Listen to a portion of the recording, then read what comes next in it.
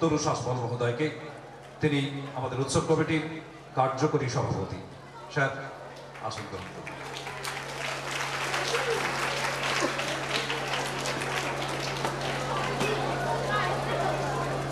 আমরা আগেই ঘোষণা করেছি, আমাদের যে নির্ধারিত সময়, সেই নির্ধারিত সময়ের প্রায় আধ ঘণ্টা আমরা পেছনে চলছি। প্রকৃতি আমাদের সহায়। উদ্বোধক তিনি কিন্তু কলকাতা থেকে এসে গেছেন। আমরা একেবারে নির্ধারিত যে কর্মসূচি, উদ্বোধনী অনুষ্ঠান, প্রদীপ প্রজ্বলনের মধ্য দিয়ে উদ্বোধন করবেন, উদ্বোধক এবং অন্যান্য অতিথিরা। আমি মহারাজকে অনুরোধ করব, তিনি প্রথম দ্বীপটি জ্বালিয়ে আমাদের এই হীরক জয়ন্তী উৎসব তার উদ্বোধন করবেন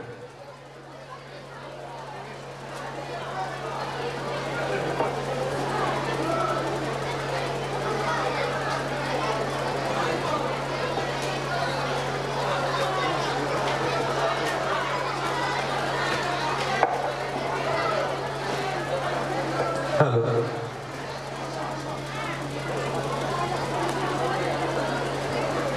শুভ উদ্বোধন শঙ্খধ্বনি এবং প্রদীপ প্রজ্বলনের মধ্য দিয়ে প্রদীপ প্রজ্বলন করবেন। আমাদের হীরক জয়ন্তী উৎসব কমিটির উদ্বোধক শ্রীযুত শ্রীমৎ স্বামী জ্ঞানলোকানন্দজি মহারাজ, অধ্যক্ষ স্বামীজির পৈতৃক আবাস এবং সাংস্কৃতিক কেন্দ্র। শ্রীমৎ স্বামী জ্ঞানলোকানন্দজি মহারাজ, প্রদীপ প্রজ্বলনের মধ্য দিয়ে উদ্বোধন। হীরক জয়ন্তী বর্ষ উদযাপন এবং অনুষ্ঠান আগামী দুদিন ধরে চলবে। আজ এবং কাল প্রদীপ প্রজ্বলন করছেন ডক্টর পরেশ নন্দ মহোদয়, আমাদের বিদ্যালয়ের প্রাক্তন প্রধান শিক্ষক। প্রদীপ প্রজ্বলন করছেন। আমাদের বিদ্যালয়ের প্রধান শিক্ষক শ্রীযুক্ত অশোক শাসমল মহোদয়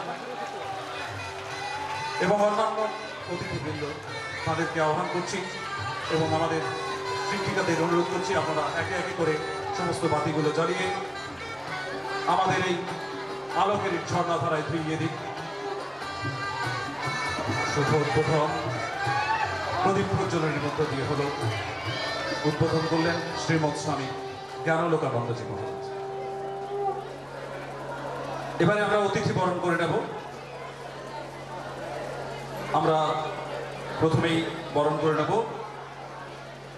আমাদের উদ্বোধক শ্রীমৎ স্বামী জ্ঞানলোকানন্দজি মহারাজকে বরণ করে নিচ্ছে আমাদের বিদ্যালয়ের ছাত্রীরা এবং শিক্ষিকা ও প্রাক্তন ছাত্রী সুমনা দাস। আমাদের সুমনা দাস মহারাজকে বরণ করে নিচ্ছে। চন্দনের ফোঁটা আমাদের ছাত্রী, বর্তমান ছাত্রী দিচ্ছে। ব্যাজ, ফুলের তোড়া এবং একটি মেমেন্টো একটি স্মারক আমাদের পক্ষ থেকে। মহারাজকে দিয়ে আমরা বরণ করে নিচ্ছি।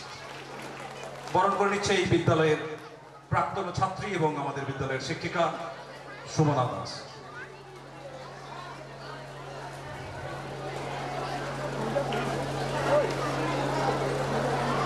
এবার আমরা বরণ করে নেব আমাদের আজকের এই উদ্বোধনী অনুষ্ঠানের সভাপতি তথা এই বিদ্যালয়ের প্রাক্তন প্রধান শিক্ষক, উৎসব হীরক জয়ন্তী উৎসব কমিটির যুগ্ম সম্পাদক ডক্টর পরেশ কুমার নন্দ মহোদয়কে বরণ করে নিচ্ছেন আমাদের বরিষ্ঠ শিক্ষিকা অপর্ণা জানা সহযোগিতায় বিদ্যালয়ের ছাত্রীরা।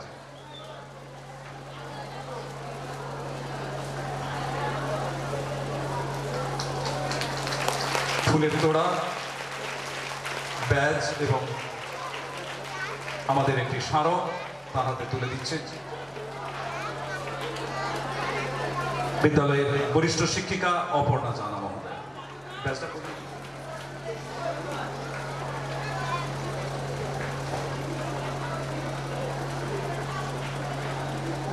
এখন আমরা বরণ করে নেব। আমাদের বিদ্যালয়ের সম্মাননীয় প্রধান শিক্ষক, উৎসব কমিটির কার্যকরী সভাপতি, শ্রীযুত অশোক তরু শাসমল মহোদয়কে বরণ করে নিচ্ছে আমাদের বিদ্যালয়ের বরিষ্ঠ শিক্ষিকা দেবশ্রী থাওয়া সহযোগিতায় বিদ্যালয়ের ছাত্রীরা।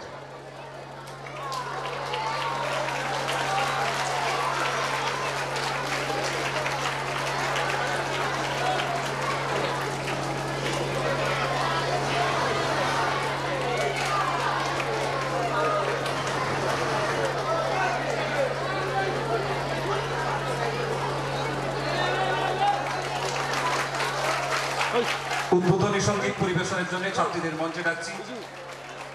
উদ্বোধনী সংগীত পরিবেশন করবে বিদ্যালয়ের ছাত্রীরা। তোমরা মঞ্চের বাম দিকে চলে এসো। দ্রুত।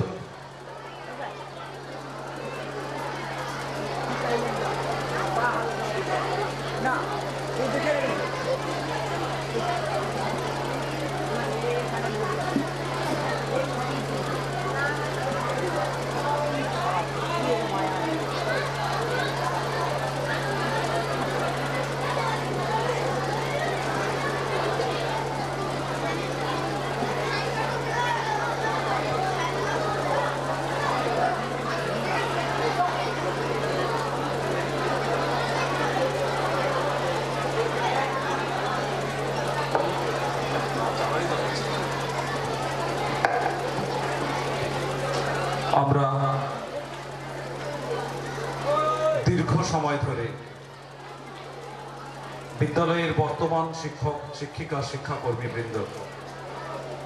এই বিদ্যালয়ের প্রাক্তন পরিচালন সমিতির সদস্যবৃন্দ।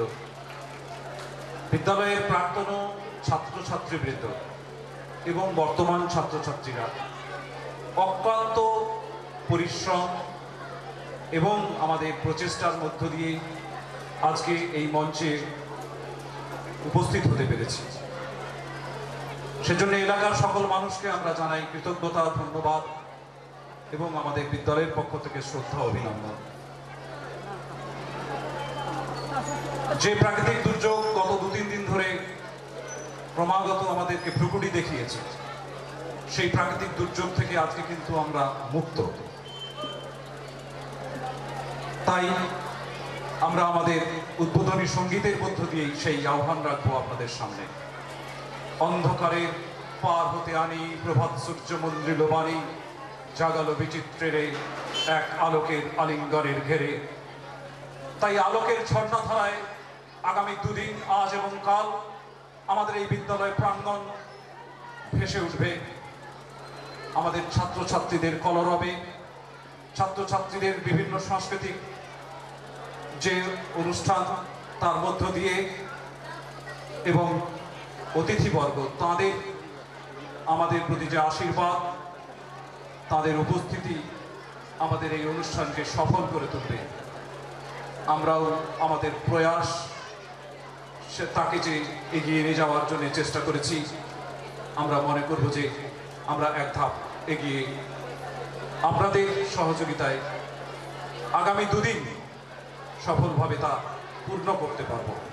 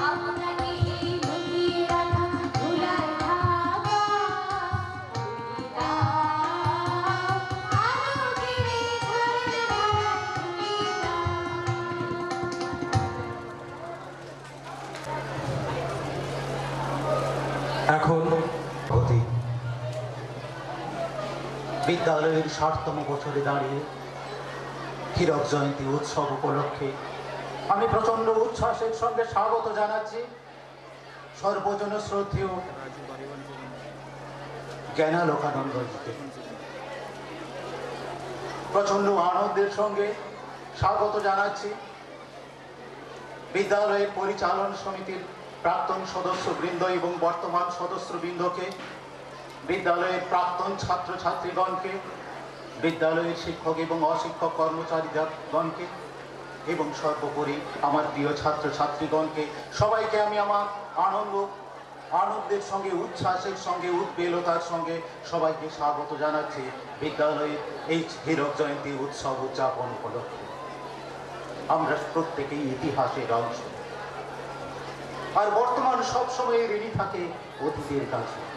আমি প্রচণ্ড আনন্দের সঙ্গে, কৃতজ্ঞতার সঙ্গে এবং ঋণতার সঙ্গে ব্যক্ত করছি যে বিদ্যালয়ের প্রতিষ্ঠাতা এবং প্রতিষ্ঠাতা প্রধান শিক্ষক, বিদ্যালয়ের শিক্ষানুরাগী মানুষজন, শিক্ষকগণ, যাদের অকণ্ঠ প্রচেষ্টায়, যাদের নিঃস্বার্থ প্রচেষ্টায় এই বিদ্যালয় প্রতি, প্রতিষ্ঠিত হয়েছিল, এক জ্ঞানোদয় প্রতিষ্ঠান হিসাবে সৃষ্ট হয়েছিল।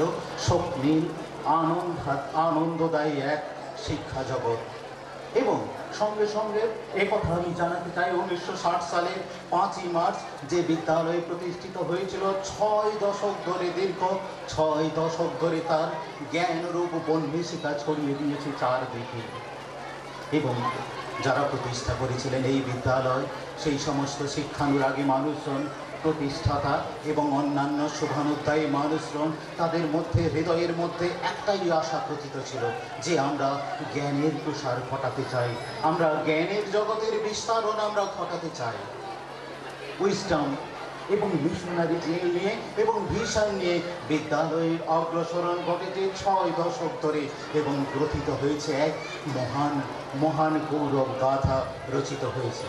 The school has escalated the scholastic and non- non-scholastic excellences. And our school is a school with a difference. A two-room school has been turned into an edifice of excellence. At the same time, we want to say that there, uh, there was the idea সেখানে ছিল এক চিন্তা ধারণা এবং সেই চিন্তা ছিল যে তুমিও করতে পারো এই বিশ্বাসটা জাগ্রত করা হয়েছিল সবার মধ্যে এবং আজকের এই ষাট বছরের পদার্পণে আমি বিদ্যালয়ের পক্ষ থেকে এই ঘোষণা করতে চাই, এই দৃঢ় অঙ্গীকার ব্যক্ত করতে চাই যে ভিশন এবং যে মিশনারি জিল নিয়ে, যে উইজডাম নিয়ে বিদ্যালয় প্রতিষ্ঠিত হয়েছিল, সেই বিদ্যালয়ের প্রতিষ্ঠার যে সুউচ্চ আশা, সেই সুউচ্চ আশার যে বিজয় কেতন সেই বিজয় কেতনকে আরও আরও উড্ডীয়মান করতে চাই এবং সেই ঘোষণা রাখতে চাই বিদ্যালয়ের পক্ষ থেকে। এবং ঈশ্বরের কাছে এই প্রার্থনা শুরু করতে চাই হে ঈশ্বর তোমার জ্ঞান আলোকের ঝর্ণা দ্বারাই আমাদের ধুইয়ে দাও। সার্থক নির্দেশনা ছাড়া কখনোই কোনো বিদ্যালয় প্রতিষ্ঠিত হতে পারে না সাফল্য লাভ করতে পারে না। And I am, I am proud to express the fact that how blessed is our school to have such wonderful, talented and cooperative teaching and non-teaching staff. The teachers have performed the role of the luminaries, guiding the students intellectually and morally. It was their vision that had been transported, translated into action. শিক্ষা শিক্ষা জগৎ বিদ্যালয় এক স্বপ্ন বিদ্যালয় হচ্ছে এক শ্রদ্ধা বিদ্যালয় হচ্ছে শিক্ষকের কাছে এক স্পন্দন এবং বিদ্যালয়ের স্পন্দনের সঙ্গে সঙ্গে শিক্ষকের হৃদয়ের স্পন্দন কিন্তু স্পন্দিত হয় এবং এই বিদ্যালয়ের শিক্ষকরা, তাদের শিক্ষকতার দ্বারা তারা আইডেন্টিটি খুঁজে পেয়েছেন, তাদের যথার্থ পরিচয় তারা খুঁজে পেয়েছেন।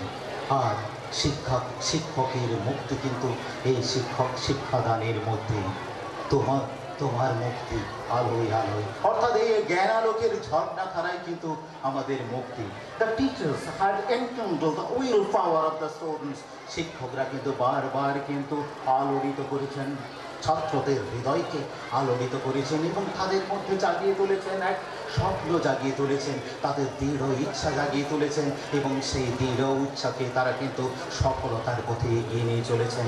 দীর্ঘ ছয় দশক ধরে ছাত্রছাত্রীরা তাদের বিজয় কীর্তনকে উড্ডীয়মান রেখেছেন, তাদের বিজয় ধ্বজাকে সামনের দিকে এগিয়ে চলেছেন এবং সঙ্গে সঙ্গে এটাই ছিল তাদের অনুভূতি তাদের অনুভূতি ছিল এটাই যে আমাকে কখনো বলো না।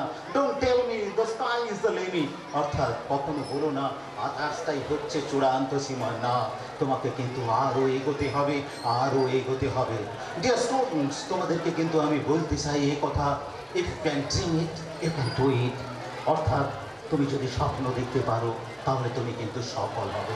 You the students are the torch bearers of the school তোমরা ছাত্ররাই ভবিষ্যতেই কিন্তু এই বিদ্যালয়কে যথোপযুক্ত জায়গায় পৌঁছে দিতে পারো.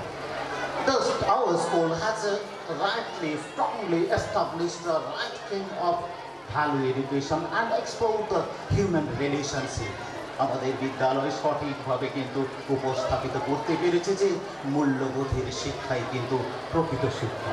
আর আমাদের বিদ্যালয় আবিষ্কার করেছে, যথার্থ মানবিক সম্পর্ক কিন্তু আবিষ্কার করেছে। এডুকেশন ওপেন্স শিক্ষায় কিন্তু সব দরজা খুলে দেয়। জ্ঞানের দরজা কিন্তু আমাদের জ্ঞানের পথে চালিত করে কিন্তু শিক্ষা এবং সেই শিক্ষা কিন্তু আমাদেরকে গ্রহণ করতেই হবে। এডুকেশন ইজ দ্য ইমানসিপেটর অর্থাৎ শিক্ষা কিন্তু আমাদের মুক্তি আনে স্বাভাবিকায় বিমুক্ত হয়ে, বিমুক্ত virtue is education virtue is knowledge জ্ঞানী হচ্ছে জ্ঞানী কিন্তু আমাদেরকে পূর্ণতার পথে এগিয়ে নিয়ে যায়। যথার্থ আত্মবিশ্বাস, যথার্থ অধ্যাবসায় যথার্থ দক্ষতার সঙ্গে এই বিদ্যালয় ছয় দশক ধরে বিস্তারণ ঘটিয়েছে। এক আলোকবর্তিকা জ্ঞান আলোক পত্রিকা বিস্তারণ ঘটিয়েছে এবং সেই বিদ্যা বিদ্যালয়ের যে বিজয় কেতন, সেই বিদ্যা- বিদ্যালয়ের বিজয় কেতন কিন্তু চির থেকেছে এবং সেই বিজয় কেতন দীপ্তকুণ্ঠে ঘোষণা করেছে, ঘোষণা করছে। ক্লান্তি আমায় ক্ষমা করো প্রভু অর্থাৎ বিদ্যালয়ের বিজয় বেতন কখনো ক্লান্ত হবে না সে কখনো স্তীমিত হতে চায় না বিদ্যালয়ে বিদ্যালয়ের বিদ্যালয়ে আমাদের পক্ষ থেকে এই ঘোষণা আমরা করতে চাই with determination dedication and discipline and will power we must move forward from higher to higher. Once again, once again, I extend my warm and cordial and happy welcome to you all. হে পার্থ সারথী, বাজাও বাজাও পাঞ্চজন্য শঙ্খ ধন্যবাদ।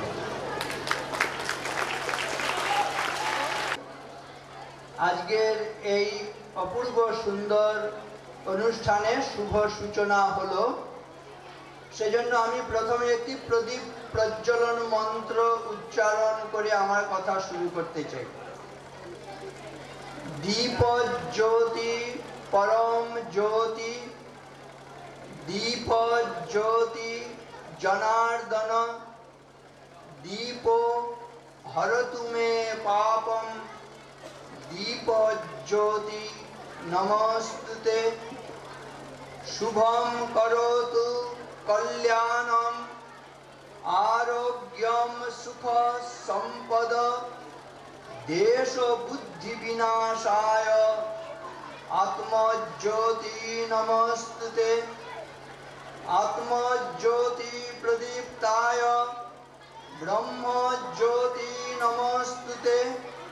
ब्रह्म ज्योति प्रदीप्ताय गुरुर्ज्योति नमस्तुते।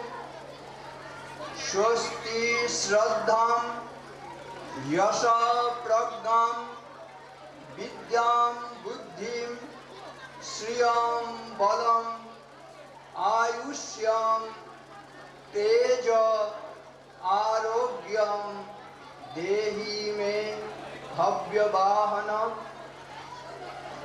ভগবান শ্রীরামকৃষ্ণদেব যুগ জননী সারদা দেবী এবং যুগাচার্য স্বামী বিবেকানন্দের চরণে ভুলুণ্ঠিত প্রণাম নিবেদন করি, অন্তরের শ্রদ্ধা নিবেদন করি।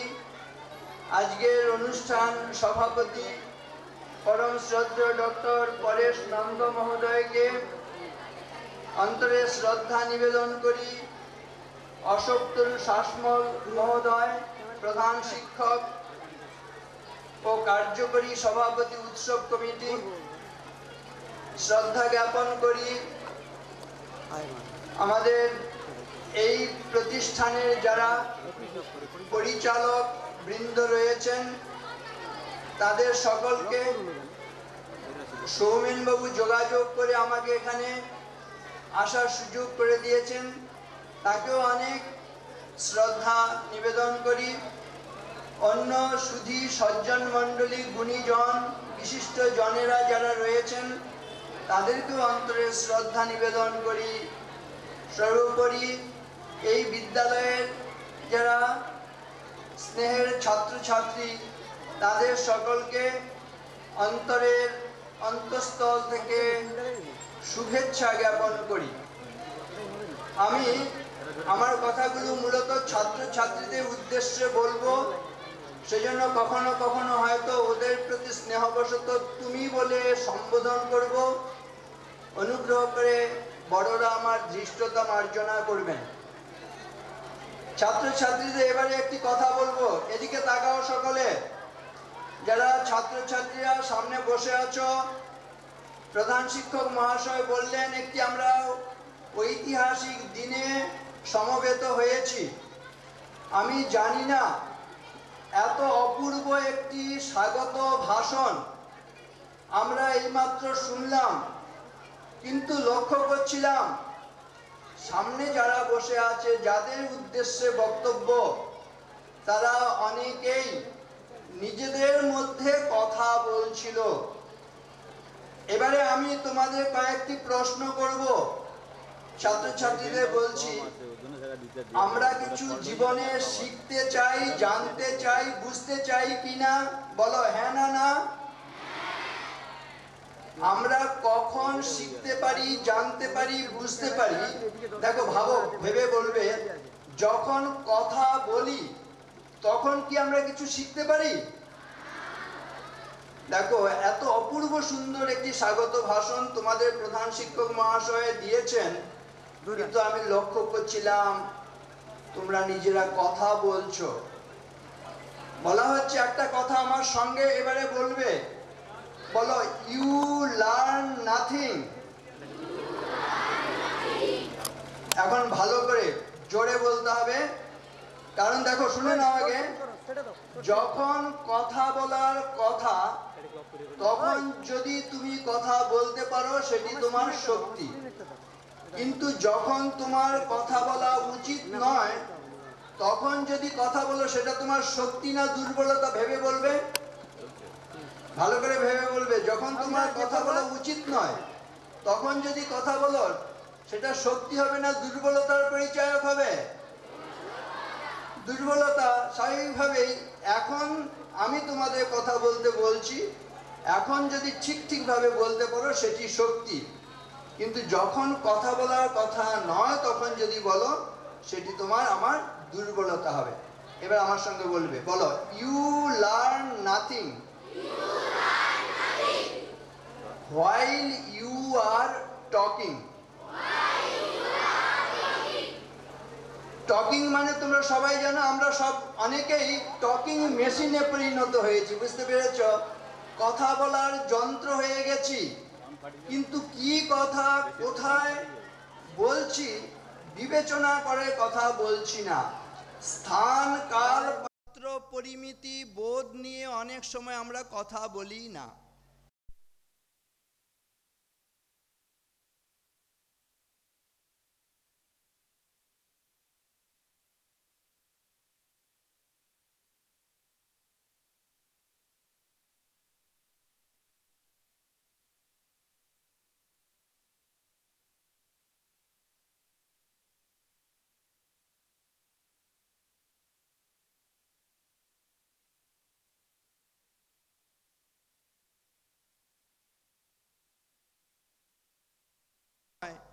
বল কম। একটি মাত্র মুখ দিয়েছেন যাতে ভেবে চিনতে আমরা কথা বলি। ঠিক আছে? তাহলে কথা বলার ব্যাপারে আমরা যথেষ্ট সাবধান হয়ে কথা বলব। আমরা দেখো জীবনে অনেক কিছু শিখি, কিন্তু আমরা এ বি সি শিখি না। তোমরা এ বি সি শিখেছো তো?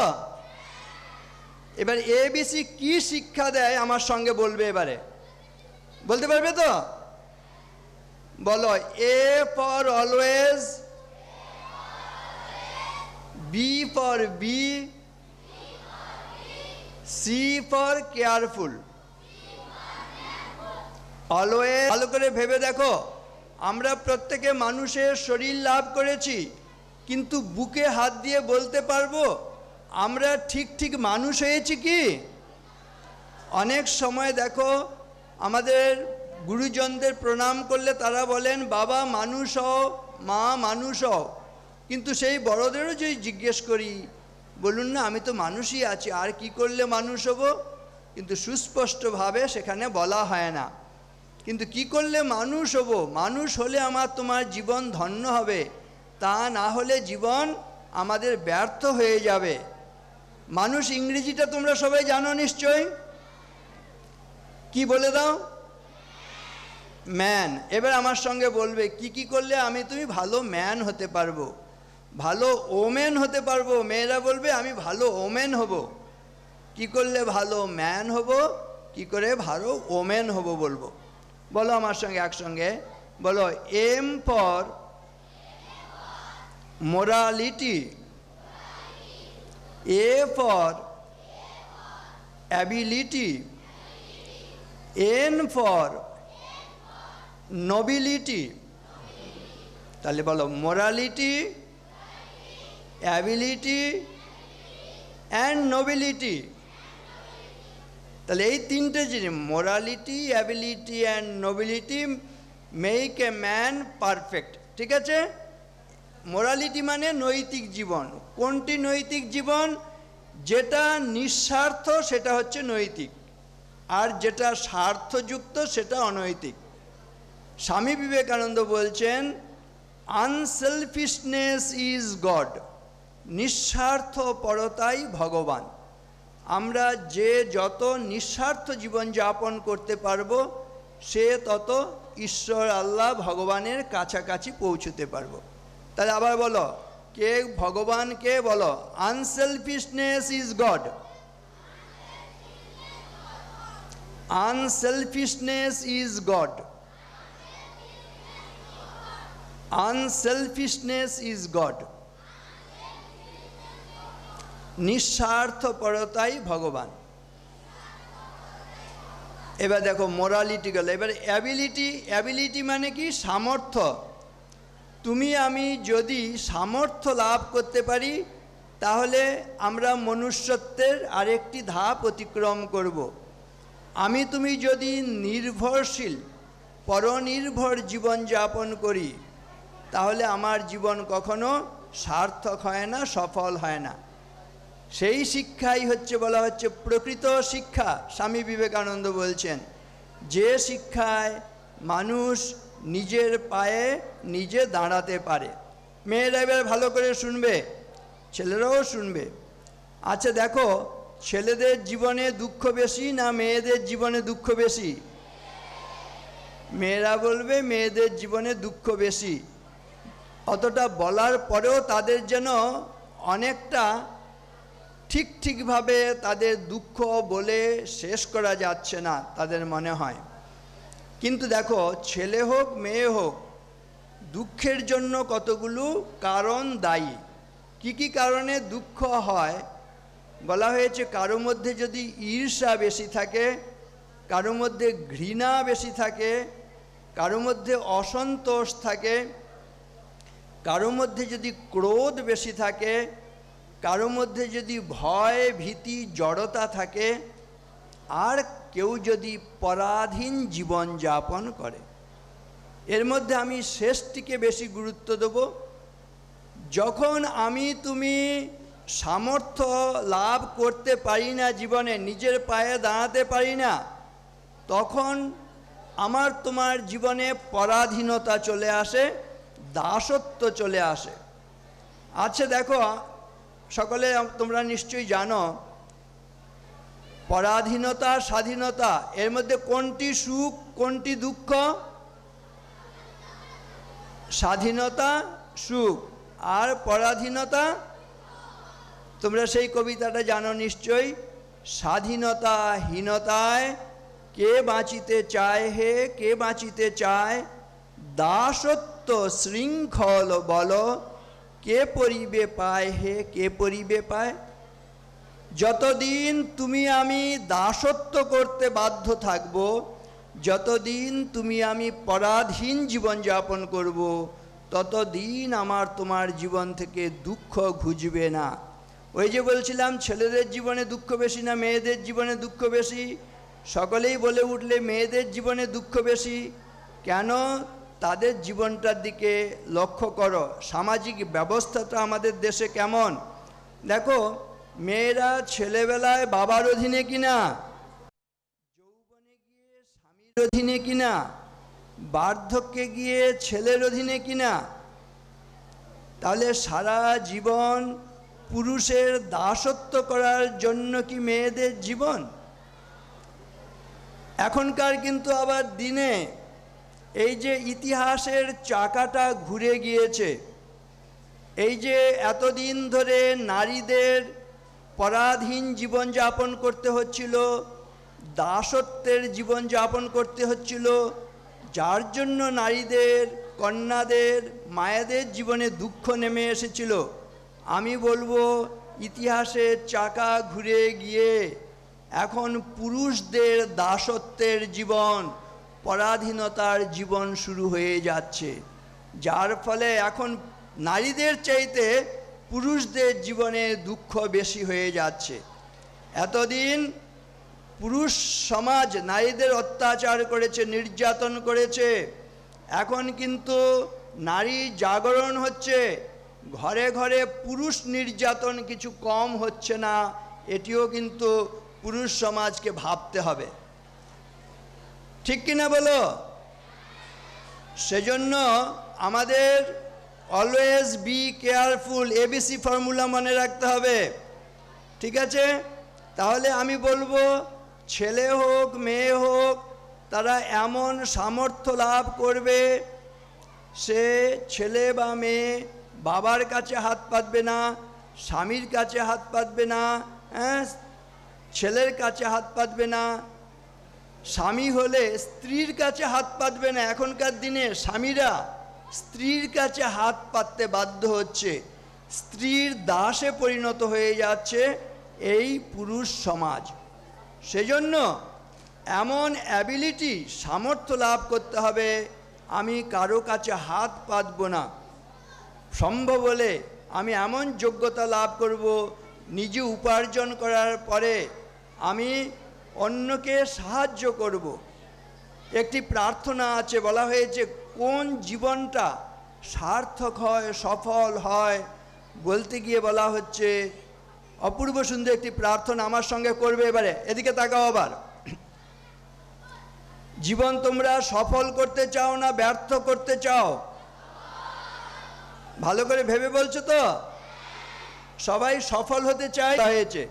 শেষের দুটো বলা হয়েছে, অবিনীতত্বম আলস্যঞ্চ বিদ্যা বিঘ্ন করানি শট অবিনীত মানে কথা না শোনা। মা বাবার কথা শুনছি না, সায়েদের কথা শুনছি না, ম্যাডামদের কথা শুনছি না, ভালো বন্ধুর কথা শুনছি না।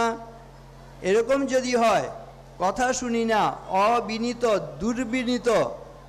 এরকম অবিনীত, দুর্বিনীত হলে পড়াশোনা হবে না। মনে থাকবে? আর শেষেরটা বলা হচ্ছে আলস্যঞ্চ কুড়েমি করলে কোনো দিন তুমি আমি ভালো ছাত্রছাত্রী হতে পারব না, ভালো পুত্রকন্যা হতে পারব না, ভালো মানুষ হতে পারব না, ভালো নাগরিক হতে পারব না। মনে থাকবে তাহলে? আবার বলো, স্বচ্ছন্দত্তম ধনার্থিত্বম প্রেম ভাবত ভোগিতা অবিনীতত্বম। আলস্যঞ্চ। বিদ্যা বিঘ্ন করানি শট। এবার তুমি আমি একটা জিনিস ভাববো, দেখো, এই প্রকৃতির দিকে তাকাও। কেউ কি সময় নষ্ট করছে? পশু, পাখি, কীট, পতঙ্গ? আমি বলব, মৌমাছি সময় নষ্ট করে? তোমরা জানো নিশ্চয়ই সেই কবিতাটি। দেখি, আজকে যদি কেউ এখানে সবাইকে বলে শোনাতে পারে, আমি বেশি খুশি হব। প্রথম লাইন দুটো আমি ধরিয়ে দিচ্ছি। মৌমাছি মৌমাছি, কোথা যাও নাচি নাচি, দাঁড়াও না একবার ভাই। তারপরের লাইন কে বলবে দেখি। অত্যন্ত সহজ কবিতা, ঠিক কি না কেউ হাত তুলছে না। এখন যদি হাত তুলতে পারতে বলতে পারতে, তুমি বলতে পারবে, একটি পেছনে একটি ভাই যেন হাত তুলেছে। পারলে সামনের দিকে এগিয়ে এসো, নাহলে সময় আমিও নষ্ট করতে চাইব না। পারলে চলে এসো। মৌমাছি মৌমাছি, কোথা যাও, নাচি নাচি ইত্যাদি বলে পরের লাইনগুলো বলবে। মৌমাছি তাহলে সময় নষ্ট করে না। তারপরে বলব, ছোট পাখি কি সময় নষ্ট করে? সামনের দিকে চলে এসো, যে পারবে সামনের দিকে এগিয়ে এসো। এই স্যারেরা মাইক নিয়ে যাচ্ছেন দেখছি। যে পারবে এগিয়ে এসো। তারপরে আমি বলতে চেষ্টা করব যে ছোট পাখিও সময় নষ্ট করে না তারপরে বলব পিপিলিকাও সময় নষ্ট করে না। আচ্ছা যতটা পারবে বলো বোনটি। মৌমাছি মৌমাছি কোথা চাও নাচি নাচি দাঁড়াও না একবার ভাই। ওই ফুল ফোটে বনে দাও মধু আহরণে দাঁড়াবার সময় তো নাই। জোরে হাততালি। দেখো দাঁড়াও, তুমি একটু দাঁড়াও, তুমি আরেকটু দাঁড়াও। তাহলে দেখো, সময়ের মূল্য এই পশু, পাখি, কীট, পতঙ্গ তারা দিচ্ছে। দেখো, এই কথাটি, এই বোনটি বলেছে, এবারে একবার, দুবার পড়লে কিন্তু তুমি আমিও আয়ত্ত করতে পারি। পারি কি না? দেখো একটা জিনিস, আমরা কঠিন জিনিস শেখার জন্য অনেক সময় দিই। কিন্তু কঠিন জিনিস অনেক সময় আয়ত্ত করতে পারি না। কিন্তু এরকম সহজ জিনিসগুলো কিন্তু অনায়াসে আয়ত্ত করতে পারি, কিন্তু অবজ্ঞা করি, অবহেলা করি বলে এগুলো কিন্তু শিখি না। তোমার আমার কিন্তু অনেক বিদ্যা হয়েছে এতদিনে, কিন্তু তুমি সচেতন নও। সেজন্য আমি বলব আজকে এই অনুষ্ঠান করা সফল হবে, সার্থক হবে। তুমি যেগুলো ফাইভ পর্যন্ত কি প্রাইমারি স্কুলে যেগুলো শিখেছ, সেগুলো অনেক মূল্যবান আছে। এখনও অনেক মূল্যবান জিনিস শিখছো, যেগুলো মনে রাখলে তোমার জীবনে কাজে আসবে, সেগুলো মাঝে মাঝে চর্চা করবে। বনটি বলেছে, একটা জায়গায় একটুখানি ত্রুটি হয়েছে, কিন্তু তা সত্ত্বেও কিন্তু এত জনের মধ্যে সে কিন্তু বলে সবাইকে আনন্দ দান করেছে। নিজে আত্মমর্যাদা প্রতিষ্ঠিত করেছে, সে আত্মবিশ্বাসের অধিকারী হয়ে যাবে। এবারে আমি বলব, মৌমাছির পরে কে বলবে দেখি, ছোট পাখি সময় নষ্ট করে না, সেই কথাটি কে বলবে? কেউ আছে? ছোট পাখি ছোট পাখি। এবার তুমি বলবে, দেখো, এটা অত্যন্ত সহজ কথা, কিন্তু দেখো, সহজ কথা না যায় কওয়া সহজে। এটাও মনে রাখতে হবে, সহজ কথাও তুমি যদি চর্চা না করো, অনুশীলন না করো, তাহলে কিন্তু তুমিও পারবে না, আমিও পারব না। সেজন্য তোমাদের একটি ছাত্রছাত্রীদের জানি না সমস্যা হয় কি না আমার তো হতো, যে পরীক্ষার দিনে গিয়ে মনে হচ্ছে আমি আজকেই সব ভুলে গেছি। তোমরা তো ভালো ছাত্রছাত্রী, তোমাদের এরকম মনে হয় না তো? হয় কি? হয়। ও বাবা, আমি ভাবতাম আমার বুঝি এটা একার সমস্যা। পরীক্ষার দিনেই ঠিক মনে হয় আমি আজকেই সব পড়াগুলো ভুলে গেছি। কেন হয় বলো তো, তুমি আমি ভালো মানে পড়াশোনা করি না এমন নয়। আমি তুমি ফাঁকিবাজ নই, প্রতিদিনে পড়া পড়ি। কিন্তু একটা জিনিস দেখো, এক ঘণ্টা আগে একটা পড়া তৈরি করেছ আর দু মাস আগে একটা তৈরি করেছ। কোনটা বেশি মনে থাকবে? এক ঘণ্টা আগেরটা। তুমি দু মাস আগে আগে যখন পরীক্ষা দিয়েছিলে, তারপরে একটা পড়া তৈরি করেছিলে। তারপরে প্রতিদিন নতুন নতুন পড়া তৈরি করেছ। সেজন্য এক ঘণ্টা আগে, একদিন আগে যে পড়াটা তৈরি করেছ, এক সপ্তাহ আগে যে পড়াটা তৈরি করেছ, সেগুলো দেখবে তোমার মনে আছে। কিন্তু যেটা দু মাস আগে তৈরি করেছিলে, সেটা স্বাভাবিকভাবে এখন চাপা পড়ে গেছে। সেজন্য যারা ভালো রেজাল্ট করতে চায় আর এই ভয় থেকে নিজেদের মুক্ত করতে চায় কি করবে? যখন ছুটির দিন হবে, যখন শনিবার, রবিবার আসবে, তারা হচ্ছে ওই পুরনো পড়াগুলো একটু রিভিশন করবে, ঝালিয়ে নেবে। দেখবে যারা তোমাদের স্কুলে ফার্স্ট সেকেন্ড থার্ড হচ্ছে, প্রথম দিকে রেজাল্ট করছে, কেন? তোমার চাইতে যে খুব বুদ্ধিমান, বুদ্ধিমতী তারা মনে করার কারণ নেই। হতে পারে। কিন্তু বেশিরভাগ ক্ষেত্রে দেখবে তারা জেনে বা না জেনে ওই পুরনো পড়াগুলো মাঝে মাঝে তারা হচ্ছে ঝালিয়ে নেয়, তারা হচ্ছে সেগুলো রিভিশন করে। মনে থাকবে তাহলে? মাঝে মাঝে জানা জিনিস যেগুলো সেগুলোরও অনুশীলন করতে হবে, চর্চা করতে হবে। তখন দেখবে তোমার অনেক কিছু জানা হয়েছে। আজকে যে এখানে ছোট ছোট কতগুলো কথা বলেছি, আরেকটা বলো। বলো time wasted is life wasted time wasted is life wasted waste করে মানে কি? আচ্ছা তুমি একটু আচ্ছা এখানে আসবে, একটা উপহার দিয়ে দিই, সামনে। এদিকে এসে নিয়ে যাবে। Time wasted is life wasted waste করা মানে কি? নষ্ট করা, অপচয় করা। সময় নষ্ট মানে কি? সময় নষ্ট মানে? আবার বলো time wasted is life wasted তাহলে সময় নষ্ট মানে কি? লাইফ মানে জীবন জীবন নষ্ট। সময় নষ্ট মানে জীবন নষ্ট। এই কথাটা শিখতে কতক্ষণ লাগল তোমার? এখন এমন কেউ আছে, এই কথাটা বলতে পারবে না। প্রত্যেক এখন বলতে পারবে কতক্ষণ লেগেছে? এক মিনিট লাগুক, দু মিনিট লাগুক, পাঁচ মিনিট লাগুক।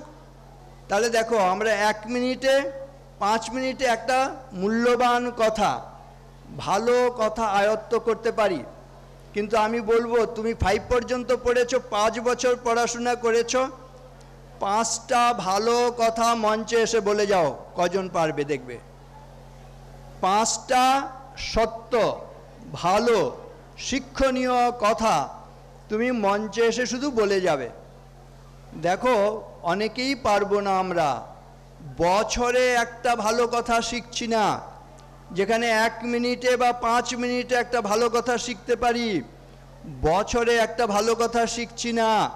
এই ইলেভেন টুয়েলভ পাশ করেই বলব, আমাকে একটা চাকরি দিন। চাকরির যোগ্যতা হয়েছে বারো বছরে বারোটা ভালো কথা শেখা হয়েছে? হয়নি দেখবে। কি করে আমি চাকরির দাবি করব? আমি বলব, চাকরির পেছনে আমাকে তোমাকে ছুটতে হবে না। এমন যোগ্যতা লাভ করতে হবে, চাকরি আমার তোমার পেছনে ছুটবে। দেখবে কত স্কুলে হেডমাস্টার মশাইয়ের পদ খালি আছে, বহু কলেজে প্রিন্সিপালের পোস্ট খালি আছে। অনেক সময় দেখা যায় যোগ্য মানুষ পাওয়া যায় না। যে কোনো দিকে। তুমি ভালো লেখক হও, ভালো কবি হও, সঙ্গীতজ্ঞ হও, খেলোয়াড় হও, ভালো একটা কারিগর হও, যে যে বিষয়ে সুদক্ষ হবে, তাকে সকলে, গোটা সমাজ তাকে আদর করে বরণ করে নেবে। তাকে নিজে ঘরে এসে চাকরি দেবে। শুধু তোমাকে আমাকে যোগ্য হয়ে উঠতে হবে। ঠিক আছে? মানুষ হওয়ানি আচ্ছা তোমাকে দিয়ে দিই আগে।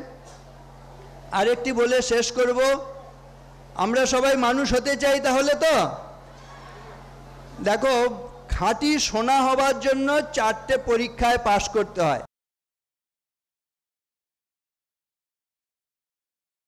চাপ সহ্য করতে হয়েছে। আর তারণ মানে অনেকবার তাকে ওই ছেঁকড়া বলে যে স্বর্ণকার, তাকে হচ্ছে পিটিয়ে পিটিয়ে সেটার আকার দিতে হয়েছে। হ্যাঁ? একটা আংটি তৈরি করতে কতবার পেটাতে হয়েছে বলো তাকে? তাহলে এতগুলো পরীক্ষায় পাশ করে আজকে সুন্দর সে গয়না, সে অলঙ্কার তাকে শরীরে ধারণ করছি, আদর করছি। তেমনি মানুষকেও মনুষ্যত্বের পরীক্ষায় পাশ করতে হয়, চারটে পরীক্ষায় পাশ করলে সে খাঁটি মানুষ হয়। কি কি? বলে হচ্ছে শ্রুতেন, শীলেন, গুণেন, কর্মনা। শ্রুতি মানে তোমরা জানো, পড়েছ? বেদের অপর নাম শ্রুতি। বেদ মানে আসলে জ্ঞান রাশি। যে জ্ঞানের চর্চা করবে, সে মানুষ হবে, তা না হলে সে পশু থেকে যাবে। শ্রুতে ন শিলে ন এবারে অনেক ডিগ্রি হয়, কিন্তু দেখবে ভদ্র হয় না। ভদ্রতা লাভ করলে তবে আমি মনুষ্যত্বের পরীক্ষায়, দ্বিতীয় পরীক্ষায় উন্নীত হলাম। ঠিক আছে? বলো একটা কথা আমার সঙ্গে। বলো গুডনেস ইজ আবার goodness is greater than greatness goodness is greater than greatness দেখো, আমাদের প্রত্যেককে ভালো হতে হবে, ভদ্র হতে হবে, মার্জিত হতে হবে। যে ভদ্র নয়, মার্জিত নয়, নম্র নয়, সে পশু স্তরে থেকে যায়, তার ডিগ্রি হতে পারে, কিন্তু মানুষ হয় না। তাহলে শ্রুতেন ন তিন নম্বর গুণে ন মানে স্কিল্ড হতে হবে, দক্ষতা অর্জন করতে হবে। কর্ম না মানে হাতে কলমে তোমাকে সেটা কার্যকর করতে হবে। এই চারটে গুণ থাকলে তাহলে আমাদের হচ্ছে মানুষ হওয়া হয়। বোধহয় বৃষ্টি এসে গেছে, এখন একটু দুর্যোগ, আমি আর কথা বাড়াবো না। আমি শুধু ঈশ্বর আল্লাহ, ভগবানের কাছে প্রার্থনা করব। আমাদের মধ্য থেকে যদি কিছু দোষ থাকে সেগুলো তিনি হচ্ছে হরণ করে নিন। আমরা যে প্রার্থনা মন্ত্রটা প্রদীপ প্রজ্বলন মন্ত্র উচ্চারণ করেছিলাম, সেখানে কিন্তু এগুলোই বলেছিলাম। দীপ হরতুমে পাপম, দীপজ্যোতি নমস্তুতে। আমার, তোমার মধ্যে কোনো দোষ, কোনো পাপ ইত্যাদি যদি থাকে, তিনি হরণ করে নিন এবং আমাকে, তোমাকে তিনি স্বস্তি, শ্রদ্ধা, যশ, প্রজ্ঞা বিদ্যা, বুদ্ধি, শ্রী এবং বল, আরোগ্য, এগুলো দান করে আমাদের জীবন সফল করুন, সার্থক করুন। ঈশ্বর আল্লাহ ভগবানের চরণে আমি আমাদের প্রত্যেকের সর্বাঙ্গীন কল্যাণ প্রার্থনা করে এবং যারা নাকি এই অনুষ্ঠানের আয়োজক, তাদের সকলের প্রতি কৃতজ্ঞতা জানিয়ে সকলের মঙ্গল প্রার্থনা করে দুদিনের অনুষ্ঠানের সাফল্য কামনা করে আমার কথা শেষ করছি। নমস্কার।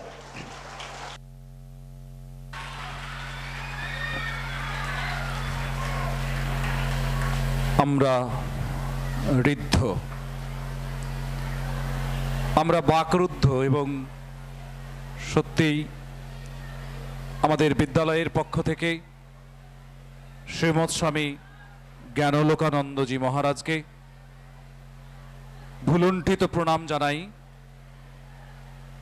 এবং আমরা তার কাছ থেকে যে ছাত্র জীবনে মূল্যবোধ এবং নীতিপরায়ণতার প্রয়োজন, শুধুমাত্র ছাত্রছাত্রীরা নয়, আমরা শিক্ষক, শিক্ষিকা মণ্ডলী এবং আমাদের যারা শ্রদ্ধেয় অতিথিবর্গ উপস্থিত আছেন প্রত্যেকের কাছেই আমাদের কাছে এটি স্মরণীয় হয়ে থাকবে এই বক্তৃতা, এই কথা।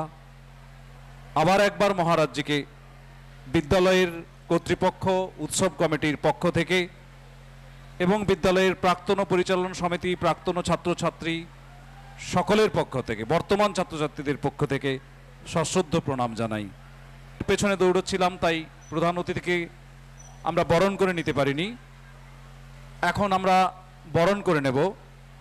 তিনি কিন্তু আজকে সকালবেলায় হাওড়া স্টেশনে যখন ছটা চৌত্রিশ, তখন সকালবেলায় ফোন করে বলছেন, সোমেনবাবু, আমি ট্রেনে বসে গেছি এবং নিশ্চিত আপনাদের বিদ্যালয়ে আসছি।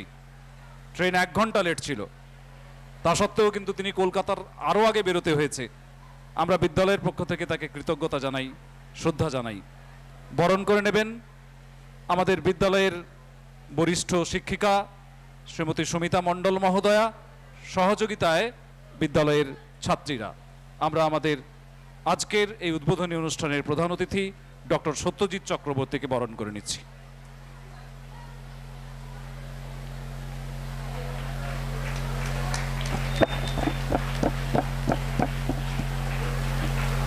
ফুলের তোড়া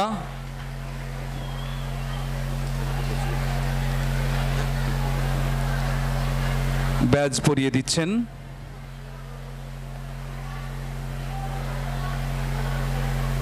সম্মাননীয় শিক্ষিকা সুমিতা মণ্ডল মহোদয়া, প্রধান অতিথির স্মারক, আমরা সামান্য একটি স্মারক, ডক্টর সত্যজিৎ চক্রবর্তীর হাতে তুলে দিচ্ছি।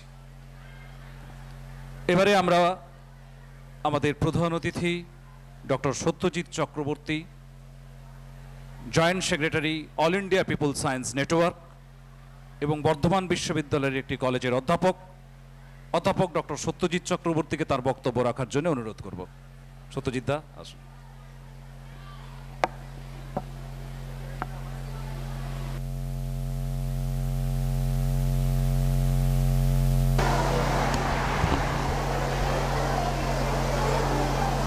আজকের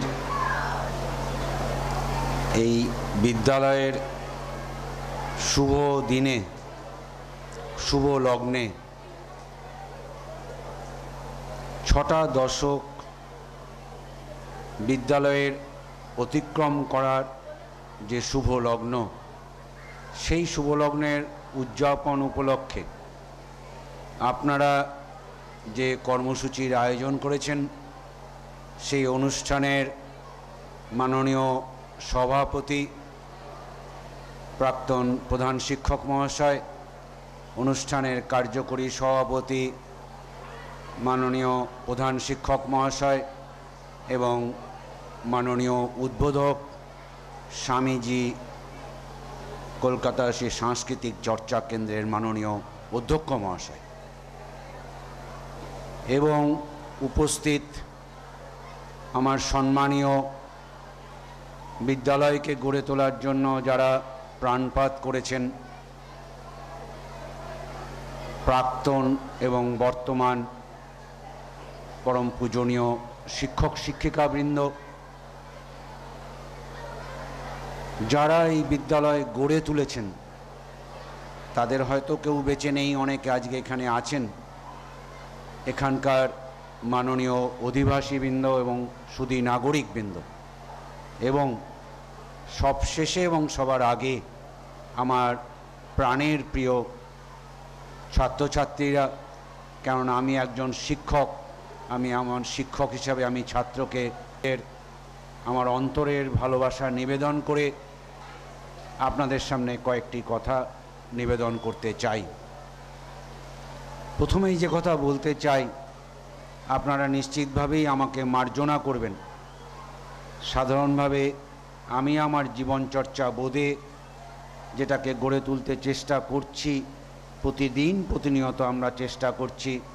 যা কিছুক্ষণ আগে আলোচনা হলো যে সময় নিয়ে, এই সময়ানুবর্তিতার ক্ষেত্রে আজকে আমি কিছুটা নিজেকে বিঘ্ন ঘটিয়েছি এবং আপনাদের কিছুটা অসুবিধার সৃষ্টি করেছি। তার জন্য মার্জনীয়, যদিও সমস্তটা আমার হাতে ছিল না। আমি আপনাদের কাছে মার্জনা চাইছি। দ্বিতীয়ত এই রকম একটি অনুষ্ঠানে আপনারা আমাকে এখানে উপস্থিত হওয়ার জন্য যে সুযোগ ঘটিয়ে দিয়েছেন, আমি একদিকে নিজেকে আমি খুব গর্ববোধ করছি যে একটি বিদ্যালয়ের অভিজ্ঞতা সঞ্চয় করা, আর অপরদিকে আপনাদের কাছে আমার কৃতজ্ঞতা জ্ঞাপন করছি যে আপনারা আমাকে এখানে আবেদন জানিয়েছেন। দীর্ঘ সময় ধরে উদ্বোধনী অনুষ্ঠানের কর্মসূচি চলছিল। স্বাগত ভাষণের বর্তমান শিক্ষক মহাশয় প্রধান শিক্ষক মহাশয়ের উদ্দীপ্ত ভাষণ, উদ্দীপ্ত আলোচনা আমি শুনেছি যে প্রাঞ্জল ইংরেজিতে ইংরেজি ভাষা এবং বাংলা ভাষার সংমিশ্রণ ঘটিয়ে এখানে যে আলোচনার উপস্থাপন করেছেন, আমি ওনার সঙ্গে অভিজ্ঞতার বিনিময় ঘটিয়েছি। আমি বিনীতভাবে কৃতজ্ঞতা জ্ঞাপন করব মাননীয় উদ্বোধক মহাশয়ের কাছে যে একজন মানুষ, পূর্ণাঙ্গ মানুষ হিসাবে গড়ে তোলার জন্য স্বামী বিবেকানন্দের যে মূল্যবোধ, সেই মূল্যবোধকে কত সহজে নিজেদের মধ্যে আত্মস্থ করা যায় তা আপনাদের সামনে তুলে ধরেছেন এবং এত সাবলীলভাবে ছাত্রছাত্রীদের সঙ্গে কথা বলেছেন। আমি নিজে উপকৃত হয়েছি, যে কথা শুরুতে বলেছিলাম, অভিজ্ঞতার বিনিময়। সেই জন্য আপনাদের কাছে পুনরায় আমার কৃতজ্ঞতা জ্ঞাপন করছি। আমি দীর্ঘদিন ধরে শিক্ষকতা করছি। শিক্ষকতা জীবনের তিন দশক অতিক্রম করে, আমার জীবনকালের ছয় দশক আমি অতিক্রম করেছি। এই দীর্ঘ শিক্ষকতা জীবনের অভিজ্ঞতার নিরিখে আপনাদের সামনে কয়েকটি কথা আমি নিবেদন করতে চাই। এখানে আলোচনা হয়েছে। আমরা যারা এই বিদ্যালয় প্রাঙ্গণে এখানে যারা সমবেত হয়েছি, আমরা যারা ছাত্রছাত্রীরা এখানে সমবেত হয়েছে, আমাদের প্রিয় সেই সোনার টুকরো, হীরের টুকরো ছাত্রছাত্রীরা যারা এখানে সমবেত হয়েছি, এই প্রতিষ্ঠানে আমরা যারা প্রতিদিন আসি এই প্রতিষ্ঠানটিকে যারা সেদিন গড়ে তুলতে চেয়েছিলেন, তারা তুলতে চেয়েছিলেন এই কারণেই যেখানকার সকল মানুষ আধুনিক শিক্ষায় শিক্ষিত হয়ে উঠুক এবং সেই শিক্ষায় শিক্ষিত হওয়ার জন্য একটি শিক্ষাক্রম বা একটা পাঠদান পদ্ধতির মধ্যে উভয়ের অভিজ্ঞতার বিনিময়ের মধ্য দিয়ে আমরা নিজেদেরকে শিক্ষিত করে তুলব। একজন ছাত্রছাত্রী হিসাবে। তাহলে একটি শিক্ষাঙ্গনে একদিকে যেমন শিক্ষা দান করার জন্য একজন মানুষের দরকার আর একজন দরকার শিক্ষা গ্রহণ করার জন্য। আজকে আমরা যেখানে মেলবন্ধনে আমরা মিলিত হয়েছি, এই প্রতিষ্ঠান সেদিন যারা গড়ে তুলতে চেয়েছিলেন, যে তিল তিল করে যে প্রতিষ্ঠান, আমি প্রধান শিক্ষক মহাশয়ের কাছে শুনেছি যে প্রায় দেড় শতাধিক ছাত্রছাত্রী বর্তমান সময়ে এই বিদ্যালয়ে পড়াশোনা করছেন। যারা এই বিদ্যালয়ের পার্শ্ববর্তী অংশ থেকে এখানে পড়াশোনা করতে আসেন এবং বিদ্যালয়ের অভ্যন্তরে তাকে তিল তিল করে গড়ে তোলা হয়েছে, সেই পুরনো স্কুল ফাইনাল পরীক্ষা থেকে আজকের মাধ্যমিক এবং উচ্চ মাধ্যমিক স্তরের বিজ্ঞান এবং স্নাতক শাখায় আধুনিক শিক্ষার সুযোগ ঘটানোর জন্য এই প্রতিষ্ঠান প্রতিষ্ঠান তার যখন যাত্রা শুরু করেছিল, সে কলে বড়ে আকার আয়তনে সে অনেক বড় আকার ধারণ করেছেন। শুধু তাই নয়, এই বিদ্যালয়ের মধ্যে আমি অত্যন্ত শুনে গর্ব অনুভব করেছি যে এখানে আমাদের সমাজের যারা সবচেয়ে পিছিয়ে পড়া অংশ, আদিবাসী অংশের মানুষদের আপনারা এখানে রাখার বন্দোবস্ত করেছেন। আবাসিক বিদ্যালয়ের তাদের সুযোগ আছে। এবং উচ্চ মাধ্যমিক স্তরের ছাত্রছাত্রীরাও আবাসিক হিসাবে তারা দূর দূরান্ত থেকে তারা এখানে পড়তে আসেন। একথা শোনার পরে এই কারণে আবার আপনাদের কাছে আমি আমার, আপনাদের এইভাবে অভিনন্দন জানাই যে নিশ্চিতভাবেই তারা এই বিদ্যালয়ে তারা শিক্ষাদান গ্রহণের এই ক্ষেত্রটিকে তারা মনে করেছেন একজন উপযোগী ক্ষেত্র। তাই দূর দূর প্রান্ত থেকেও ইলেভেন টুয়েলভের ছাত্রছাত্রীরা তারা এখানে আবাসিক হিসাবে তারা থাকেন। এই সমগ্র প্রক্রিয়া কর্মকাণ্ড আপনারা গড়ে তুলেছেন তিল তিল করে।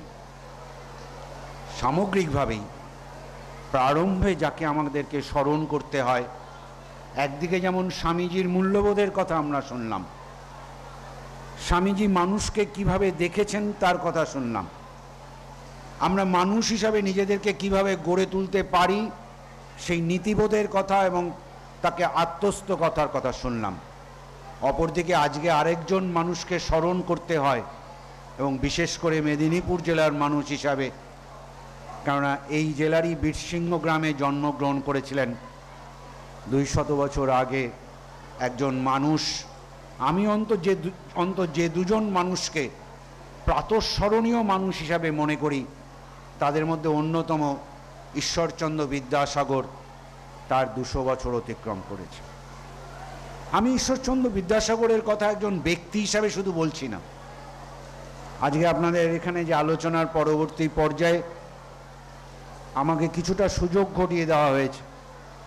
চেষ্টা করব বিদ্যাসাগর এবং তার বিজ্ঞান ভাবনা সম্পর্কে তার আলোচনা।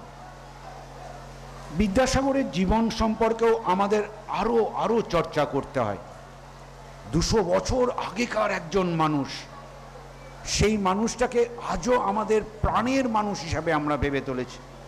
তার মানে সেই মানুষ নিজেকে কালো জয়ী তৈরি করেছে।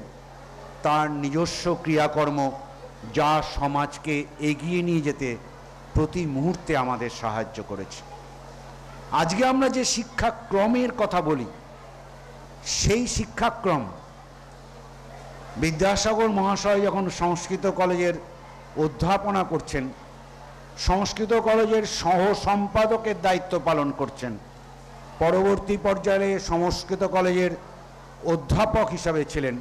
যে সংস্কৃত কলেজে বারো বছর শিক্ষা লাভ করেছেন, সেই বিদ্যাসাগর মহাশয় আঠেরোশো পঞ্চাশের সময় তিনি, আমাদের শিক্ষাক্রম কি হওয়া উচিত না উচিত তা নিয়ে দীর্ঘ রচনা তৈরি করেছেন।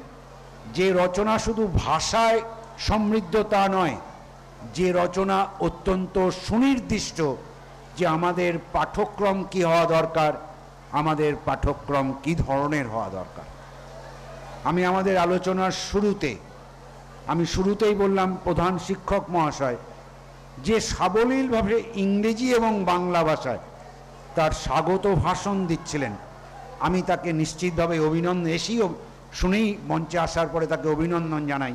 আমি অভিনন্দন জানাই এই কারণে বিদ্যাসাগর যে সময়ে, সেই সময়ে যেখানে আমাদের বাংলা ভাষার এত মাধুর্য তৈরি ওঠেনি, যে বিদ্যাসাগর আমাদের বাংলা ভাষার পাঠ্যক্রমের প্রাইমার তৈরি করেছিলেন, আদর্শ লিপিকে তৈরি করেছিলেন, যে আদর্শ লিপি পড়ে আজকে আমরা বড় হয়েছি যে বিদ্যাসাগর সংস্কৃত ভাষার মধ্যেই প্রাধান্য পাচ্ছেন তার শিক্ষার মধ্যে, সেই বিদ্যাসাগর অনুভব করছেন।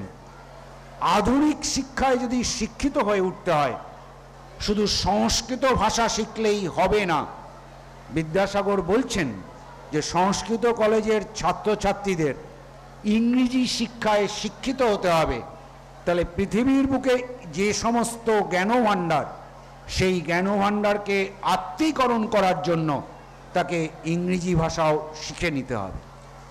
কতটা সুদূর প্রসারী এবং আধুনিক চিন্তাভাবনার মননশীল, আমাদের ভেবে নিতে হবে আঠেরোশো পঞ্চাশ সাল আর দু হাজার উনিশ সাল, এই দুটো বছরের মধ্যে কত বছর পার্থক্য যে সময় সেই শিক্ষার সুযোগ ছিল না, শিক্ষার পাঠ্যক্রমের সুযোগ ছিল না। আজকে আমরা যারা এই প্রতিষ্ঠানটা গড়ে তুলেছেন, আপনারা দেখতে পাবেন স্বাধীনতার উষালগ্নে আমাদের দেশকে বিদেশের হাত, পরাধীনতার হাত থেকে মুক্ত করতে যে বীর সেনানীরা ছিলেন, তাদেরকে যারা সহযোগিতা করছিলেন, তারা প্রতিদিন প্রতিনিয়ত তারা ভাবতেন, শুধু পরাধীনতার গ্লানি থেকে মুক্ত করা নয়, তাকে স্বাধীনভাবে উন্নত মানুষ হিসাবে দেশকে গড়ে তোলার জন্য শিক্ষার ক্রম, শিক্ষার শালা, শিক্ষার পাঠদান পদ্ধতি গড়ে তুলতে হবে। এবং আপনারা লক্ষ্য করে দেখবেন, শুধু আপনাদের বিশ্ববিদ্যালয় নয়, স্বাধীনতার পরবর্তী পর্যায়ে বাংলার বুকে ষাটের দশকে স্বাধীনতার উষালগ্ন থেকে কত নতুন নতুন বিদ্যালয় স্থাপিত হয়েছিল। যে কাজও অবশ্য বিদ্যাসাগর সেই অনেক দিন আগে শুরু করেছিলেন যখন তিনি ইন্সপেক্টর অফ কলেজেসের স্কুলের দায়িত্বের সেই পরাধীন ভারতবর্ষের সুযোগ পেয়েছিলেন, তাকে ব্যবহার করেই করেছিলেন। আমাদের বিদ্যাসাগরকে আরও আজকে স্মরণ করতে হয়। মাননীয় মহারাজ বলেছেন যে আমরা চাই এমন একটা সমাজ যে সমাজে প্রত্যেকটি মানুষ সশক্তিকরণ হোক, প্রত্যেকটি মানুষের ক্ষমতা উঠুক। যে ক্ষমতায়ন হতে পারে প্রকৃত শিক্ষার মধ্য দিয়ে, যে ক্ষমতায়নের মধ্যে যেখানে কোনো বাদ বিচার থাকবে না, যে ক্ষমতায়নের ছেলে এবং মেয়ে, ছাত্র এবং ছাত্রী উভয়ই সমানভাবে দক্ষ হয়ে উঠবে, তবেই আমার প্রকৃতির মধ্যে মানুষ হিসাবে প্রাকৃতিক সম্পদকে ব্যবহার করা, প্রাকৃতিক সম্পদকে ব্যবহার করে নিজেদের জীবনযাপনকে উন্নত করা নিজেদের জীবনকে জানা, পরিবারকে জানা, সমাজকে জানা এবং সমগ্র মানব সমাজকে সুন্দরভাবে গড়ে তোলার জন্য আমাদের এই শিক্ষার দরকার। সেই শিক্ষা অত্যন্ত গুরুত্বপূর্ণ, স্বাভাবিকভাবেই নারী শিক্ষাও অত্যন্ত গুরুত্বপূর্ণ। ভাবলে বিস্মিত হতে হয়, নিজের পয়সায়, নিজের উদ্যোগে মাত্র আট বছর সময়কালের মধ্যে সেই সময়কালে যেখানে মেয়েদের শিক্ষার সুযোগ ছিল না, যেখানে মেয়েদের বাড়ি থেকে বেরোতে দেওয়া হতো না, যেখানে মানুষের আমাদের সমাজ ব্যবস্থার অবস্থাটা ছিল আরও অনেক সংরক্ষণশীল, সেই রকম একটা সমাজে বালিকা বিদ্যালয়, মেয়েদের নারী শিক্ষা কেন্দ্র, মহিলাদের জন্য শিক্ষার সুযোগ গড়ার জন্য পঁয়ত্রিশটির মতন বালিকা বিদ্যালয় নিজের উদ্যোগে গ্রহণ করে তুলেছেন। আজকে যখন আমরা হীরক জয়ন্তী বর্ষ উদযাপন করছি, নিশ্চিতভাবেই এই ঐতিহ্যকেই পাথেয় করে এই বিদ্যালয়ের ছাত্রছাত্রীরা, আমরা যারা শিক্ষক, শিক্ষিকারা, আমরা তাদেরকে যারা পাঠদান করছি, আমরা সেই লক্ষ্যেই তাদেরকে আমরা গড়ে তুলতে চাইছি। স্বাভাবিকভাবেই এই হীরক জয়ন্তী অত্যন্ত গুরুত্বপূর্ণ আপনাদের কাছে, যে আমরা বিদ্যাসাগরের দ্বিশত জন্মবর্ষে আমরা এই হীরক জয়ন্তী অনুষ্ঠান পালন করছি। বিদ্যাসাগরের ভাবনা, চিন্তার দ্বারা নিজেদেরকে যাতে গড়ে তুলতে পারি। এখানে যারা ছোট ছোট ছেলেমেয়েরা যারা আছে, তাদেরকে আমরা বলতে চাই, এটা ঠিক। আমি যখন ছোট ছিলাম, আমি তখন আমি কথা বলতে পারি না। আমি যখন দাঁড়ালাম, আমি তাকাচ্ছি। আমি আমার নিজের ভাষা তৈরি করছি। আমি আমার নিজের ভাষাকে সৃষ্টি করছি। মানুষ যে পরিবেশের মধ্যে থাকে, সেই পরিবেশের অভ্যন্তর থেকেই মানুষের ভাষা সৃষ্টি হয়। মানুষের ভাষার কোনো শোভনীয়তা নেই। মানুষ যে যদি একটা ছোট্ট শিশুকে আজকে জন্মাবার পরে, তিনি কোনো কোনো বাঙালি পিতামাতার জন্য বাংলাভাষী কোনো পিতামাতার যদি নবজাতক সন্তান হন, আর সেই নবজাতক সন্তানকে কোনো দুর্ঘটনাজনিত কারণে যদি কেরলের কোনো বা মালায়ালাম কোনো দম্পতির কাছে যদি তাকে পৌঁছে দেওয়া হয়, তাহলে দেখা যাবে সেই ছাত্র, সেই সেই শিশু ধীরে ধীরে মালয়ালম ভাষায় তার মাতৃভাষা হিসাবে গড়ে উঠছে। ভাষা মানুষকে সেইভাবেই গড়ে ওঠে। আমরা সেই ভাষায় শিক্ষিত হয়ে উঠছি। আমরা সেই ভাষার মধ্যে শিক্ষিত হচ্ছি এই কারণেই। একদিকে নিজেকে জানতে, একদিকে প্রকৃতিকে জানতে, একদিকে আমার পরিবার পরিজনকে জানতে। একদিকে আমার মানুষকে জানতে, একদিকে আমার সমাজকে জানতে, যার মধ্য দিয়ে আমি আমাকে একজন পূর্ণাঙ্গ মানুষ হিসাবে গড়ে তুলতে পারি। তাই তো ঈশ্বরচন্দ্র বিদ্যাসাগর আবার আলোচনায় আসে। বাবার সঙ্গে যাচ্ছে যখন, আজকেও সেই ছোট্ট শিশুটা সেই কাণ্ডটি ঘটায়। আজকেও সেই ছোট বাচ্চাটা সেই কথাটাই বলে, ট্রেনে যাচ্ছে, আমি দেখেছি একটি ছোট বাচ্চা, ছোট শিশু। সে যখন বাবাকে জিজ্ঞেস করছেন, ওটা কি? এটা কি? ওটা কি? ওই জিনিসটা কি? প্রতিনিয়ত তার মধ্যে অসংখ্য প্রশ্ন, অসংখ্য জানার আগ্রহ। যা ঈশ্বরচন্দ্র বিদ্যাসাগর অঙ্ক শিখলেন, তার লেখা সংখ্যা জানলেন। বাবাকে জিজ্ঞেস করছেন, মাইল ফলকের মধ্যে ওটা কি লেখা আছে? মাইল ফলকের সংখ্যার মধ্য দিয়ে সংখ্যা শিখছেন। আমরা শিখি শিক্ষা প্রতিষ্ঠানে, আমরা শিখি পরিবারে। শিক্ষা প্রতিষ্ঠানের বাইরেও আমরা সমাজে শিক্ষা লাভ করি। আমরা প্রতিদিন প্রতিনিয়ত শিক্ষা লাভ করি। আমরা যারা শিক্ষাঙ্গন পরিত্যাগ করেছি, আমরা এখনও শিখি। আমরা সাত বছর উদযাপন করছি এই কারণেই, এই ইতিহাসটাকে আমরা চর্চা করছি এই কারণেই। আমরা যাদেরকে শিক্ষাদান দিয়েছি, তারা আজকে সমাজে কীভাবে প্রতিষ্ঠিত হয়েছে, সমাজে কীভাবে ভূমিকা পালন করছেন, সমাজে সবাই কি সঠিক ভূমিকা পালন করছেন বা কারা কারা সঠিক ভূমিকা পালন করছেন না, কেন পালন করছেন না? আমাদের পাঠদান পদ্ধতির মধ্যে কোনো ত্রুটি? নাকি তার সমাজে বসবাস করছে সেখানকার সমাজ থেকে তার শিক্ষাদানের মধ্যে ত্রুটি? নাকি তিনি যে পরিবারে যাচ্ছেন, সেই পরিবারের শিক্ষাদানের মধ্যে কোনো ত্রুটি থেকে গেছে? আজকে সেই পর্যালোচনার মধ্য দিয়েই আজকে ছয় দশক পরে যখন আগামী ছয় দশকের দিকে যাব, আমরা পঁচাত্তর বছরের দিকে যখন যাব আমরা আরও নিজেদেরকে পরিশীলিত করব আরও উন্নত শিক্ষাদান পদ্ধতির মধ্য দিয়ে যাব। একজন শিক্ষক হিসাবে আমি আমার জীবনের শিক্ষার কয়েকটি ক্ষুদ্র অভিজ্ঞতা আমি বয়স্ক জনদের জন্য নয়, ছোটদের কাছে রাখতে চাই। আমার শিক্ষাদান, আমি এখানে অনেক নিশ্চিতভাবেই ক্লাস ফাইভ সিক্সের ছেলেমেয়েরা এখানে আছো? হ্যাঁ? আমি যখন উচ্চতর শিক্ষা লাভের পরে আমি বাগনানের কাছে একটি বিদ্যালয়ে প্রথম পর্যায়ে শিক্ষার সুযোগ পাই শিক্ষাদানের শিক্ষক হিসাবে যুক্ত হই তা আমি পদার্থবিদ্যার লোক। আমাকে ক্লাস সিক্সের একটি ক্লাস আমাকে নিতে বলা হলো, যেহেতু সেদিন সেই সময় সেই ক্লাসে উপস্থিত হয়নি। আমি সেই ক্লাসে যখন যাই, আমি ছোট ছোট ছেলেদের কাছে আমি জিজ্ঞাসা করি, ক্লাস সিক্সের, যে তোমাদের আজকে পড়াশুনো কি আছে? কি আজকে তোমাদের পড়া ছিল? কি পড়ে এসেছ তোমরা? সবাই মিলে আমাকে বলল যে, স্যার বটপাতা আমাদের পড়ানো আছে। আমি ক্লাস সিক্সের ছাত্রদের জিজ্ঞেস করি, এখনও কি বটপাতা পড়ানো হয়?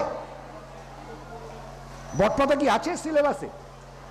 বটপাতা সম্পর্কে বা পাতা সম্পর্কে ক্লাস সিক্সের, আমি যখন পড়াতাম, আমি বলছি এটা সাতাশি, অষ্টআশি এরকম সময়, ছিয়াশি, সাতাশি সালে। তখন ক্লাস সিক্সের সিলেবাসের মধ্যে এই উদ্ভিদ বিজ্ঞানের এই সমস্ত বটপাতা বা এই সমস্ত ছিল। তা ক্লাসের ছেলেদের আমি জিজ্ঞাসা করলাম, তোমরা পড়ে এসেছ? বলে হ্যাঁ পড়ে এসেছি। তা তোমাদের একটা বই আমাকে দাও। তা বইটা আমি নিলাম। তা আমি ওদের সবাইকে জিজ্ঞাসা করলাম যে বট পাতা দেখতে কি রকম তখন সেই ক্লাসের সব ছাত্র আমাকে বলছেন বলছে, আমি এই না এখানেও ক্লাস সিক্সের ছেলেদের সেটা পড়তে হয় কিনা? বট পাতাকা তারা সবাই বলছে, ডিম্বাকৃতি। আমি প্রথম সব ছাত্ররাই এক এক করে জিজ্ঞেস করছি, এবং বইয়ের মধ্যেও দেখলাম লেখা আছে ডিম্বাকৃতি। আমি তখন তাদেরকে বললাম আচ্ছা তোমরা ডিম দেখেছ? তখন সবাই বলল হ্যাঁ স্যার, ডিম দেখেছি। তা তোমরা বট পাতা দেখেছ? তখন তারা বললেন, সবাই বললেন না। কেউ কেউ বললেন যে হ্যাঁ আমরা স্যার বট পাতা দেখেছি। আমি তখন তাদেরকে বললাম, ডিমটা দেখতে কীরকম? কেউ সিদ্ধ ডিমের কথা বললেন। আমি একটু গল্প ছলেই ক্লাস আমি এনজয় করি, আনন্দ অনুভব করি। ছাত্রদেরকে বললাম, তোমরা কি আজকে কী খেয়ে এসছো? অনেকে খেয়ে আসেনি। কেউ বলছে, স্যার, সিদ্ধ ডিম অর্ধেক করে মা রান্না করে দিয়েছে, সেটা নিয়ে ঝোল খেয়ে এসছি। এইসব নানাবিধ ডিমের কেউ পুরো সিদ্ধ ডিম খেয়েছে। তা আমি যখন ওই ছেলেদের জিজ্ঞাসা করলাম, যারা যারা বট পাতা দেখেছ এবং যারা যারা ডিম দেখেছ, দুটোকে কি মেলাতে পারছ?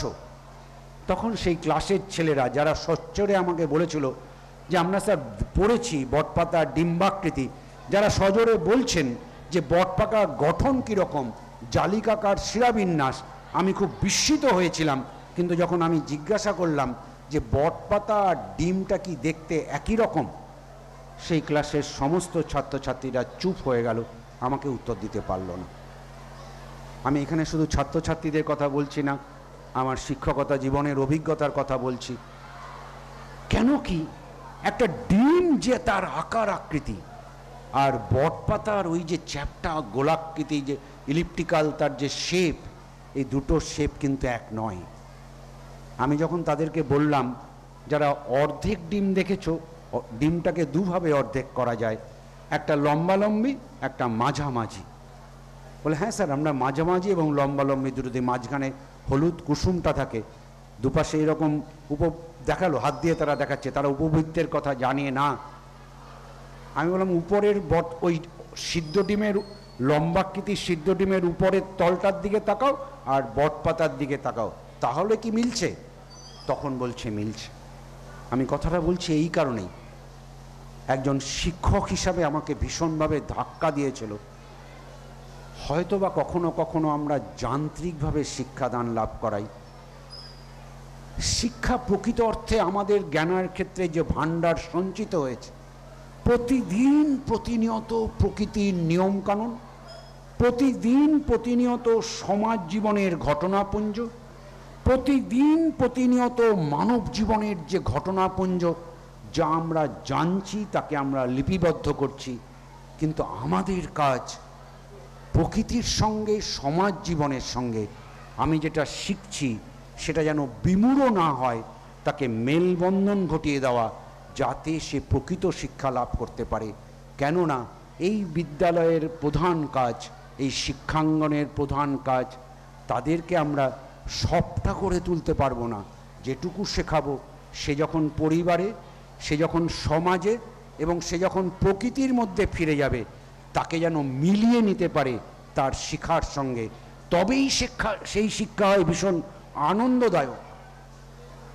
আমি দেখেছি, একটু উঁচু ক্লাসের ছাত্রছাত্রীদের, আর্কিমিডিসের নীতি সূত্র তারা পড়ছে। আমি তাদেরকে বলেছি, আর্কিমিডিসের ইতিহাস, আর্কিমিডিসের সূত্র আবিষ্কারের সঙ্গে সঙ্গে সভ্যতার ইতিহাস কীভাবে ঘটেছে? মানুষ কি করে জলযান তৈরি করেছে? মানুষ কি করে এক দেশ থেকে আর এক দেশের উন্নত নৌকো তৈরি করতে পেরেছে, উন্নত জলযান তৈরি করতে পেরেছে? কিন্তু আজকে তোমরা যখন ক্লাসে আর্কিমিডিক্স পড়ছো, সূত্র পড়ছো, তোমরা বাড়িতে গিয়ে কি কোনো এরকম ঘটনা দেখতে পারছ? অনেক ছাত্রই চুপচাপ থাকেন। কিন্তু আমি যখন অনেকের কাছে সে অভিজ্ঞতা নেই, আজকে অনেক সময় আজকের এই আধুনিক শহুরে জীবন, এটা গ্রামের দিকে তাদের মধ্যে আছে হয়তো। আমি জানি না এখানে কুয়ো থেকে জল তুলতে হয় কিনা। একজন মা যখন কুয়োর মধ্যে তাকে যদি ধরিয়ে দেওয়া হয়, একজন মা কুয়োর মধ্যে যখন জলের বালতিটা থাকে, কপিকল দিয়ে জলের বালতিটা যখন কুয়োর জলের অভ্যন্তরে থাকে, বা সে যখন নদী থেকে বা পুকুর থেকে জল তুলছেন বালতি বা কলসিটা যখন জলের মধ্যে থাকে আমাকে তখন নাড়াতে গেলে পরে যতটা বল প্রয়োগ করতে হয়, তাকে যখন তুলতে হয়, তাকে অনেকটা পরিমাণ বল প্রয়োগ করতে হয়। আমি তখন তাকে বললাম, এটাই আর্কিমিডিসের নীতি। আমার শিক্ষকতা জীবনের ক্ষেত্রে আমার মনে হয়েছে, প্রকৃত অর্থে অন্ততপক্ষে বিজ্ঞান শিক্ষার ক্ষেত্রে, আমরা যতটা হাতে কলমে বিজ্ঞান শিক্ষাকে আমি নিয়ে যেতে পারব তত সে প্রকৃত মানুষ হিসাবে গড়ে উঠতে পারবে। নিজেকে জানতে পারবে, প্রকৃতিকে জানতে পারবে, সমাজকে জানতে পারবে, দেশকে জানতে পারবে, তবেই সে দেশকে সুন্দর কারিগর হিসাবে গড়ে তুলতে পারবে। আজকে আমি শুনে খুব অত্যন্ত গর্বিত যে ভোগ ভাত প্রকৃত অর্থে আমাদেরকে প্রকৃতি থেকে বিচ্ছিন্ন করে তুলছে। এটা ঠিক। শিক্ষার পরে উচ্চশিক্ষা লাভ করছি। আমি কত টাকা উপার্জন করছি, সেটাই আমার কাছে প্রধান বিষয়। কিন্তু যারা আমাদের শিক্ষার সুযোগ ঘটিয়ে দিলেন, তারা আমাদের কাছে প্রধান নয়। আজকে যদিও আধুনিক সভ্যতায় রাষ্ট্র তার শিক্ষার ক্ষেত্রে যে ভূমিকা, সেই ভূমিকার সংকুচিত হওয়ার পরবর্তী শিক্ষাঙ্গন সম্পর্কে সমাজ যেটা আমাকে শিক্ষার সুযোগ ঘটিয়ে দিচ্ছে সে কথা আমরা অনেক সময় ভুলে যাই। আমি স্বামীজির সঙ্গে আরেকটি কথা, আরেকজন বিখ্যাত মানুষের উপলব্ধির কথা আপনাদের সামনে তুলে ধরতে চাই আমার আলোচনার শেষ প্রান্তে। তবেই আমাদের শিক্ষা পূর্ণাঙ্গ হবে। আমি জানি এখানে কেউ আলবার্ট আইনস্টাইনের নাম কেউ কি শোনি এরকম কেউ আছে? আইনস্টাইনের নাম সবাই শুনেছ তো?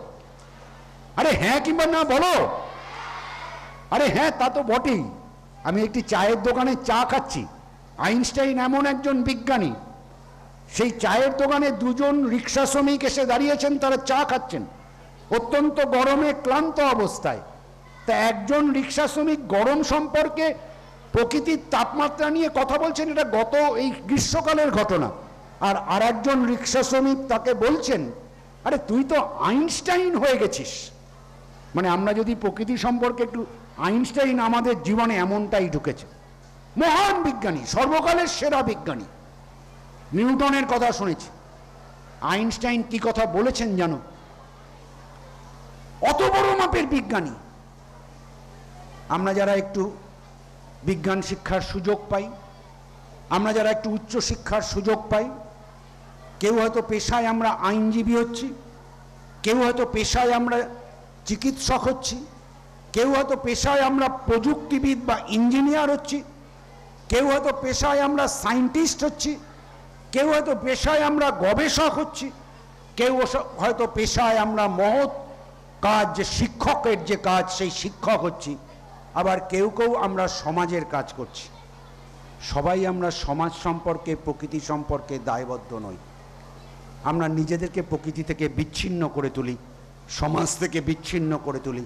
কারণ আমরা যে অর্থ উপার্জন করি, মনে করি এ দিয়েই বোধহয় সব কিছু কেনা যায়।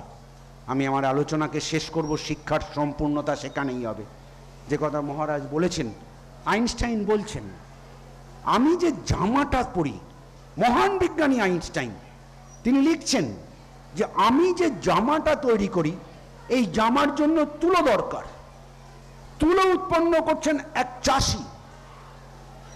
আমি যে জামাটা পরি এই জামাটার জন্য সুতোর দরকার। একজন সুতো কাটার লোক তিনি ওই তুলো থেকে সুতো তৈরি করছেন। আমি যে জামাটা পরি, এই জামাটা তৈরি করার জন্য কাপড়ের দরকার। কিছু মানুষ শ্রমদান করে, তারা কাপড় কলে বা তাতে, তারা কলে এই তাঁত বস্ত্র তৈরি করছেন, কাপড় তৈরি করছেন। আমি যে জামাটা পরি, আমার এই জামাটা কাপড় হলেই চলবে না।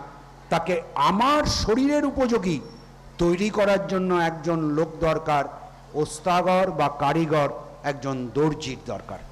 তাহলে আমার জামার সঙ্গে, আলবার্ট আইনস্টাইন বলছেন, সমাজের কতগুলো মানুষের যোগসূত্র থাকা দরকার। তাই তিনি বলছেন যে আমরা সামাজিকভাবে দায়বদ্ধ। আমরা কেউ অনেক বিশাল বিজ্ঞানী, আমি আইনস্টাইন নই। আমি সমগ্র সমাজের উপর নির্ভরশীল। আমাদের ষাট বছরের এই শিক্ষা, আমাদের এই উদযাপন, আমাদের এই পর্যালোচনা, আমাদের এই ছোট ছোট ছেলে মেয়েদের মধ্যে এই শিক্ষাদানটাই আমাদের করতে হবে। সে একদিকে যেমন সামাজিকভাবে দায়বদ্ধ হয়ে ওঠে, সে যেন একজন পূর্ণাঙ্গ মানুষ হয়ে উঠতে পারে, সে যেন একজন প্রকৃত শিক্ষা পেতে পারে, যা সে, যে সে যা প্রকৃতির সামনে প্রত্যেকটি ঘটনার কার্যকারণ সম্পর্ক সম্পর্কে তার ধারণা গড়ে তুলতে পারে। সে বাড়িতে গিয়ে প্রকৃতির নিয়মকে প্রয়োগ ঘটাতে পারবে। যে প্রাকৃতিক দেশের প্রাকৃতিক সম্পদকে সুন্দরভাবে ব্যবহার করতে পারবে। একজন স্বাধীন দেশের সুশিক্ষিত, দেশপ্রেমিক, শিক্ষিত মানুষ হিসাবে দেশের সম্পদকে সুন্দরভাবে গড়ে তোলার মধ্য দিয়ে, দেশের সম্পদের সুপরিকল্পিত ব্যবহারের মধ্য দিয়ে, নিজের জীবনকে সুপরিকল্পিতভাবে পরিচালনার মধ্য দিয়ে সমাজকে সুন্দরভাবে গড়ে তোলা দেশকে সুন্দরভাবে গড়ে তোলার, আগামী কারিগর গড়ে তোলায় এই মহৎ শিক্ষা প্রতিষ্ঠানের কাজ, সেই কাজই আমরা করছি। আমরা যারা শিক্ষা গ্রহণ করছি, আমরা যারা শিক্ষাদান করছি।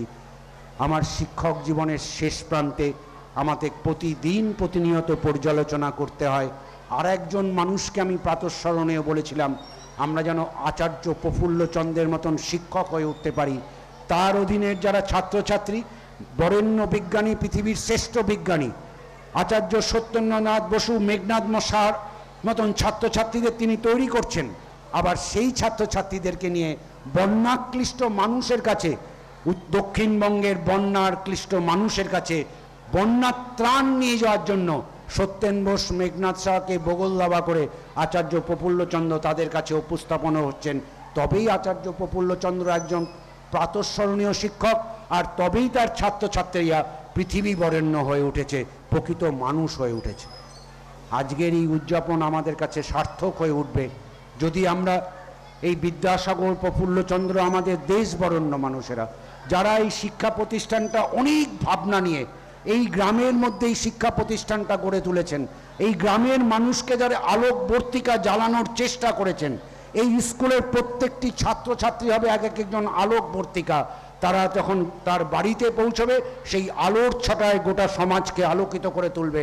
তবেই আমাদের এই শিক্ষা প্রতিষ্ঠানের সার্থকতা হবে। নিশ্চিতভাবেই সেই ভূমিকায় তিল তিল করে পালন করছেন, তা নাহলে তো এটা ধ্বংস হয়ে যেত। ছটা দশক অতিক্রম করেছে। আগামী দিনে আরও সেই ভূমিকা পালন করবে। এই সদর্থক ভূমিকা পালনের ইচ্ছা এবং আগামী দিনের প্রকৃত মানুষ গড়ে তোলার জন্য এই প্রতিষ্ঠান সুনির্দিষ্ট ভূমিকা পালন করতে পারবে এই বিশ্বাস বা প্রত্যয় রেখে আপনাদের সকলকে নমস্কার এবং আমার শ্রদ্ধা নিবেদন জানিয়ে, ছোটদের আমার প্রাণের ভালোবাসা জানিয়ে আমি আমার ছোট্ট বক্তব্য আপনাদের সামনে রাখলাম। নিশ্চিতভাবেই এই অনুষ্ঠানের মধ্য দিয়ে এই প্রতিষ্ঠান আরও কলেবরে বড় হয়ে উঠবে। এই বিশ্বাস বা প্রত্যয় রেখে সকলকে অভিনন্দন জানিয়ে আমি আমার বক্তব্য শেষ করছি। শ্রদ্ধা, ধন্যবাদ এবং কৃতজ্ঞতা জানাই আমাদের আজকের উদ্বোধনী অনুষ্ঠানের প্রধান অতিথি ডক্টর সত্যজিৎ চক্রবর্তীকে।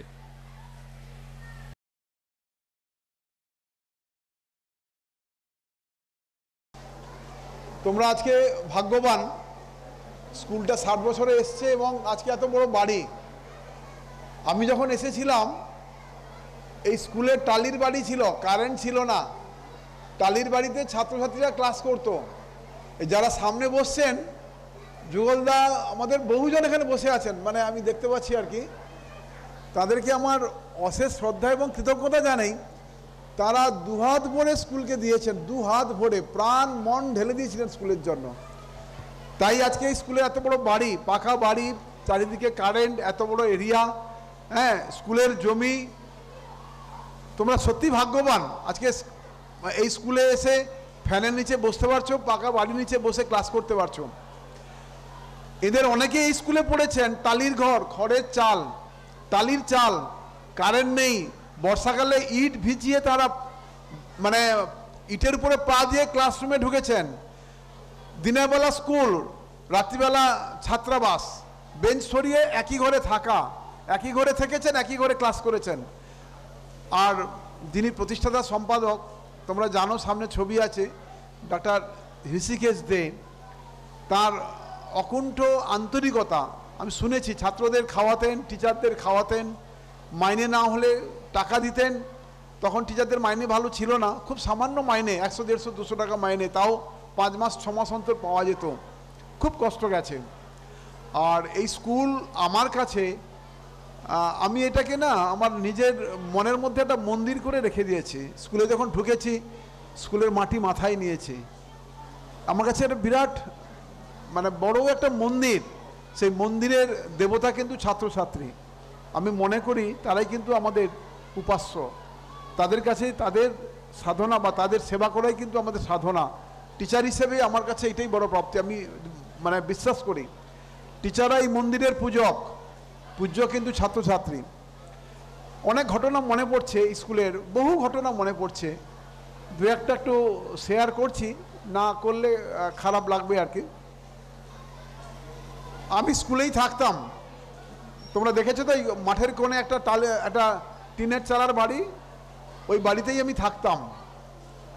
আমি যখন প্রথম এখানে আসি, আমাকে একজন বলেছিলেন যে, কোথায় যাচ্ছেন?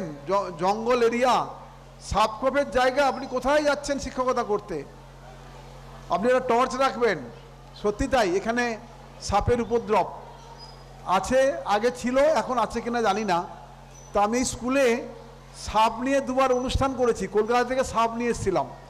দেখিয়েছিলাম কোন সাপের বিষ আছে, কোন সাপের বিষ নেই, কেন মানুষ সাপকাঠিতে মরে? অনেক উপকার হয়েছিল, আমি জানি। কেন আমার, আমি যেখানে বাসা নিয়েছি তার পেছনেই সম্ভবত বলাইবাবুকে সাপে কামড়েছিল।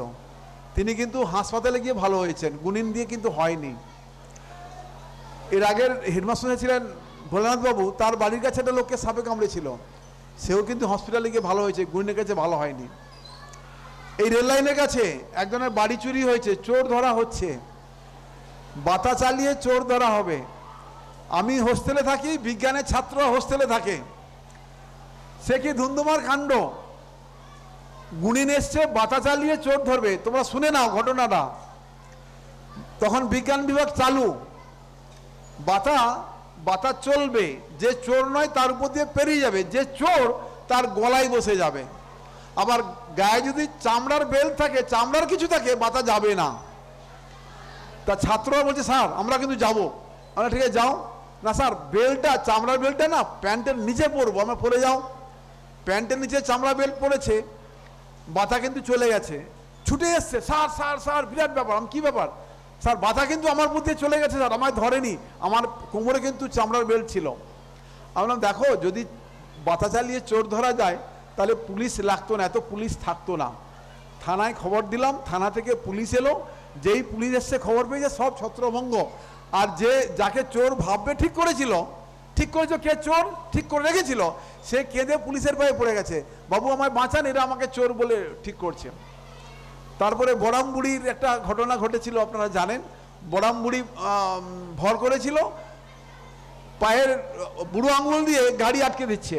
এখানে মেলা বসে গেল, দোকান বসে গেল, বড়ামবুড়ি ভর করেছে। সেও কিন্তু আমি ওই বেল্লা থেকে লোক নিয়ে এসে সরিয়েছিলাম।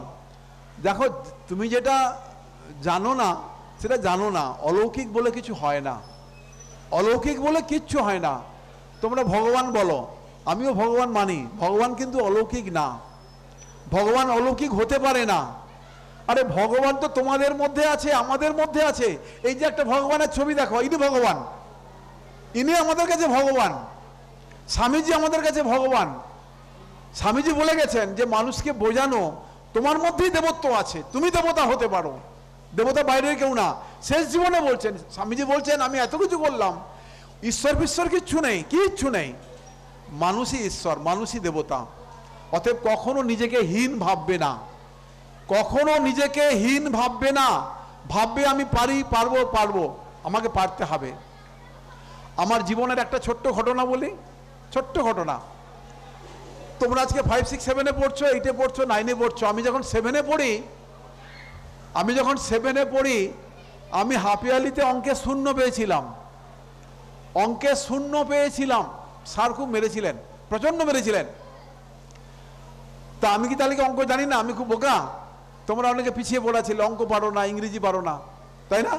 ভাবছ কি, আমি পারি না? আমার বুদ্ধি নেই, আমার বুদ্ধি কম। খুব মার খেয়েছিলাম। তারপরে মনে হলো আমার যে, আমি কেন পারছি না? আমার ক্লাসে এটি ছিল, অঙ্কে ভালো নম্বর পাচ্ছে, আমি কেন পারছি না?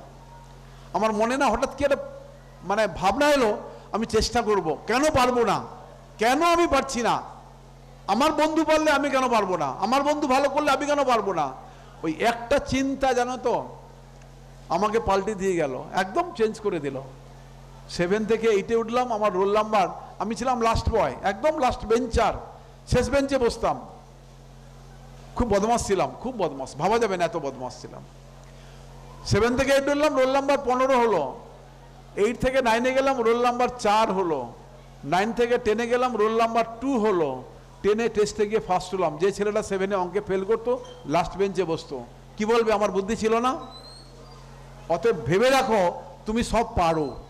তোমার মধ্যে সবটা আছে, নিজেকে কখনো হীন ভাববে না। এটা স্বামীজি বলে গেছেন, তোমার মধ্যে কি এনার্জি আছে তুমি জানো না। সত্যি তুমি জানো না। আর একটা কথা বলি একটা গল্প আকারেই বলি। ছাত্রছাত্রীদের বলছি, তোমরা সব থেকে বেশি ভালোবাসো কাকে? সব থেকে বেশি ভালোবাসো কাকে? মাকে। মাকে, বাবাকে আমরা সব থেকে বেশি ভালোবাসি। তুমি যদি সত্যি দেবতা বিশ্বাস করো, তোমার মাকে দেবতা ভাববে, দেবী ভাববে। দেখবে তো মা যখন চান করে এসে এলো চুলে, সিঁদুর পড়েন মা দুর্গার সঙ্গে তোমার মায়ের কোনো তফাৎ আছে? হতে পারে না। মাই সাক্ষাৎ দুর্গা, তোমার মাই সাক্ষাৎ দুর্গা। মা বাবাকে সব সময় দেবতা জ্ঞানে পুজো করবে। সব সময় আজকে মহালয়া হয়ে গেল, দেবীপক্ষ শুরু হলো। মাকে সাক্ষাৎ দেবী দুর্গা ভাববে। মা প্রচুর ক্ষমতা মায়ের। পিতৃদেব ভব, মাতৃদেব ভব। মা বাবাকে দুঃখ দিও না। মা বাবাকে কষ্ট দিলে তুমি জীবনে কোনোদিন সুখী হতে পারবে না, কেউ হয়নি, হবে না, হতে পারে না।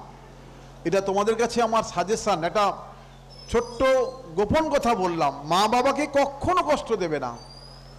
তুমি সত্যি যদি ভালো হতে চাও, মা বাবার কথা মেনে চলো, তুমি খারাপ হবে না। মহারাজ অনেক কথা বলে গেছেন। তোমার ভেতরের জগতের শত্রুগুলোকে তুমি দমন করার চেষ্টা করো। দেখবে তুমি ভালো হবে।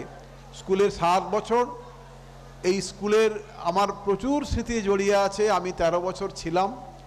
আরও আরও ভালো এখান থেকে বহু ছাত্র ছাত্রী বেরিয়েছে, বহু জায়গায় তারা প্রতিষ্ঠিত, তারা বৈজ্ঞানিক দৃষ্টিভঙ্গি নিয়ে সমাজে আজকে প্রতিষ্ঠিত। এই স্কুলের আরও উন্নতি কামনা করি।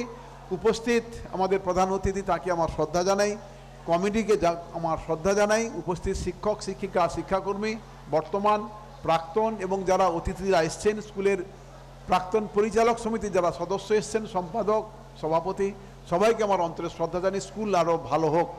বাখরাবাদ ভারতী বিদ্যাপীঠ আরও অনেক উঁচুতে যাবে। যুগ যুগ, জিও, বাখরাবাদ ভারতী বিদ্যাপীঠ। শ্রদ্ধা জানি নমস্কার। অনুষ্ঠানের সভাপতি ডক্টর পরেশ নন্দ মহোদয়কে, বিদ্যালয়ের পক্ষ থেকে বিদ্যালয়ের পরিচালন সমিতি প্রাক্তন ও বর্তমান বর্তমান ছাত্রছাত্রী এবং প্রাক্তন ও ছাত্রছাত্রীদের পক্ষ থেকে আমাদের ধন্যবাদ, অভিনন্দন এবং কৃতজ্ঞতা জানাই। স্যার আমাদের সঙ্গে দুদিন আছেন এবং তিনি এই বিদ্যালয়ের যে সুনাম, সেই সুনাম অর্জন করার ক্ষেত্রে একজন অগ্রণী ব্যক্তিত্ব। তাই আমাদের বর্তমানে যারা আছি, তার সেই সুনামকে ধরে রাখার জন্যে আমরা বদ্ধপরিকর আজকে ষাট বছর বিদ্যালয়ে তার যে পদার্পণ করেছে, আগামী দিনে আরও এগিয়ে যাবে।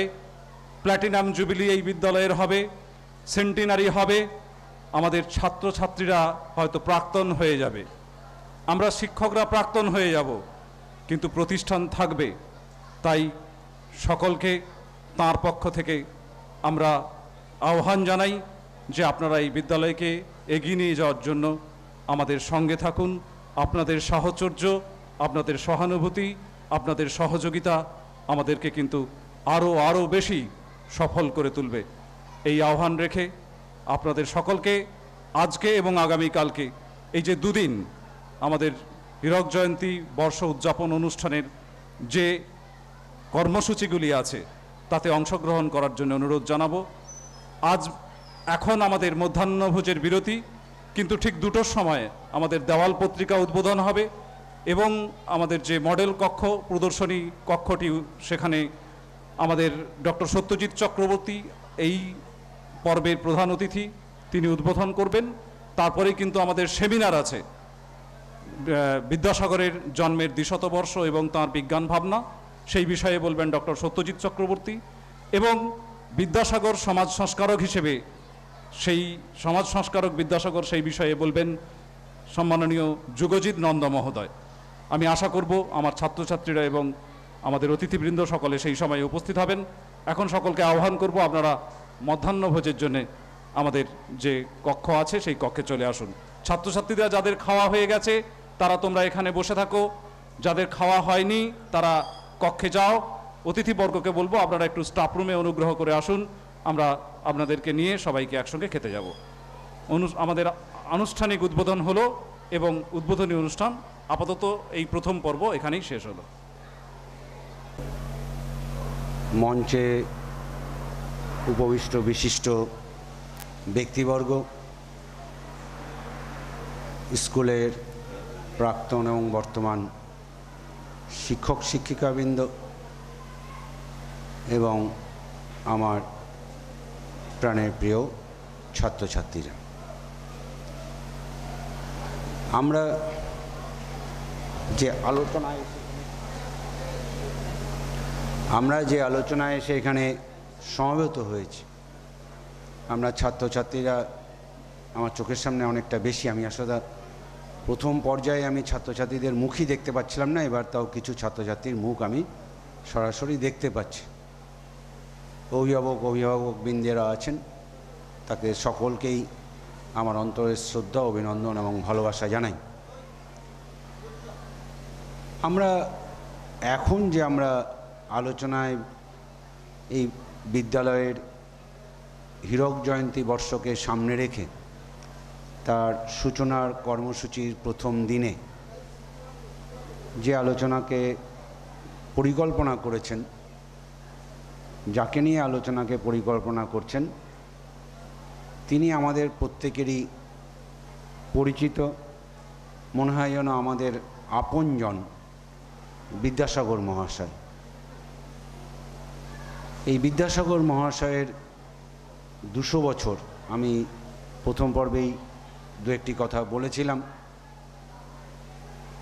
আমরা উদযাপন করছি আমাদের বাংলার জনজীবনের আমরা সাধারণ মানুষ, প্রত্যেকেই আমরা উদযাপন করছি। এবং আমাদের অত্যন্ত গর্বের এবং আমাদের প্রিয় মানুষ। কিন্তু যে মানুষটি জন্মগ্রহণ করেছেন দুশো বছর আগে, ছাব্বিশে সেপ্টেম্বর তার দুশো বছরের যাত্রা শুরু হলো গত ছাব্বিশে সেপ্টেম্বর। তার মানে বোঝাই যাচ্ছে আজ থেকে দুশো বছর আগে আঠেরোশো কুড়ি সালে বিদ্যাসাগর জন্মগ্রহণ করেছেন। আমার মনে হচ্ছে এখানে ছাত্রছাত্রীরা যারা আছেন, ছাত্রছাত্রীরা তোমরা যারা আছো, তারা কি সবাই জানো বিদ্যাসাগর কোথায় জন্মেছিল? বলো দেখি। বীরসিংহ গ্রামে। এটা আমরা কেমন একজন মানুষ যে মানুষটির জন্মস্থানও আমাদের এ আমাদের পড়ে শেখাতে হয় না। আমাদের জীবনের, আমাদের রক্তের সঙ্গে এমনভাবে মিশে আছে। যেমন রবীন্দ্রনাথের জন্মদিন, পঁচিশে বৈশাখ, আমাদের কাউকে শেখাতে হয় না। আমরা সকলেই জানি তাহলে এমন কিছু মানুষ আছেন যারা তাদের ক্রিয়াকর্মের মধ্য দিয়ে তারা আমাদের জীবনের সঙ্গে মিশে যান। সেই রকম মানুষজনের মধ্যেই অন্যতম একজন হচ্ছেন পণ্ডিত ঈশ্বরচন্দ্র বিদ্যাসাগর। তার দুশো বছর। ঈশ্বরচন্দ্র বিদ্যাসাগরের জীবন নিয়ে যেহেতু এটা উৎসব প্রাঙ্গণ, দুজন বক্তা আলোচনা করবেন এবং মূলত উৎসবের এই ধরনের একটা হীরক জয়ন্তী উৎসবের, আমি দেখছিলাম যে খাওয়ার অবসরের সময় যে সাংস্কৃতিক অনুষ্ঠান চলছিল, তাতে ছাত্রছাত্রীরা কি আগ্রহ ভরে এবং আনন্দের সঙ্গে তাতে হচ্ছে অংশগ্রহণ করছিলেন। সেটাই স্বাভাবিক। আরও অনুষ্ঠান হবে। নিরস বক্তৃতার পরিমাণটাকে সেটাকে আমাদের যতটা পরিমাণে বর্জন কম করা যায় সেটাই আমার মনে হচ্ছে সবচেয়ে ভালো। তবু আমি উদ্যোক্তাদের সাধুবাদ জানাই যে পণ্ডিত ঈশ্বরচন্দ্র বিদ্যাসাগর এবং তার বিজ্ঞান ভাবনা আমাকে এই বিষয় নিয়েই আলোচনার ক্ষেত্রে নির্দিষ্ট করেছে। আমি তোমাদের সকলের কাছেই আমি ঈশ্বরচন্দ্র বিদ্যাসাগরের জীবনী নিয়ে আমি কিন্তু আলোচনা করছি না। তোমরা জানো তো ঈশ্বরচন্দ্র বিদ্যাসাগর, ঠাকুরদাস বন্দ্যোপাধ্যায়, বীরসিংহ গ্রাম, এ তো তোমরা সকলেই জানো। তোমাদের বইয়ের মধ্যে আছে, প্রত্যেকেই তোমরা পড়েছো বা এখানে আমরা যারা আছি তা আমরা সকলেই জানি। আমি দু একটি বিষয় আমার আলোচনার মধ্যে মুখ্যত দৃষ্টিপাত করব। আজ থেকে দুশো বছর আগে যে মানুষটা জন্মেছিলেন, যে মানুষটি খুব স্বাচ্ছন্দ্য বা সচ্ছল পরিবারে জন্মগ্রহণ করেছেন কথা আমরা বলতে পারব না। যে মানুষটি বাবার সঙ্গে কলকাতায় চলে এসেছিলেন শিক্ষা লাভের জন্য, যার বাবা অর্থ উপার্জন করতেন, বিভিন্ন বাড়িতে পুজো করার মধ্য দিয়ে।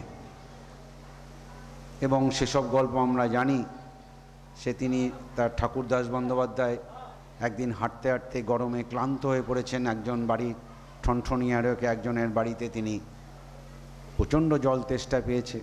আমি কথাগুলো বলছি, এই গল্প ঘটনাগুলো আমরা জানি। দ্বিতীয়ত আমি যে কথাটা বলতে চাই, এই যে ঘটনা বা আমরা যা এই মুহূর্তে আলোচনা করব, এটা দুশো বছর সময়কালের, গত বিগত দুশো বছর সময়কালে পণ্ডিত ঈশ্বরচন্দ্র বিদ্যাসাগর আঠেরোশো একানব্বই সালে প্রয়াত হয়েছিলেন কারমাটারে। এই যে তার জীবনকাল, এই সময়কালের মধ্যেকার ঘটনাপুঞ্জ আমাদের আলোচনার ক্ষেত্রে গুরুত্বপূর্ণ। আমাদের আলোচনার ক্ষেত্রে উদ্যোক্তারা যে আলোচনার বিষয়বস্তু রেখেছেন যে জায়গায়, আমি তার মধ্যেই সীমাবদ্ধ থাকব কারণ আমার পরে আরেকজন বক্তা, বিশিষ্ট সাহিত্যিক, স্কুলের এই এলাকার মানুষ, তিনি আরেকটি বিষয়ে সমাজ সংস্কারক বা বিষয় নিয়ে আলোচনা করবেন। ঈশ্বরচন্দ্র বিদ্যাসাগর সম্পর্কে আমাদের সামনেই যে ছবিটি চলে আসে, সেই ছবিটি হচ্ছে দয়ার সাগর বিদ্যাসাগর। প্রকৃত অর্থেই দয়ার সাগর বিদ্যাসাগর। যে মানুষটি তার প্রতিটি মানুষের জন্য, এমনকি তার শেষ জীবনের কারমাটারের জীবন যদি দেখা যায়, আমি আমার আলোচনার শেষ পর্যায়ে দু একটি কথা বলব। সেখানেও দেখা যাচ্ছে যে ঈশ্বরচন্দ্র বিদ্যাসাগর যা উপার্জন করছেন, সেই উপার্জন দিয়ে সেই আদিবাসীদের কি করে তাদের রক্ষা করা যায়, তাদের খাওয়ানো যায়, দাওয়ানো যায়, নিজেদের ওই অল্প উপার্জনকেই তিনি সেখানে ব্যবহার করছেন। ঈশ্বরচন্দ্র বিদ্যাসাগরের দানের শেষ নেই, যার জন্য দয়ার সাগর বিদ্যাসাগর বলা হয়। দান সাগর বলা যায়। আর পাণ্ডিত্যের তো তুলনাই নেই। পাণ্ডিত্য ঈশ্বরচন্দ্রের জীবনী আমি পড়তে বলব, অসম্ভব পণ্ডিত এবং অসম্ভব মেধা সম্পন্ন একজন মানুষ ছিলেন। ঈশ্বরচন্দ্র বিদ্যাসাগর সম্পর্কে আমাদের আলোচনার ক্ষেত্রে আমরা দেখতে পাই, এই মানুষটি অত্যন্ত রিজু। রিজু মানে দৃঢ়। এমনিও তখনকার সময় ছাত্রছাত্রীরা বলতেন যে ঈশ্বরচন্দ্র বিদ্যাসাগর অত্যন্ত পরিশ্রমী, অত্যন্ত কঠোর এবং যা বলতে চায় সেই কথাকে পরিষ্কারভাবে বলতে পারে। আর যেটা করার ইচ্ছা প্রকাশ করে সেটা সেখানে সে করার ইচ্ছা প্রকাশ করে, তাকে না প্রয়োগ করে সে ছাড়ে না। এরকম একজন মানুষ ছিলেন ঈশ্বরচন্দ্র বিদ্যাসাগর। এবং ক্লাসে তখনকার মতন, এখনকার মতন তো স্কুল নয়। সংস্কৃত কলেজে পড়াশোনা করছেন, মূলত সংস্কৃত ক্লাসের অন্যান্য সমস্ত ছাত্রছাত্রীর থেকে সে পৃথক সেটা ক্লাসের ছাত্রছাত্রীরাও বুঝতেন। তার নানাবিধ মাস্টারমশাইরাও তারা বুঝতেন, তার বুৎপত্তি, তার ভাবনা চিন্তা, তার কথাবার্তার উত্তর, বিষয়বস্তু উপস্থাপন, সমস্ত কিছুর মধ্য দিয়ে। এবার এই মানুষটি, যে মানুষটি বলা যেতে পারে, আমাদের দেশের শিক্ষাক্রমকে, বাংলায় শিক্ষাক্রম কীরকম হবে না না হবে, সে নিয়ে যদি কোনো পরিকল্পনা যদি পৃথিবীতে আমাদের বাঙালিদের মধ্যে যিনি কেউ প্রথম ভেবে থাকতে পারেন, সেটা হচ্ছে ঈশ্বরচন্দ্র বিদ্যাসাগর। তাহলে আমরা এখন যে শিক্ষাক্রমগুলো আছি, সেই শিক্ষাক্রমের দিকেও যদি আমরা তাকিয়ে দেখি, তাহলে দেখা যাবে ঈশ্বরচন্দ্র বিদ্যাসাগর তার শিক্ষাক্রমের ক্ষেত্রে বলছে, এমনভাবে বলছে আমি দু একটা জায়গা, যেহেতু আমি ওই আলোচনাটা আমার কাছে মুখ্য আলোচনা নয় তিনি একুশ দফা নির্দেশিকা তৈরি করেছিলেন। কীরকম শিক্ষা হওয়া উচিত? আমি দু একটা বিষয় আপনাদের সামনে সেই সময় তুলে ধরছি, তাহলে বোঝা যাবে যে বাংলাদেশের শিক্ষার তত্ত্বাবধানের ভার যারা নিয়েছেন, তাদের প্রথম লক্ষ্য হওয়া উচিত সমৃদ্ধ ও উন্নত বাংলা সাহিত্য সৃষ্টি করা। প্রকৃত অর্থে সেই সময় সেই ধরনের সমৃদ্ধ বা উন্নত বাংলা সাহিত্য আমাদের মধ্যে ছিল না। শিক্ষা নিয়ে ভাবনার সময় তো আবার বলছেন, যারা ইউরোপীয় আকর জ্ঞান বিদ্যায় উপকরণ আহরণ করতে সক্ষম তখনকার দিনের ভাষা, সেগুলিকে ভাগবগম্ভীর প্রাঞ্জল বাংলা ভাষায় প্রকাশ করা অক্ষম। তারা এই সাহিত্য সৃষ্টি করতে পারবে না। যারা এই কাজ করতে পারবেন না, তারা বাংলা ভাষায় সাহিত্যও সৃষ্টি করতে পারবেন না। যারা সংস্কৃত ভাষায় পারদর্শী নন, তারা সুসংবদ্ধ প্রাঞ্জল বাংলা ভাষায় রচনা সৃষ্টি করতে পারবেন না। সেই জন্য সংস্কৃত পণ্ডিতদের ইংরেজি ভাষা ও সাহিত্যের সুশিক্ষার প্রয়োজন। তারপরে চতুর্থ নম্বর যে বিষয়টি বলছি, আমরা এখন দেখ আজ থেকে কত বছর আগে বলছেন অভিজ্ঞতায় থেকে দেখা যাচ্ছে, যারা কেবল ইংরেজি বিদ্যায় পারদর্শী, তারা সুন্দর, পরিচ্ছন্ন বাংলা ভাষায় কিছু প্রকাশ করতে পারেন। আর এত বেশি ইংরেজি ভাষাপন্ন যে তাদের যদি অবসর সময়ে খানিকটা সংস্কৃত শিক্ষা দেওয়া হয়, তাহলেও শত চেষ্টা করেও পরিমার্জিত দেশীয় বাংলা ভাষা কোনোভাবেই প্রকাশ করতে পারবেন না। তাহলে পরিষ্কার বোঝা যাচ্ছে যে সংস্কৃত কলেজের ছাত্রদের যদি ইংরেজি সাহিত্য শিক্ষা দেওয়া যায়, তাহলে তারাই একমাত্র সুসমৃদ্ধ বাংলা সাহিত্যের সুদক্ষ বাংলা সাহিত্যের সুদক্ষ শক্তিশালী শক্তিশালী রচয়িতা হতে পারবে। এবার সেখানে তখন দাঁড়িয়ে বলছেন যে সংস্কৃত কলেজের ছাত্রদের সাত নম্বর ধারায় ব্যাকরণ সাহিত্যে খুব ভালোভাবে শিক্ষা নিতে হবে। সাহিত্যের শিক্ষণীয় বিষয়ের মধ্যে কাব্য, নাট্য, গদ্য থাকা দরকার। এরপরে বলছেন, বর্তমানে গণিত শাস্ত্রের পাঠ হল লীলাবতী ও বীজগণিত। গণিত বিজ্ঞানের পক্ষে এই দুইখানি বই যথেষ্ট নয়।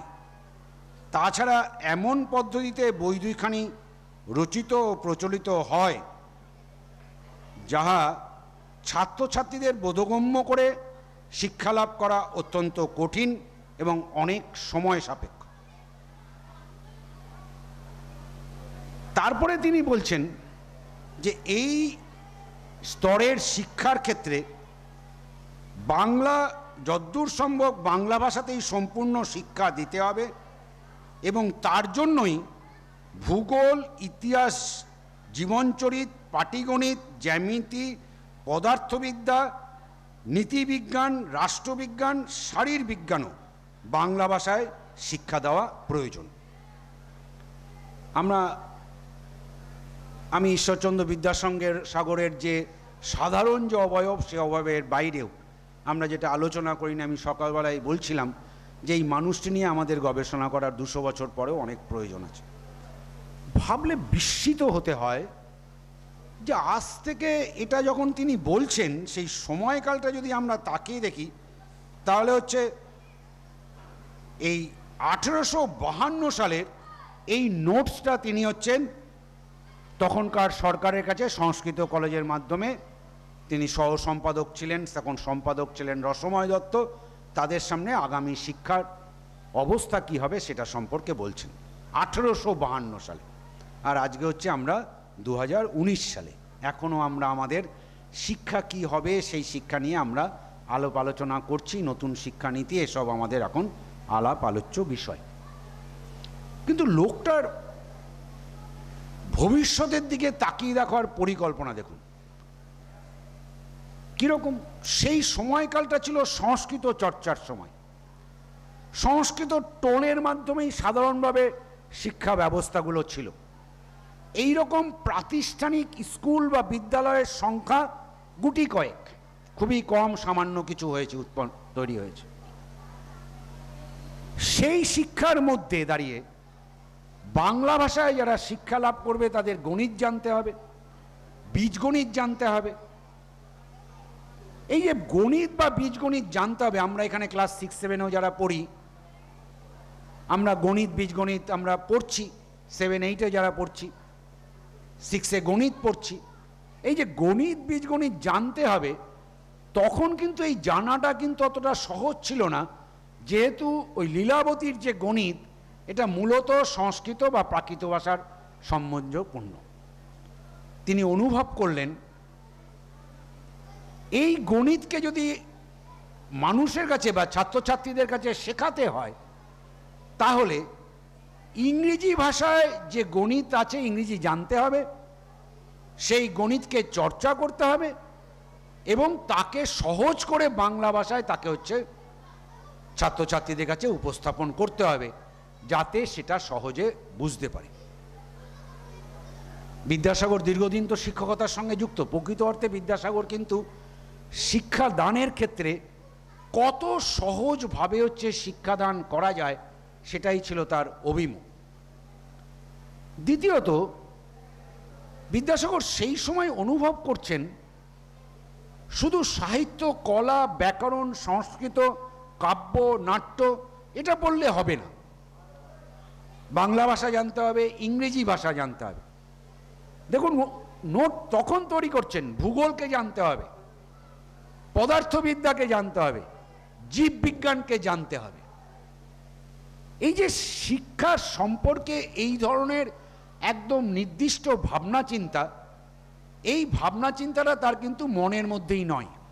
সেই ভাবনা চিন্তা তখনকার যারা প্রশাসক, তাদের হাতেও তিনি তুলে ধরছেন।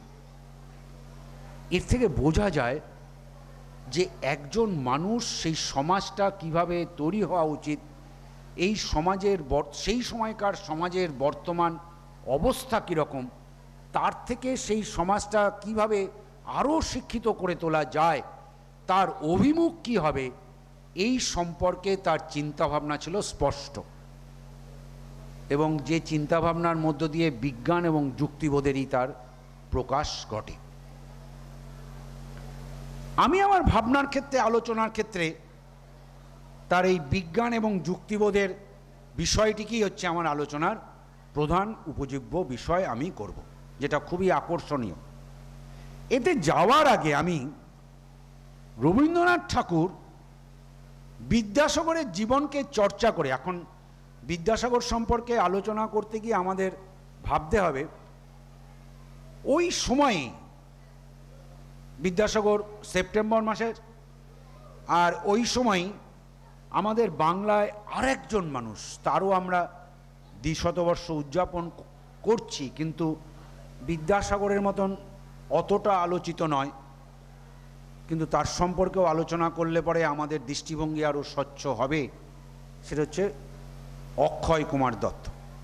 একজন হচ্ছে বীরসিংহ গ্রামে আর আরেকজন হচ্ছে বর্ধমান জেলার, তখন অবিভক্ত বর্ধমান জেলার, এখন অবিভক্ত বলতে হবে, তার ওই পূর্বস্থলীর কাছে চুপি গ্রামে, কালনা নবদ্বীপের কাছে চুপি গ্রামে জন্মগ্রহণ করেছিলেন। এই দুজন মানুষ একই সময়, সমসাময়িক সময়। রাজা রামমোহন রায় তার অনেক আগে, তার আগে অনেকটা, অনেকটাই বয়স্ক। সমসাময়িক পর্যায়ের মধুসূদন, মাইকেল মধুসূদন ছিলেন এবং তার সময়কালের মধ্যে তার শেষের দিকে রবীন্দ্রনাথও তাকে হচ্ছে, তাকে ভালোভাবে দেখেছেন, তার জীবন চর্চা ক্ষেত্রে। রবীন্দ্রনাথ বলছেন, আমি যা কথাগুলো বলছি, আমার মনে হচ্ছে কষা আমাদের নিজেদেরকেও সেইভাবে আমাদেরকে প্রশিক্ষিত করে বা এক কথায় বলতে পারে, আমাকে তো কষাঘাত করে। বিদ্যাসাগর কীরকম ব্যক্তি, রিজু, সে সমস্ত রবীন্দ্রনাথ তো বলেছিলেন অকৃত্রিম মনুষ্যত্ব। কিন্তু তার কাজের ধারায়, তার বিশ্লেষণে তিনি বলছেন, তিনি প্রতিদিন দেখিয়াছেন, আমরা আরম্ভ করি, শেষ করি না। খুব ভালো করে কথাগুলো এখন যে রবীন্দ্রনাথ যে কথাগুলো বলছে, আমাদের জীবনের সঙ্গেও মিলিয়ে নেওয়া যায়। আমরা আরম্ভ করি, শেষ করি না। আমরা আড়ম্বর করি, কাজ করি না। যাহা অনুষ্ঠান করি, তাহা বিশ্বাস করি না। যাহা বিশ্বাস করি, তাহা পালন করি না। ভুরি পরিমাণ বাক্য রচনা করিতে পারি, তিল পরিমাণ আত্মত্যাগ করিতে পারি না। আমরা অহংকার দেখাই, পরিতৃপ্ত থাকি। যোগ্যতা লাভের চেষ্টা করি না। আমরা সকলের কাজেই, আমরা সকল কাজেই পরের প্রত্যাশা করি। অথচ পরের অথচ পরের চোখে না সরি আমরা অহংকার করি, পরিতৃপ্ত থাকি। যোগ্যতা লাভের চেষ্টা করি না, আমরা সকল কাজেই পরের প্রত্যাশা করি। অথচ পরের টুটি লইয়া আকাশ বিদীর্ণ করিয়া থাকি। আপনি কথাগুলো ভালো করে শুনুন। আমরা সকল কাজেই পরের প্রত্যাশা করি মানে আমার কাজ সকলে করে দেবে। অথচ আমরা কি করি? পরের ত্রুটি লইয়া আকাশ বিদীর্ণ করি। চিলচিৎকার তার সমালোচনা করি। পরের অনুকরণে আমাদের গর্ব, পরের অনুগ্রহে আমাদের সম্মান, পরের চক্ষে ধুলি নিক্ষেপ করিয়া আমাদের পলিটিক্স এবং নিজেদের বাকচাতুর্যে নিজের প্রতি ভক্তি বিহল হইয়া উঠাই বিহল্ল হইয়া উঠাই আমাদের জীবনের প্রধান উদ্দেশ্য। এই দুর্বল, ক্ষুধা, ক্ষুদ্র, হৃদয়হীন, কর্মহীন, দাম্ভিক, তার্কিক জাতির প্রতি বিদ্যাসাগরের এক সুগভীর ধিক্কার ছিল।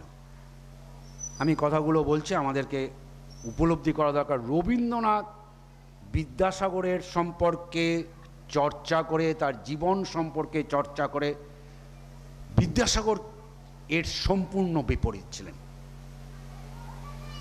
কি কি বলছেন? আমরা আরম্ভ করি, কিন্তু আমরা শেষ করি না। আজও কি আমরা সেই একই পর্যায়ে আমাদের, আমি শুধু বলব আমাদের নিজেদের জীবনের দিকে তাকিয়ে প্রশ্নগুলো করা দরকার। আমরা প্রচুর আড়ম্বর করি, কিন্তু আমরা তাকে হচ্ছে নিয়ে যে আমরা যে আড়ম্বরের মধ্য দিয়ে আমরা বলতে চাইছি, আমরা প্রচুর আড়ম্বর করি, কিন্তু আমরা কাজ করার ক্ষেত্রে আমাদের যে ইচ্ছা, সেই ইচ্ছা আমাদের কাছে কম। আমাদের তিল পরিমাণ আত্মত্যাগ করিতে পারি না। প্রকৃত অর্থে এই যে কথাগুলো বলা হচ্ছে, এই যে কারণে বলা হয়, বিদ্যাসাগরকে কেউ বলেন একজন লৌহ পুরুষ সুদৃঢ় পুরুষ, একজন শক্ত পুরুষ, যে কাজ বলেন সেই কাজ। ও তো আমরা তো সেই কথাগুলো জানি। অনেকটা আমাদের কাছে, যদিও কিছু কিছু তাকে তাকে নিয়ে মিথ করা হয়েছে। বর্ষার সময় নাকি তিনি হচ্ছেন, তখনকার দিনের দামোদর পেরিয়ে চলে গেছেন। আমাদের এটা একটা স্বভাব, মানুষকে একটা মিথের পর্যায়ে, যে মানুষটা অত্যন্ত ভালো মানুষ, আমাদের অত্যন্ত প্রিয় মানুষ, তাকে একটা মিথ, বা যাকে মানে অকল্পনীয়, এইরকম একটা ধারণার মধ্যে তাকে নিমজ্জিত করে নিয়ে যাওয়া আমাদের একটা প্রক্রিয়া। কিন্তু রবীন্দ্রনাথ তাকে চর্চা করে বলছেন যে এই মানুষটার চরিত্রের দিকটা হচ্ছে এইখানে। ওই যে যেমন বলেছে, আমার, আপনার সাহেবকে বলছে, আপনার টুপি আমার হচ্ছে চটি জুতোকে সংগ্রহ করতে চলে গেছে। সে গল্প তো আমরা জানি। ওই ট্রেনে যেতে যেতে তার বিদ্যাসাগর একটু বেরিয়েছে, খরমটা দেখে ছুঁড়ে ফেলে দিয়েছে। আর সে যখন বাথরুমে গেছে, একই সঙ্গে সে তখন তার টুপিটা বাইরে ছুলে ফেলে দিয়েছে এসে দেখছে সাহেব তার টুপি নেই। আর বিদ্যাসাগরকে সরাসরি বলছে যে, আপনার টুপি জুতো, টুপিটা আমার চটি জুতোকে সংগ্রহ করতে গেছে। নেটিভ তো ঘৃণা করতো। কি অসাধারণ মানে দৃঢ়চেতা, অসাধারণ সাহস। এবং এই দৃঢ়চেতা, এই রকম একজন কর্মক্ষম, দক্ষ, পণ্ডিত, মানুষের প্রতি মমত্ব, ভালোবাসা না থাকলে পরে তার প্রধান যে কাজ, এখানে আরও আমি বিস্তৃত আলোচনায় যাব না, সেই কাজটা হচ্ছে বিধবা বিভাগের কাজ। আমার পরবর্তী পর্যায়ে সমাজ সংস্কারক ক্ষেত্রে আমার আশা, নিশ্চিতভাবেই আমাদের বিশিষ্ট সাহিত্যিক সেই বিষয়ে আলোচনা করবে। এবং আমরা জানি বিদ্যাসাগরের বিধবা বিবাহের কথা। কিন্তু এখানেও একটা জিনিস আপনাকে দেখতে হবে। বিদ্যাসাগর যখন বিধবা বিবাহকে নিয়ে যখন উদ্যোগ নিচ্ছেন, সমসাময়িক কিছু ঘটনা তিনি যেখানে গ্রামে থাকতেন, সেখানকার ঘটনা যেটুকু জানা গেছে, বাল্য বিবাহ বিধবা অল্প বয়সে স্বামী মারা গেছে এই রকম বিধবাকে দেখে বাচ্চাদের দেখে তার জীবন আক্রুত তো তিনি ভেবেছিলেন, কি করে এই অবস্থা থেকে মুক্ত ঘটানো যায়? এবং নানাবিধ সামাজিক, আমি এখানে আলোচনার মধ্যে, বাচ্চাদের মধ্যে সেসব আলোচনা চাচ্ছি না।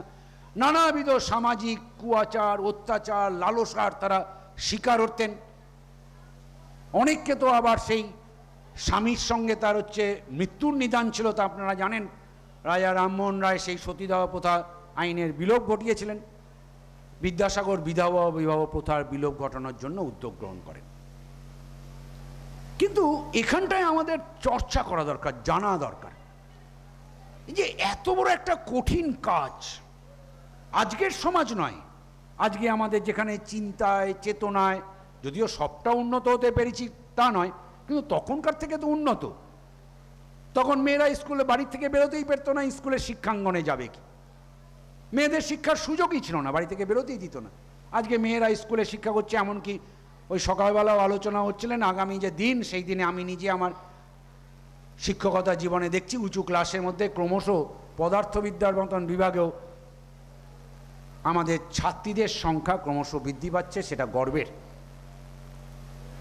আমরা দেখতে পাচ্ছি মাধ্যমিক পরীক্ষায় এখন এই সময়কালে ছাত্রছাত্রীর সংখ্যা প্রায় সমান বা গত বছরে বোধ ছাত্রীর সংখ্যাই কিছুটা পরিমাণে বেশি ছিল, তাই তো বোধ হয় মাস্টারমশাই? ছাত্রীর সংখ্যা প্রকৃত এক্সাক্ট সমীক্ষা যেন বাড়ছে, এটা গর্বের। এরকম কিন্তু অবস্থা তখন ছিল না। সেইখানটায় দাঁড়িয়ে বিধবা বিবাহের মতন এত প্রথা, যে প্রথা যেখানকার সমাজ, তখনকার সমাজ ধর্মীয় নিধানের দ্বারা পরিচালিত হতো। ব্রাহ্মণ পণ্ডিতরা যা বলতেন সেই ব্রাহ্মণ পণ্ডিতদের উপর নির্ভর করে চলতে হতো। আমি তখনকার সমাজের অত দিন আগেকার কথা বলছি না। আমি একটা ছোট্ট উদাহরণ দিই, তাহলে বোঝা যাবে আমরা কীরকমভাবে অবস্থায় আছি। অথচ এখানে আছি কিনা আমি জানি না, আমাকে মার্জনা করবেন, আমার নিজের জীবনের অভিজ্ঞতায় দেখেছি। আপনারা জানেন যে মেঘনাথ শাহ যখন স্কুলে পড়তেন, স্কুলের সরস্বতী পুজোয় পুষ্পাঞ্জলি দেওয়ার অধিকার মেঘনাথ সাহার ছিল না। কেননা মেঘনাথ শাহ ছিলেন নিচু জাতের। অত বড় আমাদের দেশের প্রখ্যাত বিজ্ঞানী, পৃথিবীর শ্রেষ্ঠ বিজ্ঞানীদের একজন। আমি নিজে চোখে দেখেছি, আমার এক বন্ধুর কাছে, আমি গ্রামের নাম বলব না, সিউড়ি শহরের পাশেই সেই গ্রাম, বর্ধিষ্ণু গ্রাম এরকম পুজোর সময় তার সঙ্গে সেই গ্রামের পুজো দেখতে গিয়েছিলাম। গ্রামের মধ্যে এরকম বারোয়ারি পুজো মণ্ডপ আছে। এটা বেশি দিন আগের ঘটনা নয়। আজ থেকে ওই পঁচিশ থেকে তিরিশ বছর আগেকার কথা বলছি আর কি। সেই গ্রামের যে বারোয়ারি মণ্ডপ, সেই বারোয়ারি মণ্ডপের দু তিনটা ধাপ, আমার মনে হচ্ছে বারোয়ারি মণ্ডপের এরকম ধাপ এখানেও আছে। মন্দিরে যেখানে ঠাকুরের পুজো হচ্ছে, সেখানে যারা সরাসরি আপনারা জানেন যে এরকম দুর্গোৎসবের সময় মানুষ যাকে যে যাকে বিশ্বাস করেন ধর্মীয় আচার অনুষ্ঠানের জন্য ফল, মূল কেটে সাজিয়ে তাকে থালায় ভরে মায়েরা নিয়ে যাচ্ছেন সেখানে পুজো দিতে। কাউকে কাউকে দেখছি যে সেই পুজো মণ্ডপে সরাসরি তিনি উঠে যাচ্ছেন খালি পায়ে। আর কাউকে কাউকে সেখানে দাঁড়িয়েই দেখেছিলাম যে কাটা গোটা কাটা ফল নয়, গোটা ফল মন্দিরে পা দিতে পারছে না। দূরের থেকে নিক্ষেপ করে মন্দির প্রাঙ্গণের যে মূল প্রাঙ্গণের যেখানে মন্দিরের বেদি, সেখানে তারা ছুটছেন, একজন দুজনকেও সেগুলোকে গ্রহণ করছেন। তারা নিজেরা উঠতে পারছেন না। মানে তারা কারা? যারা সমাজের নিচু জাতের। আমি তাদেরকে জিজ্ঞেস করেছিলাম আমার বন্ধুকে যেটা কেন? এটি তো আমাদের সমাজ। তা বিদ্যাসাগরের সময় সেই সমাজ আরও কঠোর আরও কত কঠিন ছিল। এখনও আছে কিন্তু আমাদের আলোচ্য বিষয় অন্য জায়গায়। কীভাবে এই বিধবা বিবাহ প্রথা সম্পর্কে তিনি হচ্ছে তাকে রদ করার জন্য উদ্যোগ গ্রহণ করলেন? একজন মানুষ সংস্কৃত পড়লেন, অনেক আলোচনা করতে হবে। যুক্তি দিয়ে মানুষের কাছে প্রতিষ্ঠিত করতে হবে। তখনকার যে ধর্মীয় শাস্ত্র, আমাদের সমাজের যে পুরনো যে ধর্মীয় শাস্ত্র সেই শাস্ত্রের মধ্যে কি কথাগুলো বলা হয়েছে? সংস্কৃত পণ্ডিত সংস্কৃতের শ্লোকগুলোকে কি বলা হয়েছে? সেগুলো নিয়ে গভীর চর্চা করলেন। আপনারা জানেন যে মনু সংহিতা বলেছে উপনিষদের সেই সময়কালে এবং তাতে বিভিন্ন যুগ আছে। তা বর্তমান যুগটাকে কি যুগ বলা? এখানে বয়স্ক মানুষজনরা সবাই জানেন, ধর্মশাস্ত্র অনুযায়ী এটাকে বলা হয় কলিযুগ। তা বিদ্যাসাগর মনু সংহিতার চর্চা করে সেই কলিযুগে এলেন। এবার কলিযুগের শাস্ত্রীয় বিধান বা আলাপ আলোচনার জন্য তিনি পরাশর সংহিতা তিনি পড়াশোনা শুরু করলেন। এবং পরাশর সংহিতা পড়ে আমি তার শ্লোকগুলো, কি শ্লোক এগুলো আমি নির্দিষ্টভাবে বলে অনেকটা সময় লাগবে। আমি তার নির্যাসটাকে বলি, সেই পরাশর সংহিতা পড়ে তিনি সেই শাস্ত্রকে দেখিয়ে দেখাচ্ছেন যে শাস্ত্রের ধর্মের মধ্যেই রয়েছে যে একজন স্ত্রী তার যদি স্বামীকে হারান, এমনকি স্বামী যদি তাকে সেই স্ত্রীকে ছেড়ে চলে যান, স্বামী যদি অন্য কোনো জায়গায় নিরুদ্দেশ হয়ে যান, তাহলে তিনি পুনরায় বিবাহ করিতে পারিবেন, এটা শাস্ত্রের মধ্যে রয়েছে। বিদ্যাসাগর সেই জন্য একটা দুটো প্রস্তাব লিখেছিলেন, আঠারোশো সালে। সেই ধর্মীয় শাস্ত্রের সংস্কৃত শ্লোক তার অনুবাদ করে, বাংলা করে, যুক্তি দিয়ে তিনি মানুষের কাছে উপস্থাপন করলেন এবং তাতে তার সমর্থন পেলেন। এবং দ্বিতীয় আরাবার একটা প্রস্তাব লিখলেন, কিন্তু এই কাজটা সহজ ছিল না। একদিকে সেই সময় তার যেমন কিছু সহযোগী মানুষজন সেখানে সাক্ষ্য দিয়েছিলেন, প্রস্তাবের পক্ষে ছিলেন, আবার বিরোধীরাও ছিলেন। এই যে পরাশর সংহিতা থেকে যেমন শাস্ত্রকে জ্ঞানলেন তখন তখনকার পণ্ডিতরা বললেন, শিষ্টাচার বিরোধী এটা। একটা ধর্মীয় শাস্ত্র বিরোধী একটা শিষ্টাচার বিরোধী। তিনি তখনকার শিষ্টাচারকে তিনি আবার পড়াশোনা করলেন। এবং শিষ্টাচার অনুযায়ীও দেখা গেল, তাতেও বলা হচ্ছে যে স্বামী মারা গেলে পরে স্ত্রী আর একজনকে বিয়ে করতে পারেন। তিনি ধর্মীয় যুক্তির সাহায্যে, ধর্মীয় শাস্ত্রকে ব্যবহার করে সমাজের সামনে তুলে ধরলেন যে বিধবাহ বিবাহ প্রথা যুক্তিসম্মত। আমি এই জায়গাটার কথা বলতে চাইছি। আমি এর বিস্তৃত আলোচনায় যাব না, পরের বক্তা আরও বিস্তৃত আলোচনা করবেন। এই যে যুক্তি দিয়ে কোনো একটা বিষয়কে মানুষের কাছে উপস্থাপন করা, এই যুক্তি দিয়ে উপস্থাপন করার জন্য তার যুক্তির ভিত্তি, বিদ্যাসাগর সম্পর্কে যদি কাউকে জিজ্ঞাসা করা হয় বিদ্যাসাগর কি নাস্তিক ছিলেন? বিদ্যাসাগর কি আস্তিক ছিলেন? এ প্রশ্নের সমাধান করা কঠিন। কেন? দেখা যাচ্ছে বিদ্যাসাগর যখন পূজনীয়দের চিঠি লিখছেন উপরে চিঠিতে শ্রী হরি লিখছেন। কিন্তু বিদ্যাসাগর কোনোদিন ধর্মীয় আচার অনুষ্ঠানে নিজে ব্যক্তিগতভাবে অংশগ্রহণ করেননি। সবচেয়ে বড় প্রমাণ নয় যে যুক্তির কথা বলছি। বিদ্যাসাগর তার জীবনের শেষে তার সম্পদের উপর যে দলিল করে গিয়েছিলেন, সেই দলিলে তার যা সম্পদ, স্থাবর, অস্থাবর যা সম্পদ যেটুকু আছে, তা কারা কারা পাবে তা অনেক বিশাল লিস্ট কিন্তু সেই লিস্টের মধ্যে কোনো দেবতার স্থান নেই, কোনো দেবতার মন্দিরের স্থান নেই, কোনো কিছুর স্থান নেই। অথচ বিদ্যাসাগর ধর্মশাস্ত্রকে চর্চা করেছেন, ধর্মশাস্ত্রের যুক্তির ভিত্তিতেই বিধবা ও বিবাহ প্রথাকে লাগু করার জন্য তিনি চেষ্টা চালিয়েছেন এবং আপনারা জানেন যে আঠেরোশো ছাব্বিশ সালে এই আইন, তখনকার দিনের সরকার এই বিধবা বিবাহ প্রথা আইন চালু করেন। ওই যে বলছেন আরম্ভ করি, শুরু করি না। যাহা বলি, তাহা কাজে প্রয়োগ ঘটাই না। এটা যখন চলছে এই নিয়ে সমাজে প্রচুর তর্ক বিতর্ক চলছে।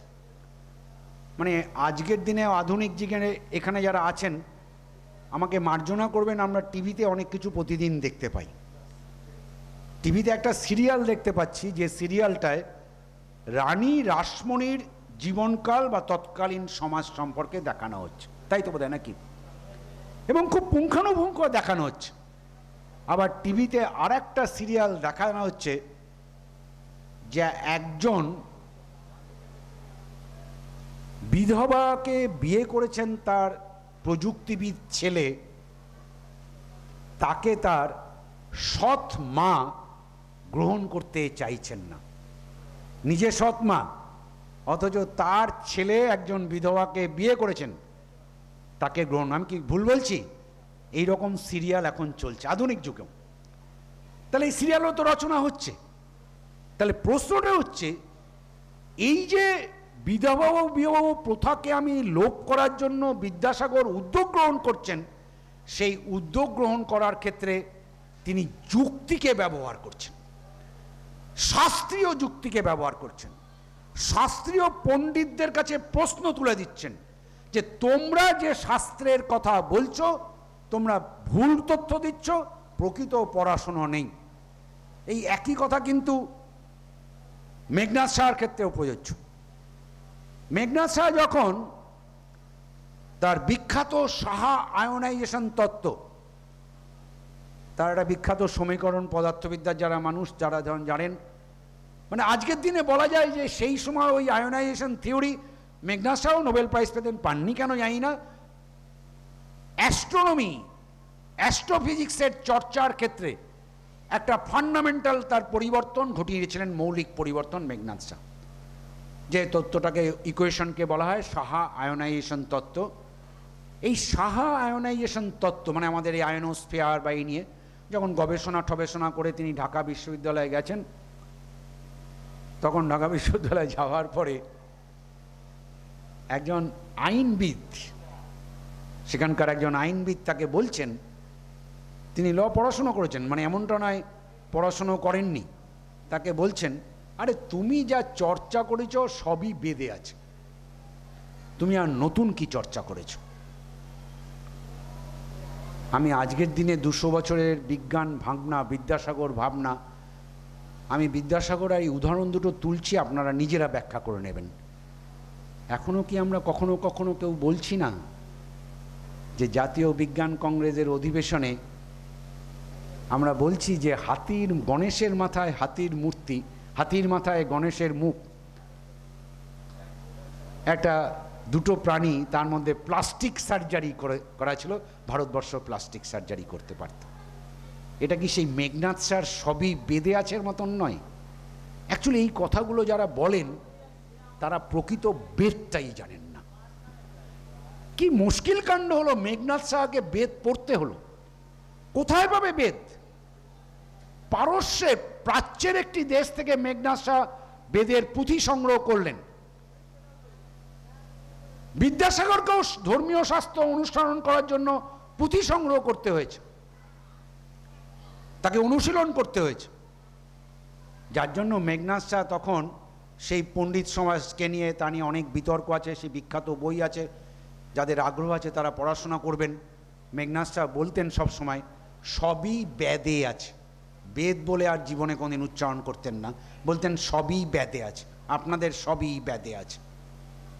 আর এখনও আমরা শুনতে পাচ্ছি যে আমাদের নাকি ইন্টারনেট আগে ছিল। আমাদের নাকি আমাদের মানে স্টেম সেল নাকি আমাদের ছিল। আমাদের নাকি মহাকাশ যান ছিল। সে যেখানে সেখানে নয়। বিজ্ঞানীরা যেখানে হচ্ছে গবেষণা করছেন, তার গবেষণাপত্র নিয়ে আলোচনা করছেন, সেই রকম সবাই গিয়ে এসব আলোচনা হচ্ছে।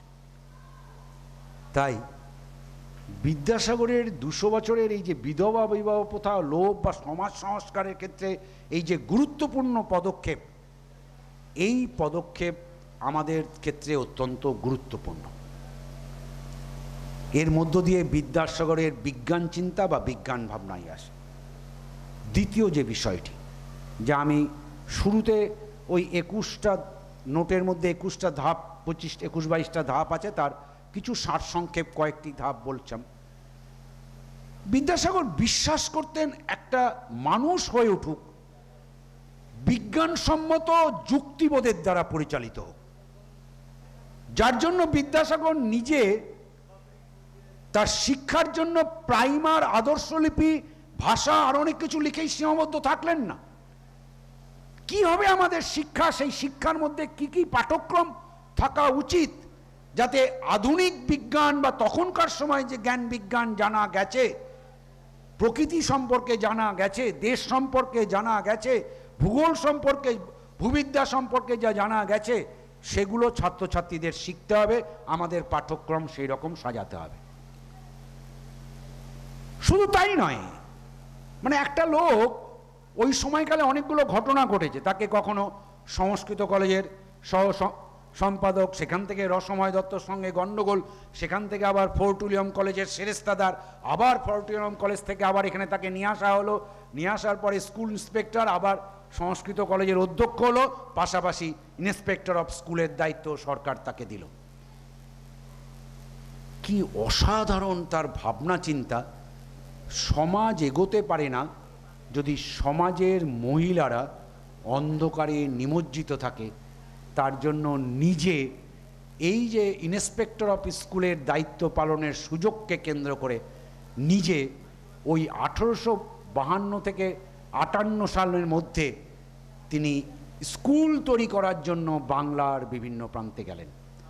আপনারা কোথাও কোথাও দেখবেন বিদ্যাসাগরের স্বহস্তে তৈরি এরকম একটা স্কুল অনেকগুলি আছে, তার মধ্যে একটি স্কুল।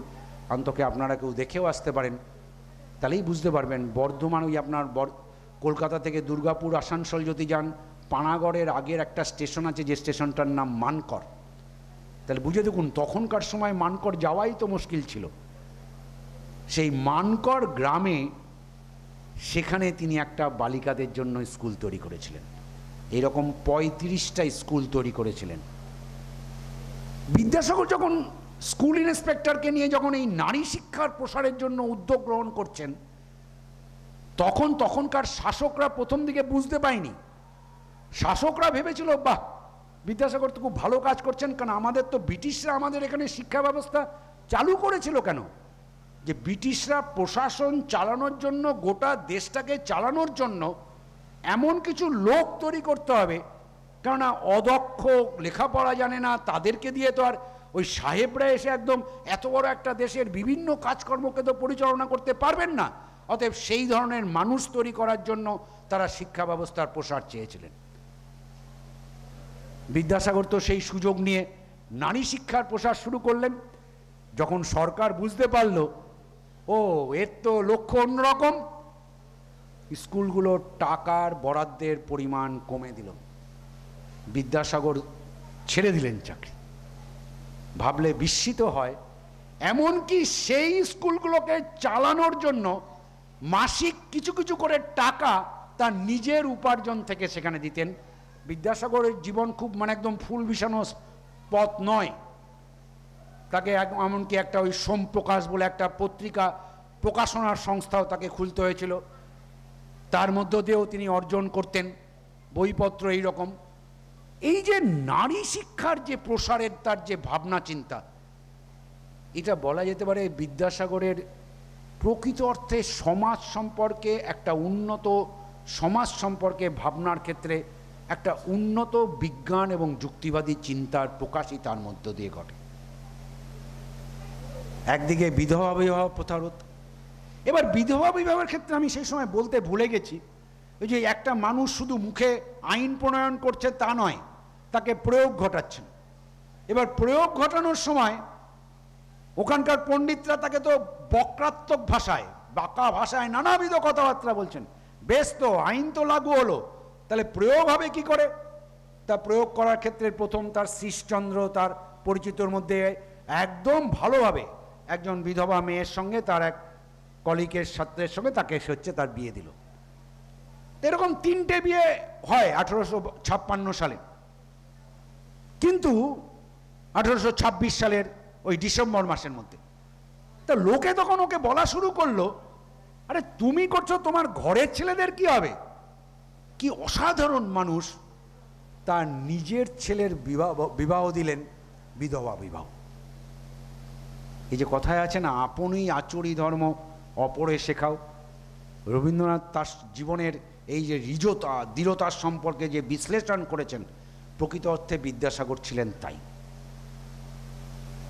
বিদ্যাসাগর সংস্কৃত তৃতীয় ধাপ আমার আলোচনার শেষ পর্যায়ে। তৃতীয় আর একটা দিক আপনাদের সামনে তুলে ধরতে চাই। আপনারা জানেন যে আমাদের দেশে বেদ, উপনিষদ এই সমস্ত ভিত- ভিত্তির উপর দাঁড়িয়ে আমাদের দর্শন, ভাববাদী দর্শন, সংখ্যায়নের দর্শন, বিদ্যাসাগর সেই দর্শনকে পড়াশোনা করতেন। বিদ্যাসাগর বিশ্বাস করতেন প্রকৃতিকে। বিদ্যাসাগর বিশ্বাস করতেন বস্তুকে। বিদ্যাসাগর বিস্তার বিশ্বাস করতেন সমাজের অভ্যন্তরে প্রত্যক্ষ যে ঘটনাগুলো ঘটছে, সেই ঘটনাগুলোর সম্পর্কে সম্যক জ্ঞান লাভ করা, সেই ঘটনাগুলোর খারাপ দিকগুলো তাকে পরিবর্তন ঘটানো, যার জন্য বিধবা বিবাহ প্রথার দিকে দেওয়া তাকে যুক্তির দ্বারা সমাজের কাছে প্রতিষ্ঠিত করেছেন।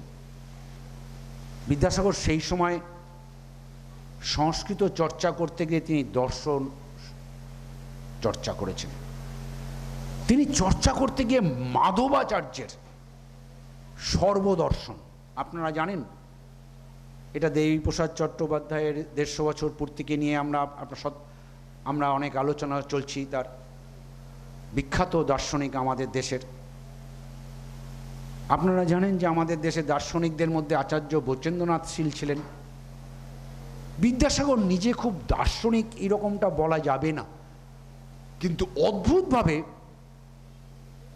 বিদ্যাসাগর এই সর্বদর্শনকে চর্চা করেন। এবার সর্বদর্শন চর্চা করতে গিয়ে তার প্রথম যে দুটো অধ্যায়, সেই দুটো অধ্যায়কে তিনি পাঠ করার পরে তিনি উজ্জীবিত হয়ে পড়েন। তিনি বলেন যে প্রথম দুটো অধ্যায় আমাকে নিজে আরও প্রাঞ্জল ভাষায় লিখে সম্পাদনা করে কে ছাপাতে হবে। কেন? এই প্রথম দুটো অধ্যায়ের মধ্যে আমাদের দেশে যেমন ভাববাদী দর্শন, মনোবাদী ব্যবস্থাপনা, আমাদের দেশে লোকায়ত দর্শন বা বস্তু দর্শন, তারও উপস্থান ছিল যাকে বলা হয় চারবাক দর্শন। এই চারবাক দর্শন, যার মূল কাণ্ড হচ্ছে যে প্রকৃতি জগতের ঘটনাগুলো জানা এবং প্রকৃতি জগতের নিয়মের মধ্যে দিয়েই আমরা চলছি, প্রকৃতির মধ্যেই আমরা বসবাস করি। বিজ্ঞান বলতে আমরা কি বোঝাতে চাই? বিজ্ঞান কি? আমি এখন তাহলে আমার আলোচনা এখানে আমরা লিপিবদ্ধ করতে চাইছি। এই বিজ্ঞান তো তখন ধারণা ছিল না। বিজ্ঞানের আবিষ্কারও তখন এত হয়নি। ঊনবিংশ শতাব্দীর শেষ ভাগ থেকে হচ্ছে বিজ্ঞানের দ্রুত অগ্রগতি। বিজ্ঞান বলতে আমরা বুঝি সাধারণভাবে বিজ্ঞানকে বিশেষ জ্ঞান বলে একটা তাকে হচ্ছে শ্রেণীতে ভাগ করে রাখা হয়। কিন্তু বিজ্ঞান তা নয়। বিজ্ঞান একটা জ্ঞান আহরণের পদ্ধতি। কি সেই পদ্ধতি? যে পদ্ধতিতে কোনো উবাচর স্থান নাই। আমি যাহা বলিলাম, তাহাই বিশ্বাস করে নেওয়ার স্থান নেই। আমি যা বলিলাম প্রকৃতি সম্পর্কে তাকে যাচাই করা, তাকে পরীক্ষা নিরীক্ষা করা, বারবার পরীক্ষা নিরীক্ষা করা, পর্যবেক্ষণ করা, এই পদ্ধতির মধ্য দিয়ে যে জ্ঞান অর্জন হয়, সেই জ্ঞানটাকে আমরা বলছি বিজ্ঞান। তার জন্য একজন বিখ্যাত বিজ্ঞানী ক্রাউথার বিজ্ঞান সম্পর্কে বলতে গিয়ে বলেছিলেন, ঊনবিংশ শতাব্দীর, গত শতাব্দীর মাঝামাঝি সময়ে দ্বিতীয় বিশ্বযুদ্ধের আগে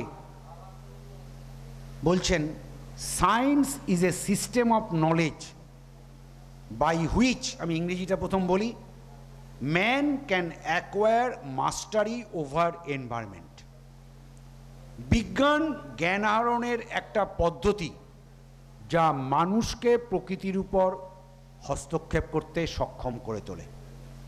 প্রকৃত অর্থে যদি মানব সভ্যতার ইতিহাসের আমাদের পিছনের দিকে যদি আমরা তাকিয়ে থাকি, সেই আদিম মানুষ থেকে আগুনের ব্যবহার বলুন, কৃষির ব্যবহার বলুন, পাথরের ব্যবহার বলুন জন্তু জানোয়ারদের যে হাড় তাকে অস্ত্র করে তাকে ব্যবহার করা বলুন, গুহার ব্যবহার বলুন, মানব গোষ্ঠী তৈরি করার ব্যবহার বলুন, প্রতিদিন প্রতিনিয়ত মানুষ প্রকৃতির মধ্যে সে তার সম্পর্ক গড়ে তুলেছে, প্রকৃতির নিয়ম কানুনগুলোকে জেনেছে এবং সে প্রকৃতির মধ্যে হস্তক্ষেপ করেছে, যার মধ্য দিয়ে প্রকৃতি। যার যেমন একটা উদাহরণ আমি সকালবেলা দিয়েছিলাম যে আর্কিমিডিসের নীতি, এটা একটা নীতি, সায়েন্স।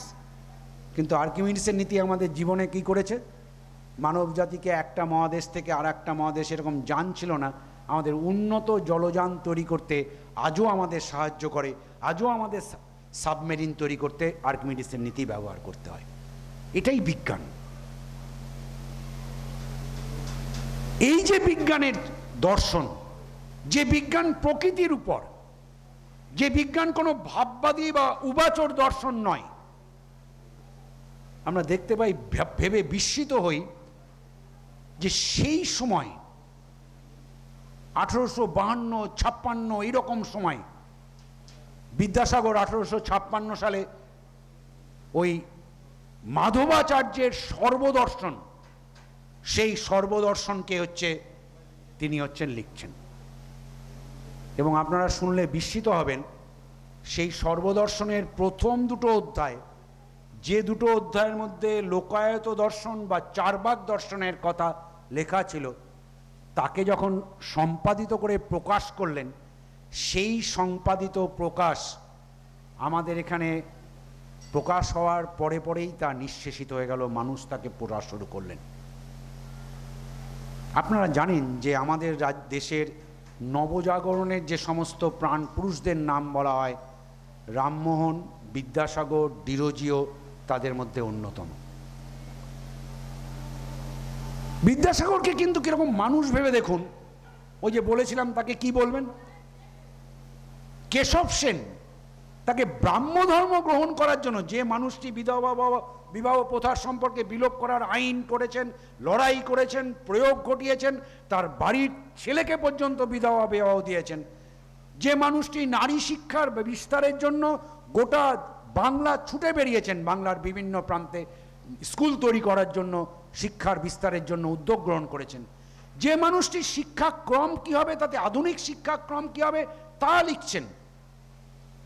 সেই মানুষটি কি আবার দর্শন, দার্শনিক ছিলেন তা নয়, কিন্তু অদ্ভুত ব্যাপার, কেশবচন্দ্র সেন যখন ওই নবজাগরণের সময় দোর্দণ্ড ব্রাহ্মণ্য প্রতাপ থেকে আর এক ধরনের ধর্মীয় ব্যবস্থা ব্রাহ্ম সমাজ যখন তৈরি করলেন, ব্রাহ্ম ধর্মের কথা বললেন, পণ্ডিত ঈশ্বরচন্দ্র বিদ্যাসাগর, কেশবচন্দ্র সেনকে বললেন, না, আমি ব্রাহ্ম ধর্ম গ্রহণ করব না। আপনারা শুনলে আরও হয়তো বিস্মিত হতে পারেন, বিদ্যাসাগরের জীবন আমাদের আরও ভালোভাবে পড়া দরকার। বিনয় ঘোষ, অনেকের বিদ্যাসাগর ও বাঙালি সমাজ অসাধারণ বই। এই বইটি আপনারা সকলেই পড়তে পারেন। তাছাড়াও বিদ্যাসাগরের রচনাবলী প্রকাশিত হয়েছে। এশিয়াটিক সোসাইটিতে বিদ্যাসাগরের পাণ্ডুলিপি সেই সময়কার আছে। পড়াশুনো করা যায়। বিদ্যাসাগরের বাড়িতে জানেন? রামকৃষ্ণদেবও বিদ্যাসাগরের বাড়িতে গিয়েছিলেন। পরম সেনদেব পরমংশ রামকৃষ্ণদেব বিদ্যাসাগরের বাড়িতে গিয়েছিলেন। তিনি অনুরোধ করেছিলেন, তিনি তার আশ্রমে যাওয়ার জন্য। তার, তিনি যেখানে থাকেন, সেই দক্ষিণেশ্বরে যাওয়ার জন্য। বিদ্যাসাগর তাকে বলেছিলেন, ঠাকুর, আমি তোমাকে একটু ভালো চা করে খাওয়াতে পারি। এইটুকু বলে তিনি তার স্থানকে ছেড়ে দিয়েছিলেন। মানে কতখানি রিজু মানুষ, কতখানি দৃঢ় মানুষ। সেই কারণেই তো লোকায়ত দর্শন তার উনিশশো ছাপ্পান্ন সালে যখন প্রকাশিত হলো, তারপরে দেখা যাচ্ছে কলোয়েল ইংরেজি ভাষায়, ফরাসি ভাষায়, স্প্যানিশ ভাষায়, জার্মান ভাষায় ম্যাক্স মুলার বলছেন, পৃথিবীর বিখ্যাত মানুষ, যে ভারতীয় দর্শনের মধ্যে এই বিষয় ছিল, পৃথিবী জানতো না। যদিও সেই সময় আপনারা জানেন, আরেকজন মহান দার্শনিক তিনি বস্তুবাদী দর্শনের বিভিন্ন দিক বা সমাজ সম্পর্কে বিভিন্ন আলোচনা করছেন, সর্বকালের শ্রেষ্ঠ দার্শনিক কার্ল মার্কস। কিন্তু কথা বলা যাবে না যে কার্ল মার্কস আর বিদ্যাসাগরের মধ্যে কোনো যোগাযোগ ছিল না। প্রকৃত অর্থে বিদ্যাসাগর যেমন ধর্মীয় শাস্ত্র, আমাদের দর্শন, আমাদের ইতিহাস, তাকে পুঙ্খানুপুঙ্খভাবে জানার চেষ্টা করা। কারোর কথার দ্বারা প্রভাবিত না হওয়া। এটাকেই বলা হয় বিজ্ঞান মনস্কতা।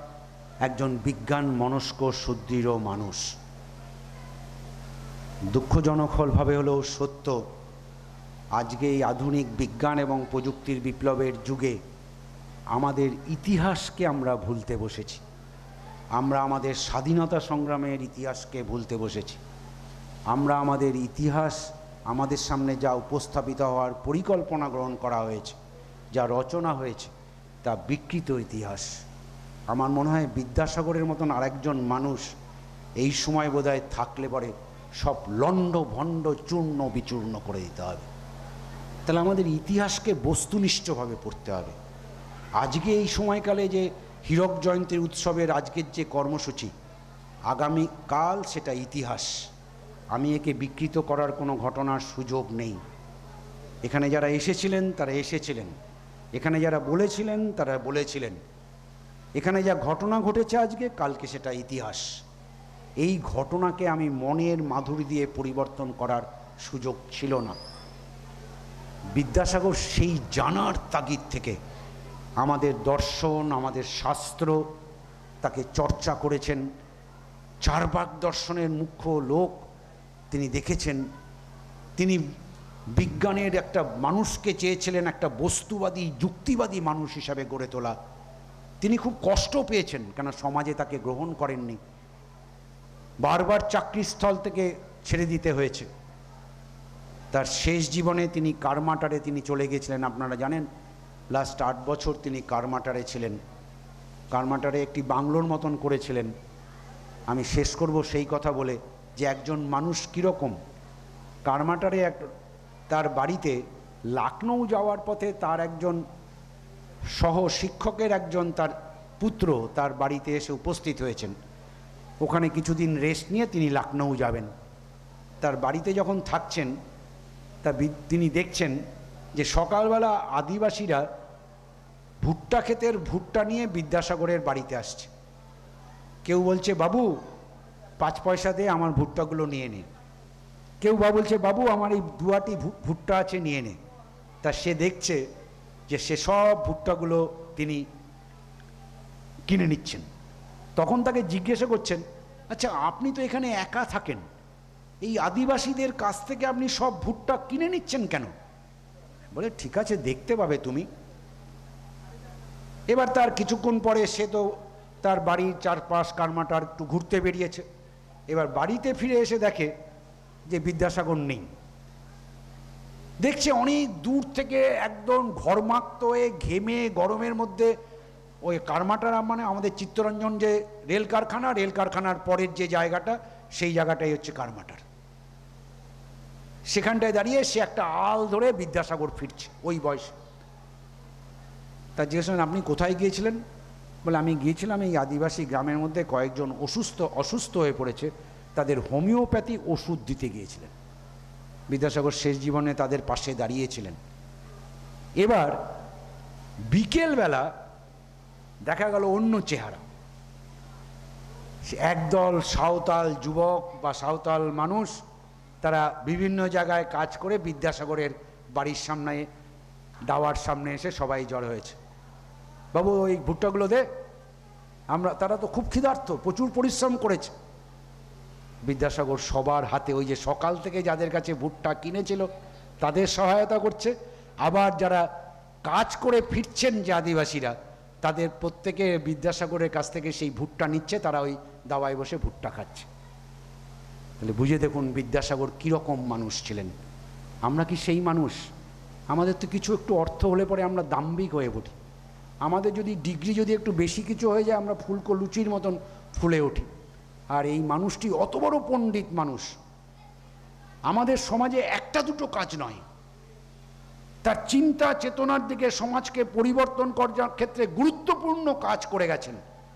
সেই মানুষটা শেষ জীবনে আদিবাসীদের কাছে পাশে দাঁড়িয়েছেন এবং তাদেরকে উন্নতি করিয়েছেন, তাদেরকে চিকিৎসা করাচ্ছেন, তাদেরকে শিক্ষা দিচ্ছেন, তারা যা উৎপন্ন করছেন সেই উৎপন্ন ফসলকে সে কিনছেন, তার মধ্যে তাদের অর্থের যোগান করছেন, আবার যারা পরিশ্রম করছেন তারা ক্লান্ত, তাদেরকে খাওয়ানোর জন্য তাদেরই উৎপাদিত ভুট্টা তাদের কাছ থেকে খেয়ে যাচ্ছেন। এই হচ্ছে আমাদের বিদ্যাসাগর। তা আমরা বিদ্যাসাগরের দুশত বর্ষে আমরা তার জীবনকে নিয়ে আরও চর্চা করা দরকার। তার কাজের মধ্য দিয়ে আমাদের জীবনকে পরিশীলিত, পরিমার্জিত করা দরকার। আমাদের চিন্তাভাবনাকে উন্নত করা দরকার। যে বিজ্ঞান এবং যুক্তিবোধের কথা তিনি বলতেন, সেই বিজ্ঞান এবং যুক্তিবোধের দ্বারা যাতে আমরা পরিচালিত হতে পারি। কেননা, একজন যুক্তিবোধ এবং বিজ্ঞান মনস্ক মানুষই সে তার সমাজকে সুন্দরভাবে গড়ে তুলতে পারে। কেননা, সে সে অন্য কোনো মিথ্যা কথার দ্বারা প্ররোচিত হয়ে সে কোনো অন্যায় কাজ করতে পারে না। মেয়েরা যদি বিজ্ঞান মনস্ক হয়ে সে নারী শিক্ষার যত প্রসার ঘটবে, একটা কথায় আছে, একজন স্বাক্ষর মার ছেলেমেয়েরা কখনো নিরক্ষর হন না, কেননা তার ছেলেমেয়েদের সবচেয়ে বেশি ভালোবাসেন। তা আজকের এই আধুনিক বিজ্ঞান এবং প্রযুক্তির স্বাধীনতার সাত দশক পরেও আমাদের দেশে এই বিজ্ঞান মনস্কতা গড়ে তোলার কাজ বিদ্যাসাগরের দিকে যদি তাকিয়ে দেখি, তার থেকে শিক্ষা নিয়ে আমাদের কাছে অত্যন্ত গুরুত্বপূর্ণ। কেননা যারা পরাধীন ভারতবর্ষের বুকে ব্রিটিশদের বিরুদ্ধে লড়াই করে ধর্ম, বর্ণ, জাত নির্বিশেষে একতাবদ্ধভাবে যারা হচ্ছে আমাদের দেশকে স্বাধীন করেছেন, আমাদের দেশের মধ্যে যারা দেশপ্রেমিক, আমরা তো স্বাধীন দেশের একজন দেশপ্রেমিক মানুষ, আমরা তো আর চাই না আমাদের দেশটা আর পরাধীন হোক। আমাদের দেশের মাটির তলার সম্পদের ভাণ্ডার বিশাল, আমাদের দেশের মাটির উপরের উর্বর জমির ক্ষেত্র বিশাল, আমাদের দেশের মানুষের মেধা শক্তি অত্যন্ত শক্তিশালী শ্রেষ্ঠ মেধাশক্তি বলা যেতে পারে পৃথিবীর। আমাদের দেশের মানুষের দুহাতে কাজ করার ক্ষমতা অনেক বেশি। সকালবেলা স্যার বলছিলেন আমাদের প্রাক্তন প্রধান শিক্ষক মহাশয়, আমি বলছিলাম, তিনি বলছিলেন, পারব না বলে কিছু নেই। আমরা আমাদের দেশকে পৃথিবীর শ্রেষ্ঠ দেশ। এখানে বসে আমি একটি, ওখানে যখন দোতলায় বসেছিলাম, আমি একটি আপনার এখানে কেউ গান গাইছিলেন। আমি শুনেছিলাম কবির ভাষায় ধনধান্যে পুষ্পে ভরা এই গানটি কেউ গাইছিলেন। এটা কবির ভাষায় কোনো আবেগের গান নয়। প্রকৃত অস্তে ভারতবর্ষ সেই সম্পদশালী। প্রয়োজন, একজন দেশপ্রেমিক, বিজ্ঞান মনস্ক, যুক্তিনিষ্ঠ মানুষ গড়ে তোলা। যে তার সমাজটাকে সুন্দরভাবে গড়ে তুলতে পারবে, দেশটাকে সুন্দরভাবে গড়ে তুলতে পারবে। হীরক জয়ন্তী বর্ষে আমি ছাত্রছাত্রীদের কাছে এই আবেদনটাই রাখতে যাব। বিদ্যাসাগর নিয়ে আমাদের আরও চর্চা করতে হবে। বিদ্যাসাগর জীবনকে অনুশীলন করতে হবে। এবং তোমরা আগামী দিনের আমাদের দেশের কারিগর, তোমরা হীরের টুকরো, সোনার টুকরো, তোমরা বিজ্ঞানী হবে, তোমরাই আমাদের দেশকে সুন্দরভাবে গড়ে তুলতে মুখ্য ভূমিকা পালন করবে। বিদ্যাসাগর আমাদের সেই শিক্ষাই দিয়েছে। আমি এই কথাটি বলে আপনাদের সকলকে আমাদের প্রণাম এবং শ্রদ্ধা জানিয়ে এবং আলোচনার সুযোগ ঘটিয়ে দেওয়ার জন্য, জানি না একটু বাড়তি সময় নিয়ে নিয়েছি কিনা, তাহলে একটু মার্জনা করবেন। এই কটা কথা বলে আপনাদের সকলকে পুনরায় অভিনন্দন জানিয়ে আমি আমার কথা শেষ করছি। নিচ্ছে প্রদ্যোৎ দা প্রদ্যোৎ প্রধান মহোদয়।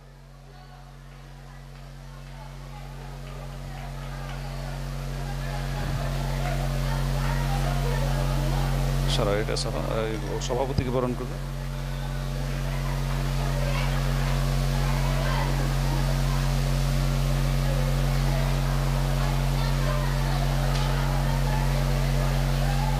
এবারে আমাদের মঞ্চে আছেন আপনারা যারা উপস্থিত আছেন এবং আমাদের প্রিয় ছাত্রছাত্রীরা, তোমরা জানো যে আমাদের পরিচালন সমিতির সভাপতি এবং উৎসব কমিটির সভাপতি, তিনি বিশেষ কাজে প্রথম পর্বে ছিলেন না। এই পর্বে তিনি উপস্থিত হয়েছেন, তাকে আমরা বরণ করে নিচ্ছি। বরণ করে নিচ্ছে বিদ্যালয়ের শিক্ষাকর্মী নমিতা সিং এবং শিক্ষক প্রদ্যোৎ প্রধান মহোদয়।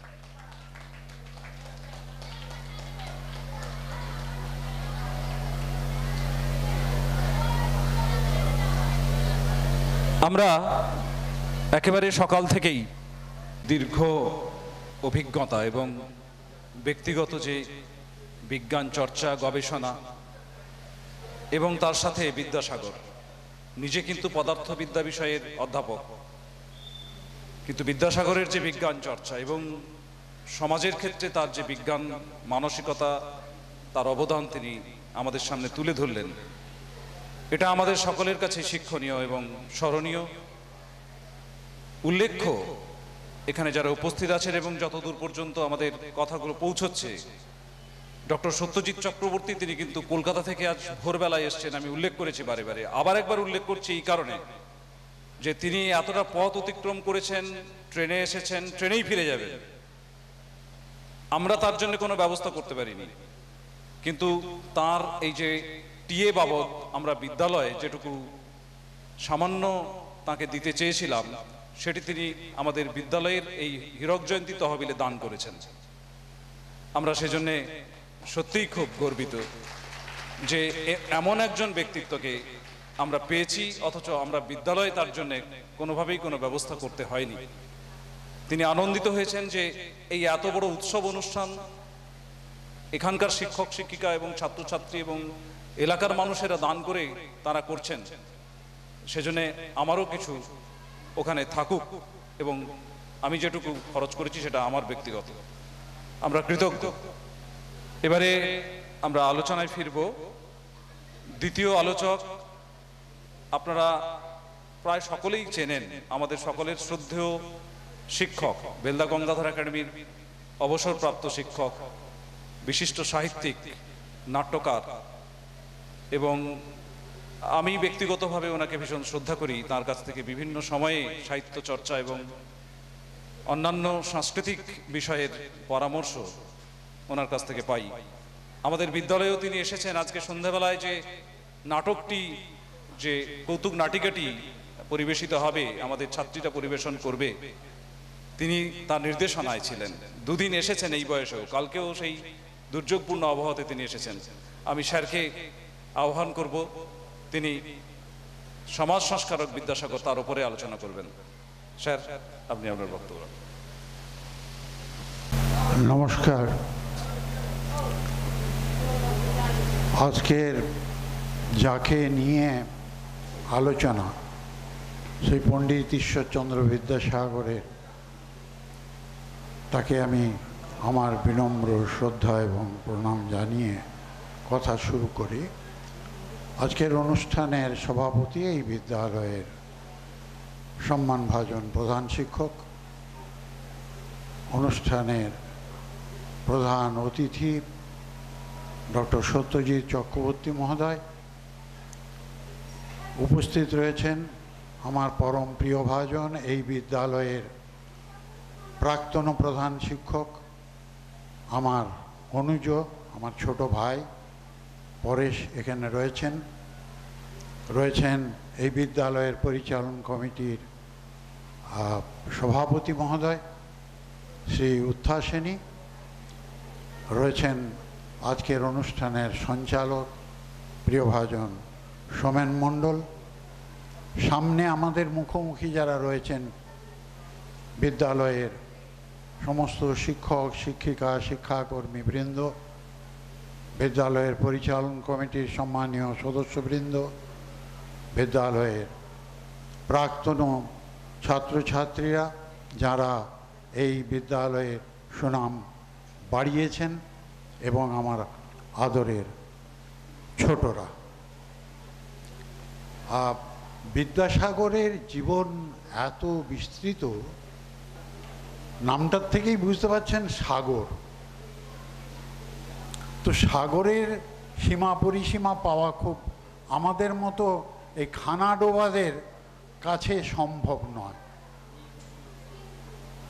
তবুও সেই অন্ধের হস্তি দর্শনের মতো, আপনারা জানেন যে সেই তিন অন্ধ হস্তি হাতি দেখতে গেছিল। তো একজন হাতির সুর ধরে বলছে, এটা লাঙ্গলে হাতি হচ্ছে লাঙ্গলের ইসের মতো। একজন পায়ে হাত দিয়ে বলছে, না না, হাতিটা হচ্ছে গিয়ে থামের মতো। আরেকজন তার কানে হাত দিয়ে বলছে, না না, হাতিটার হাতি হচ্ছে কুলোর মতো। তো আমাদের অবস্থা সেই রকম। তাই আমি তার একটি অংশ আমার সাধ্যমতো বলার চেষ্টা করব, সেটা হচ্ছে গিয়ে যে শিক্ষা, বিস্তার এবং সমাজ সংস্কার তার অবদান, যেটা আজকে আমাদের মনে রাখার প্রয়োজন। বাংলা সাহিত্যকে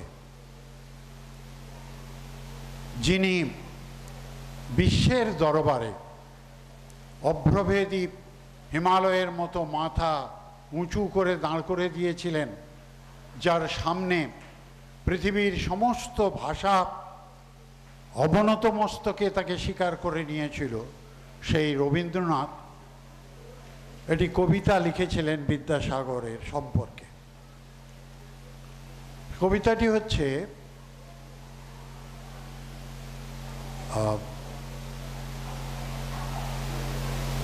কবিতার শুরুটা ভুলে যাচ্ছে। বয়স হয়ে গেছে ভোলাটা স্বাভাবিক।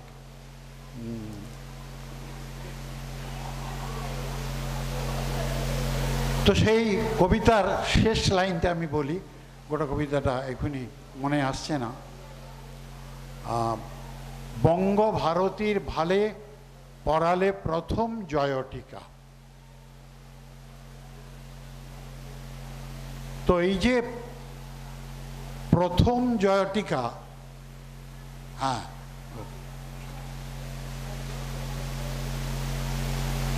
কবিতাটা পেয়ে গেছি? বঙ্গ সাহিত্যের রাত্রি স্তব্ধ ছিল তন্দ্রার আবেশে, অখ্যাত জড়ত্ব ভারে অভিভূত। কি পুণ্য নিমেষে তব শুভ অভ্যুদয়ে বিকিরিল প্রদীপ্ত প্রতিভা। প্রথম আলোর রশ্মি নিয়ে এলো প্রত্যুষের বিভা। বঙ্গভারতীর ভালে পড়ালে প্রথম জয়টিকা। এই প্রথম জয়টিকা, এইটা হচ্ছে গিয়ে বাংলার গদ্য, বাংলার প্রবন্ধ, যা সাহিত্যের প্রথম সন্তান। এটা রবীন্দ্রনাথ লিখেছিলেন বিদ্যাসাগরের প্রতি তার বিনম্র শ্রদ্ধা এবং ঋণ শোধের জন্য। সেটা পরবর্তী সময় আমি আসছি আমার কথার মধ্যে। এই যে বিদ্যাসাগর, ঈশ্বরচন্দ্র বন্দ্যোপাধ্যায় থেকে তিনি বিদ্যাসাগর হলেন, এই বিদ্যাসাগর উপাধিটা, এটা একটা উপাধি। এই উপাধিটা তিনি অর্জন করেছিলেন। কীভাবে অর্জন করেছিলেন? তার ওই বারবার করে বলে গেছেন সত্যজিৎ বাবু যে দৃঢ় ঋজু চরিত্রের মানুষ। শুধু তিনি নন, এটা তিনি পেয়েছিলেন তার বংশধারার থেকে। বংশধারা মানে তার পিতৃ পিতামহ প্রপিতামহের কাছ থেকে। সেটা একটু আমাদের জেনে নেওয়ার দরকার। আমি, আপনারা জানেন, তা সত্ত্বেও আমি একটু মনে করিয়ে দিই, তার প্রপিতামহের নাম ছিল ভুবনেশ্বর বিদ্যালঙ্কার। ভুবনেশ্বর বিদ্যালঙ্কার, বিরাট পণ্ডিত মানুষ ছিলেন। তার পাঁচটি ছেলে, তার তৃতীয় সন্তান রামজয় তর্কভূষণ। এই রামজয় তর্কভূষণ এবং তার স্ত্রী দুর্গা দেবী, এদের ছিল গিয়ে ছজন সন্তান। এই ছয় সন্তানের মধ্যে, রামজয়ের ছয় সন্তানের মধ্যে দুজন পুত্র এবং চারটি কন্যা। রামজয় তর্কভূষণ, তার দুই সন্তানের নাম হচ্ছে ঠাকুরদাস এবং কালিদাস। আর মেয়েরা হচ্ছে মঙ্গলা, কমলা, আর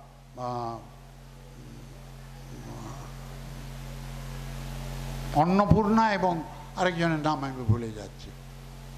গোবিন্দমণি, আরেকজনের নাম গোবিন্দমণি। তো এই যে বংশধারা, প্রত্যেকেই পণ্ডিত, ঠাকুরদাসের নামের পাশে কিন্তু ওই বিদ্যালঙ্কার, তর্কভূষণ, তর্কালঙ্কার ইত্যাদি কোনো টাইটেল নেই। তা সত্ত্বেও তিনি পণ্ডিত ছিলেন তার কারণ তিনি ছিলেন শ্রুতিধর মানুষ। শ্রুতিধর, ছোটরা শ্রুতিধর কথাটার অর্থ বুঝতে পারবে না বোধ হয় শ্রুতি মানে হচ্ছে কান। কানে যা শুনতেন, সেটা হুবহু বলে দিতে পারতেন। একটি ছোট্ট ঘটনা বললেই বুঝতে পারবে যে ঠাকুরদাস বন্দ্যোপাধ্যায় একবার চান করছিলেন গঙ্গার ঘাটে গিয়ে। সেই সময় রাস্তা দিয়ে, ঘাটের পাশ দিয়েই রাস্তা, সেই রাস্তায় এপাশ থেকে একটি ঘোড়ার গাড়ি ওপাশ থেকে একটি ঘোড়ার গাড়ি, দুই ইংরেজ এসে কার গাড়ি আগে যাবে সেই নিয়ে তর্ক বিতর্ক এবং সেটা আদালত পর্যন্ত গড়ালো। আদালতে সেখানে বিচারক জিজ্ঞেস করলেন যে, আপনাদের এ ব্যাপারে কেউ সাক্ষী আছে? বলে হ্যাঁ একজন আছে। তিনি একজন ব্রাহ্মণ পণ্ডিত, তিনি সেই সময় গঙ্গার ঘাটে চান করছিলেন। তো তাকে নিয়ে আসা হলো। নিয়ে আসতে তিনি বললেন যে, আমি মহামান্য আদালত, আমি ইংরেজি জানি না, আমি এবিসিডি কখনো শিখিনি। তবে এরা কে কি বলেছিলেন, সেই কথাগুলো আমি বলে যেতে পারি। প্রথম কোন সাহেব কি বলেছিলেন, তার উত্তরে অন্য সাহেবটি কি বলেছিলেন, হুড়ুর করে সেই ইংরেজি কথাগুলো বলে গেলেন। এইটাই হচ্ছে শ্রুতিধর। তিনি মনে রেখেছেন, ইংরেজি জানতেন না। এই পাণ্ডিত্যের যে একটা ধারা, বংশধারা, সেই বংশধারাটা বিদ্যাসাগর পেয়েছিলেন। এখন বিদ্যাসাগর যখন জন্মান, ঊনবিংশ শতাব্দীর সেই প্রথমার্ধে, তখন কিন্তু আমাদের দেশে ইংরেজরা এসে গিয়েছে। ইংরেজরা এসেছে তিনটি বি নিয়ে বি ইংরেজি বি এ বি বি হচ্ছে গিয়ে তিনটি বি কি? না ব্যালেন্স বাইবেল অ্যান্ড বেয়নেট তারা নিয়ে এসেছিল দাড়িপাল্লা ব্যবসা করতে। তারপরেই বাইবেল মানে তাদের ধর্মগ্রন্থ, সেই ধর্মগ্রন্থ দিয়ে এদেশের মানুষের কাছে ধর্ম প্রচার করে সবাইকে খ্রিস্টান ধর্মে দীক্ষা দেওয়ার চেষ্টা করেছিলেন। আর তাতেও দেশটাকে জয় করতে না পেরে শেষ পর্যন্ত বেয়নের দিয়ে, অর্থাৎ বন্দুকের ডগায় যে ছোড়াটা থাকে ছুরি একটা থাকে সেইটা বেয়নেট তাই দিয়ে এই দেশকে শাসন করেছে। তো ইংরেজ ধর্মপ্রচারকেরা তখন বাংলায় ধর্ম প্রচার করতেন।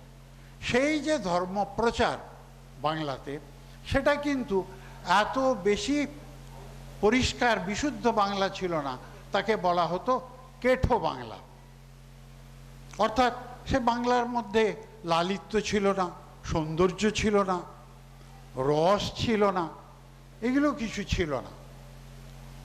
বিদ্যাসাগর উনিশশো একান্ন সালে আত্মচরিত লিখেছিলেন।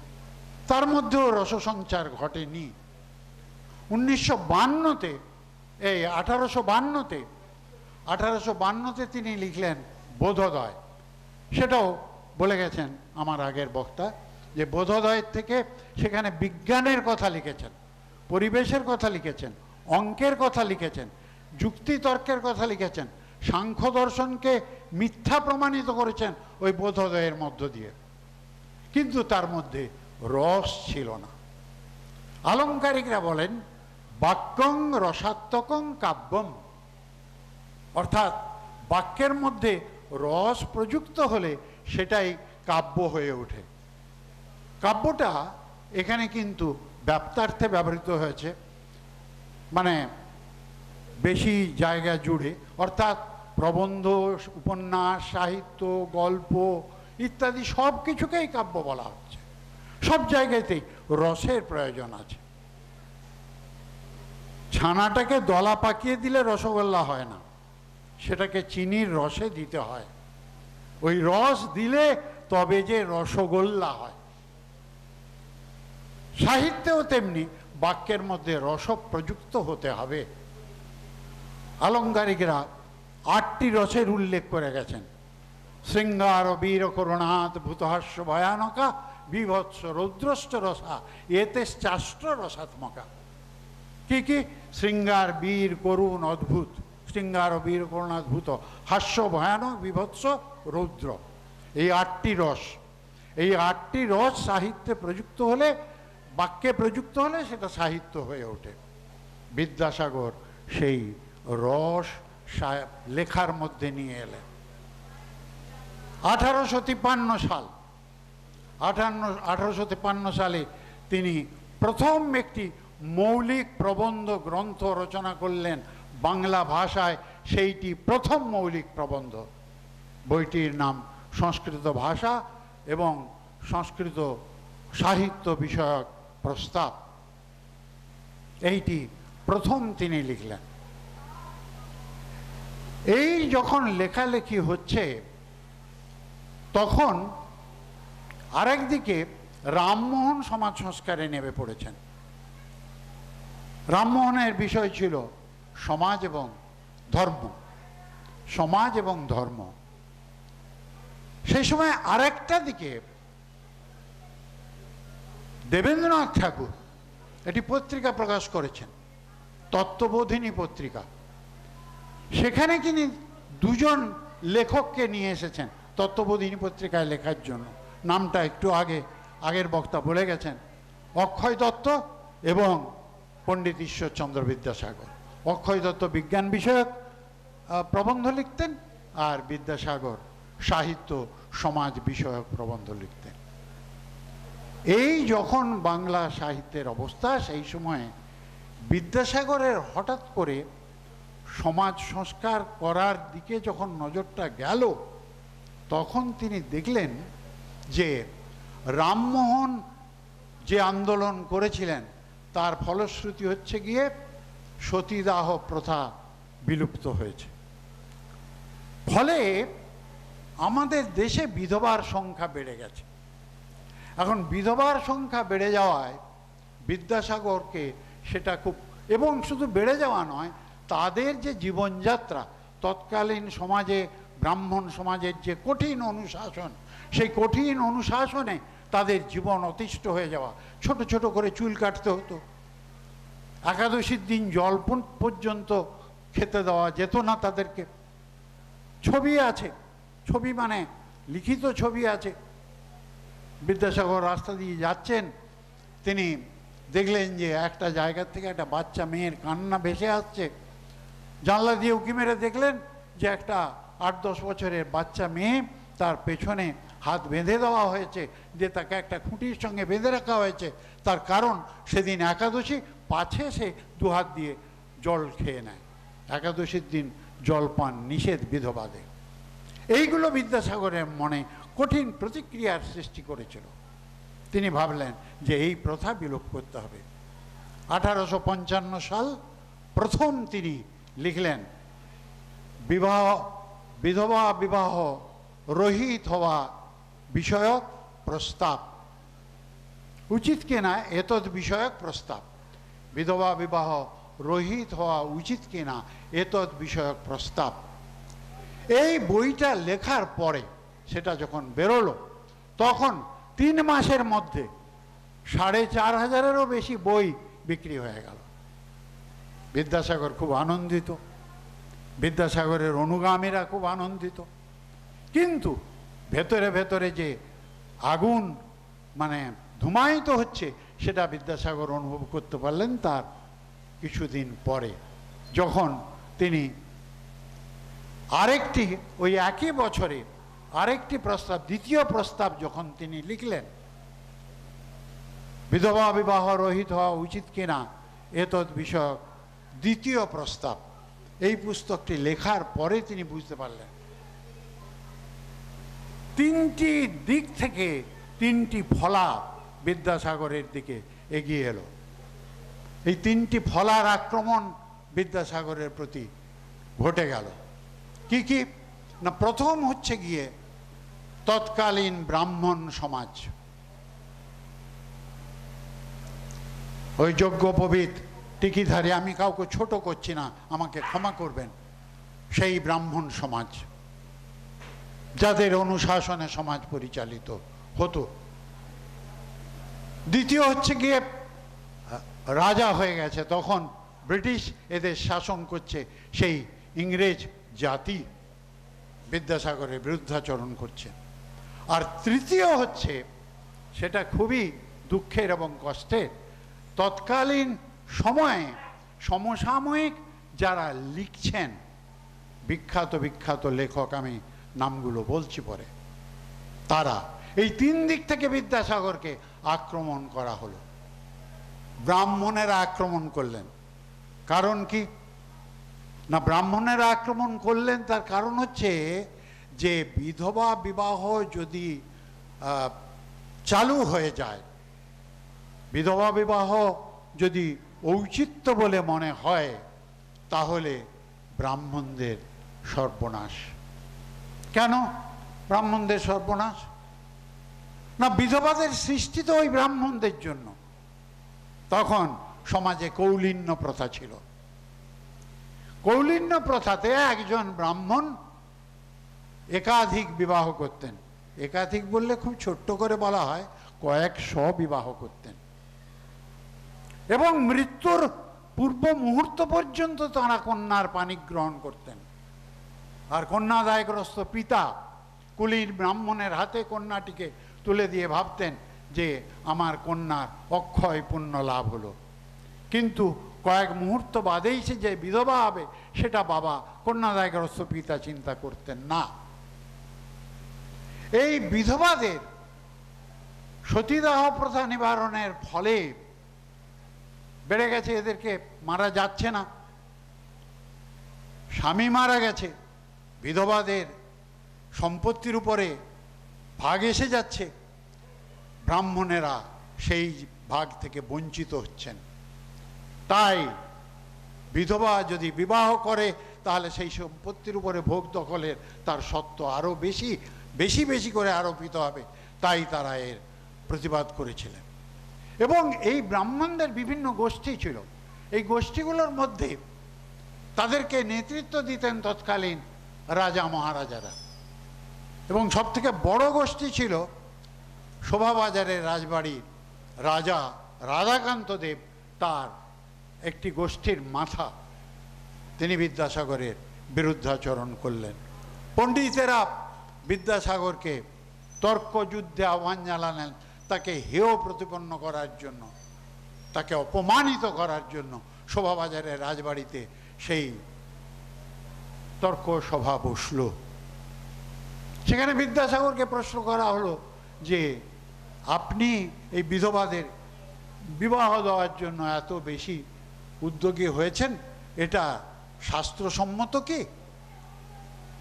বিদ্যাসাগর অত্যন্ত বিনয়ের সঙ্গে তাদের প্রশ্ন করেছিলেন যে, আপনারা কোন শাস্ত্রানুসারে এই হিন্দু সমাজ ব্যবস্থা পরিচালিত করেন? না, আমাদের সংবিধান হচ্ছে গিয়ে মনুসংহিতা। বলে গেছেন, একটু আগে আপনারা শুনেছেন। এই মনুসংহিতারই একটা অংশ, পরাশর সংহিতা। পরাশর সংহিতার চতুর্থ অধ্যায়ে সেখানে পরিষ্কার করে বলা আছে যে নষ্টে, মৃতে প্রব্রজিতে ক্লিবে চ পতিতে পতৌ পঞ্চসা পৎসু নারীণাম পতিরন্ন বিধীয়তে। অর্থটা কি? নষ্ট হয়ে গেলে।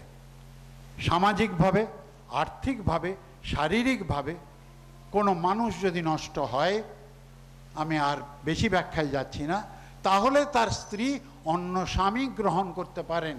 মৃতে মারা গেলে তো বিধবা হলে তো বিবাহ করবেনই। প্রব্রজিতে প্রবজ্জা যদি গ্রহণ করেন, তিনি যদি সন্ন্যাস ধর্ম গ্রহণ করেন, তাহলেও তিনি তার স্ত্রী অন্য স্বামী গ্রহণ করতে পারেন।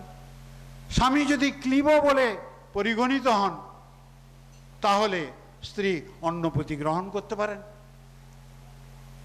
আর সমাজে যিনি পতিত যদি হন স্বামী, সমাজের চোখে, সমাজের দৃষ্টিভঙ্গিতে তিনি যদি পতিত হন তাহলে তার স্ত্রী অন্য স্বামী গ্রহণ করতে পারেন তো এই যে ব্যাপারটা, এইটা বিদ্যাসাগর শুধু তাই নয়, তার মানে সমর্থনে তৈত্তরীয় উপনিষদ থেকে তিনি, আরণ্যক উপনিষদ থেকে তিনি সমস্ত উদাহরণ দিয়ে পণ্ডিতদের বোঝালেন।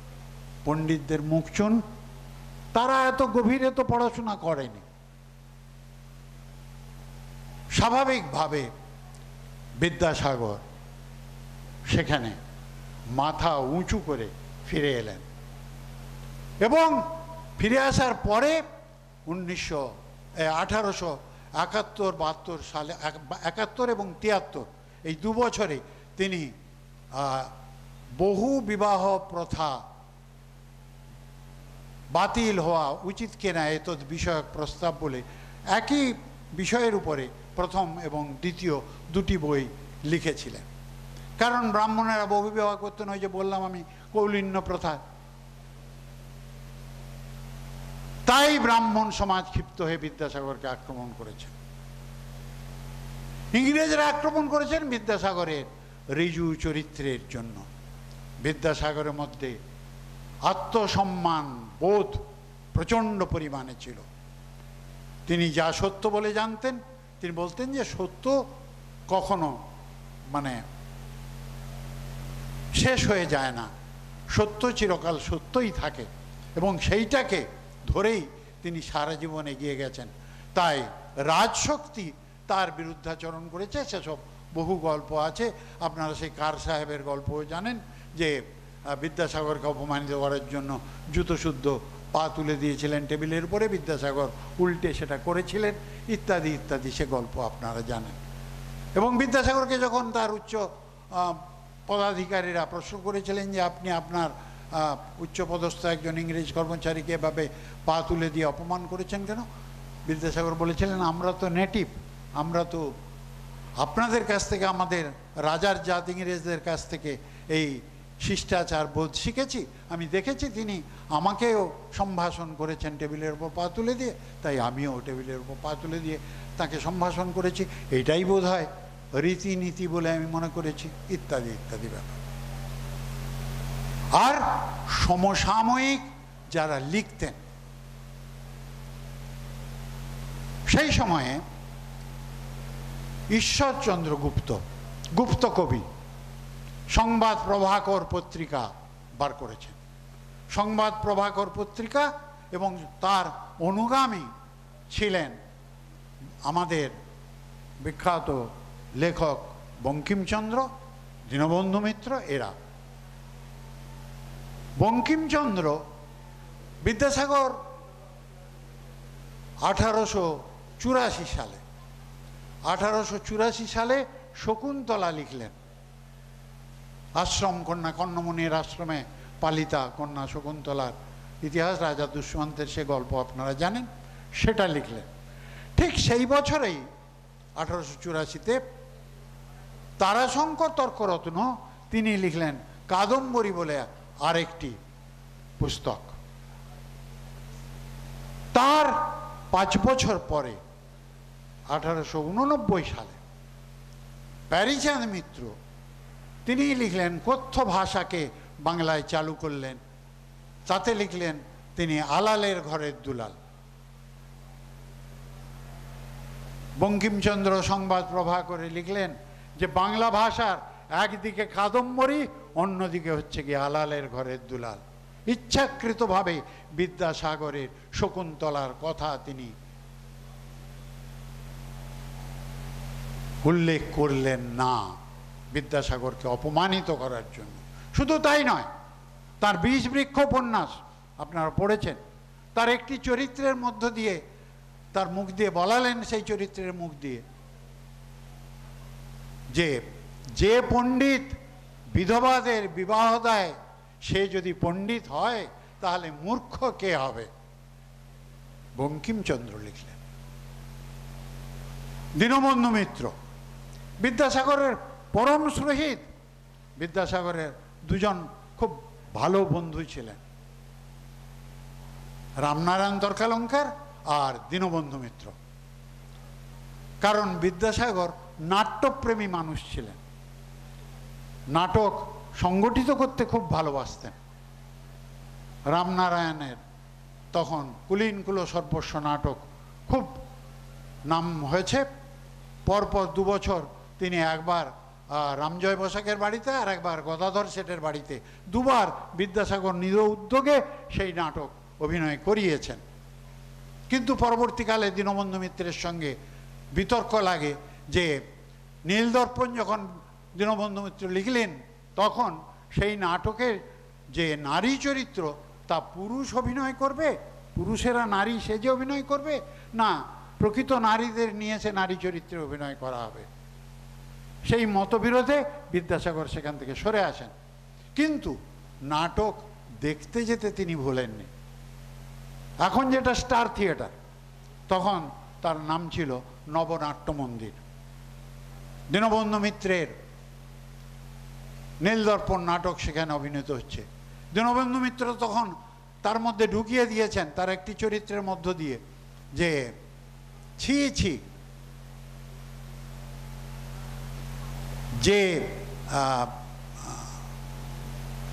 যে পণ্ডিত নাডের বিয়ে দেয়, সে আবার পণ্ডিত নাকি? নাডের মানে রাঁডের। রাঁড কথার অর্থ হচ্ছে বিধবা। দীনবন্ধু মিত্র লিখলেন। তা সত্ত্বেও সেই নাটক দেখতে গেছেন বিদ্যাসাগর। আর সেই নাটকে রোগ চরিত্র ইংরেজ সাহেব অভিনয় করছেন অর্ধেন্দু মুস্তাফি, তৎকালীন যুগের বিখ্যাত, খুব দামি নামি অভিনেতা। তিনি ওই রায়মণির উপর অত্যাচার করছেন, সেই দৃশ্য দেখে বিদ্যাসাগর আত্মসংবরণ করতে পারেননি, তার সেই সুর তোলা যে তালতলার চটি, সেই চটি ছুঁড়ে মেরেছিলেন রোগ সাহেবকে।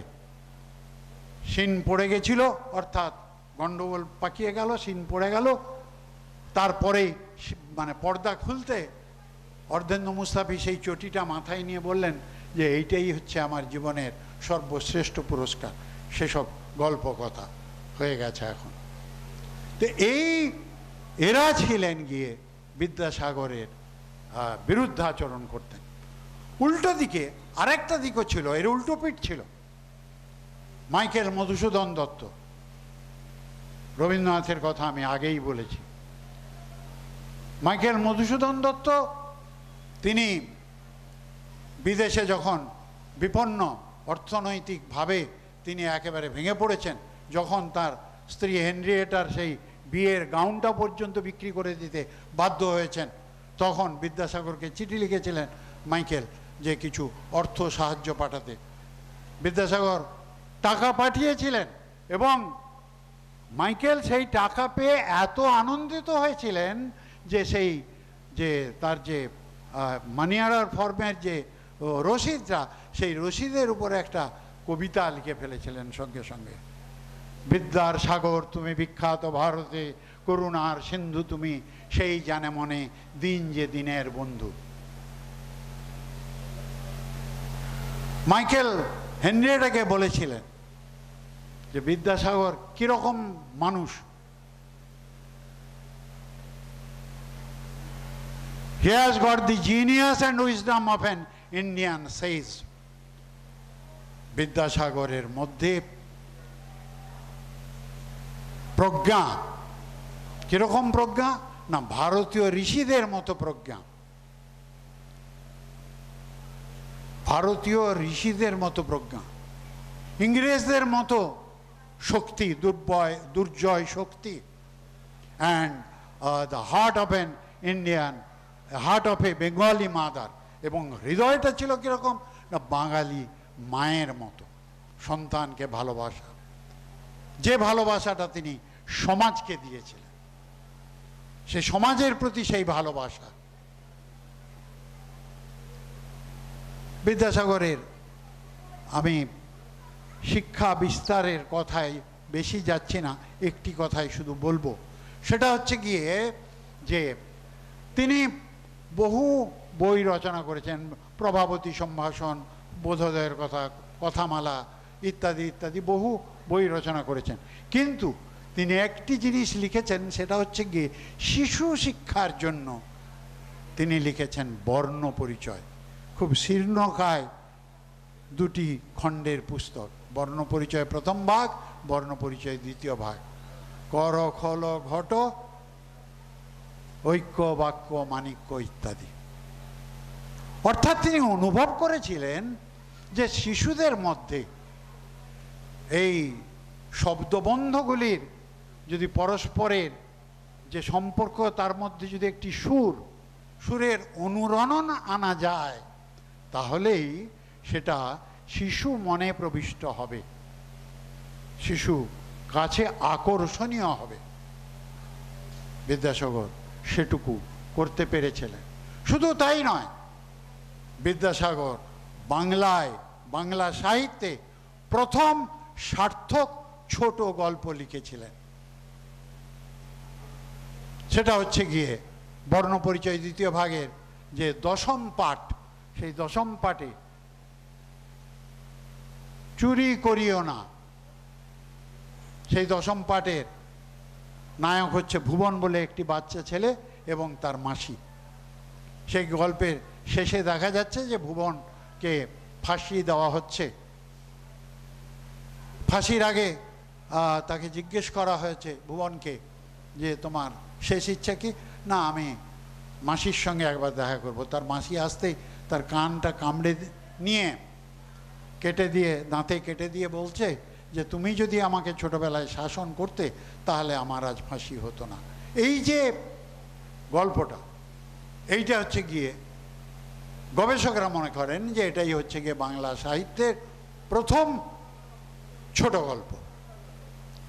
তো এই হচ্ছেন গিয়ে বিদ্যাসাগর। তা না হলে পরে, বিদ্যাসাগর মধ্যে আমি বলেছি আগে যে তার মধ্যে যে আত্মসম্ভ্রম বোধ, দ্বিতীয় হচ্ছে গিয়ে মানবতা বোধ আর তৃতীয় হচ্ছে গিয়ে সমাজ চেতনা বোধ। এই তিনটির সমন্বয় ঘটেছিল। আর তিনটির সমন্বয় ঘটেছিল বলে আজকের সমাজেও বিদ্যাসাগর সমানভাবে প্রাসঙ্গিক। আমি হাতে কতগুলো কাগজ নিয়ে এসেছিলাম, তাতে একটা কথা ওই বললাম না আগেই যে আমি কবিতাটা ঠিক মনে রাখতে পারিনি? সত্যেন দত্ত, ছন্দের জাদুকর সত্যেন দত্ত। বিদ্যাসাগরকে প্রণাম করতে গিয়ে পায়ে প্রণাম করতে হয়। প্রণাম তো আর মাথায় হয় না, বুকে হয় না, হাঁটুতে হয় না। পায়ে মাথা রেখে প্রণাম করতে হয়। বিদ্যাসাগরের পায়ে ছিল সেই তালতলার সুরতলা সুঁড় ওঠানো মানে চটি। আমি সে কথার আগে শুধু রবীন্দ্রনাথের একটা কথা বলে দিই। রবীন্দ্রনাথ, আমি প্রথম কবিতাটা বলেছিলাম রবীন্দ্রনাথের ঋণ শিকারের কথা।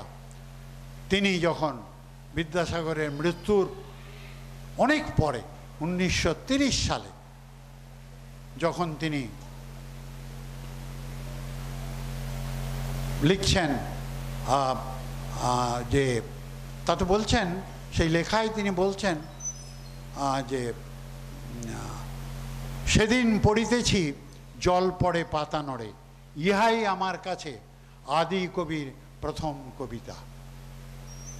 এটা হচ্ছে ওই ঋণ শিকার। আদি কবি বলে আমরা জানি, আমরা সেই ত্রেতা যুগের বাল্মীকি মুনির কথা জানি, যিনি সেই প্রথম ওই ক্রঞ্চ ক্রঞ্চিকে ব্যাধ যখন তীর মেরে হত্যা করতে যাচ্ছে, তখন অদ্ভুতভাবে তার ভেতর থেকে তার অজ্ঞাতেই একটি শ্লোক বেরিয়ে এসেছিল যেটি নাকি পৃথিবীর প্রথম শ্লোক। তাই বাল্মীকি আদি কবি সেই শ্লোকটি হচ্ছে, মা নিষাদ প্রতিষ্ঠাং তমগম শাশ্বতী সমা ইয়াত ক্রৌঞ্চ মিথুনাদেকমবধি কামমোহিতম এইটি নাকি আহ, ব্যাদকে নিষেধ করছেন যে যে ক্রৌঞ্চ ক্রৌঞ্চি তারা পরস্পরকে আদর করছে এইখানে তুমি তাদের হত্যা করো না এইটা আদি কবির প্রথম কবিতা কিন্তু রবীন্দ্রনাথের কাছে বিদ্যাসাগরের ওই জল পড়ে পাতা নড়ে এটাই আদি কবির প্রথম কবিতা বলে প্রতিভাত হয়েছিল আর যেটা বলে আমি শেষ করব, সেটা সত্যেন দত্তের সেই কবিতাটা।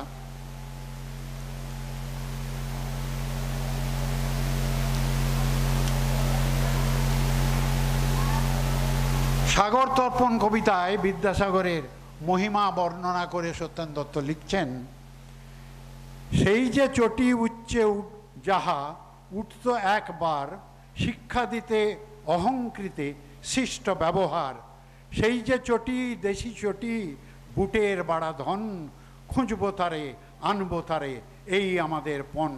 সোনার পিড়ে রাখব তারে, থাকব প্রতীক্ষায়, আনন্দহীন বঙ্গভূমির বিপুল নন্দী গায় আনন্দহীন বঙ্গভূমির। আজ দুশো বছর পরেও এই বঙ্গভূমি আনন্দহীন।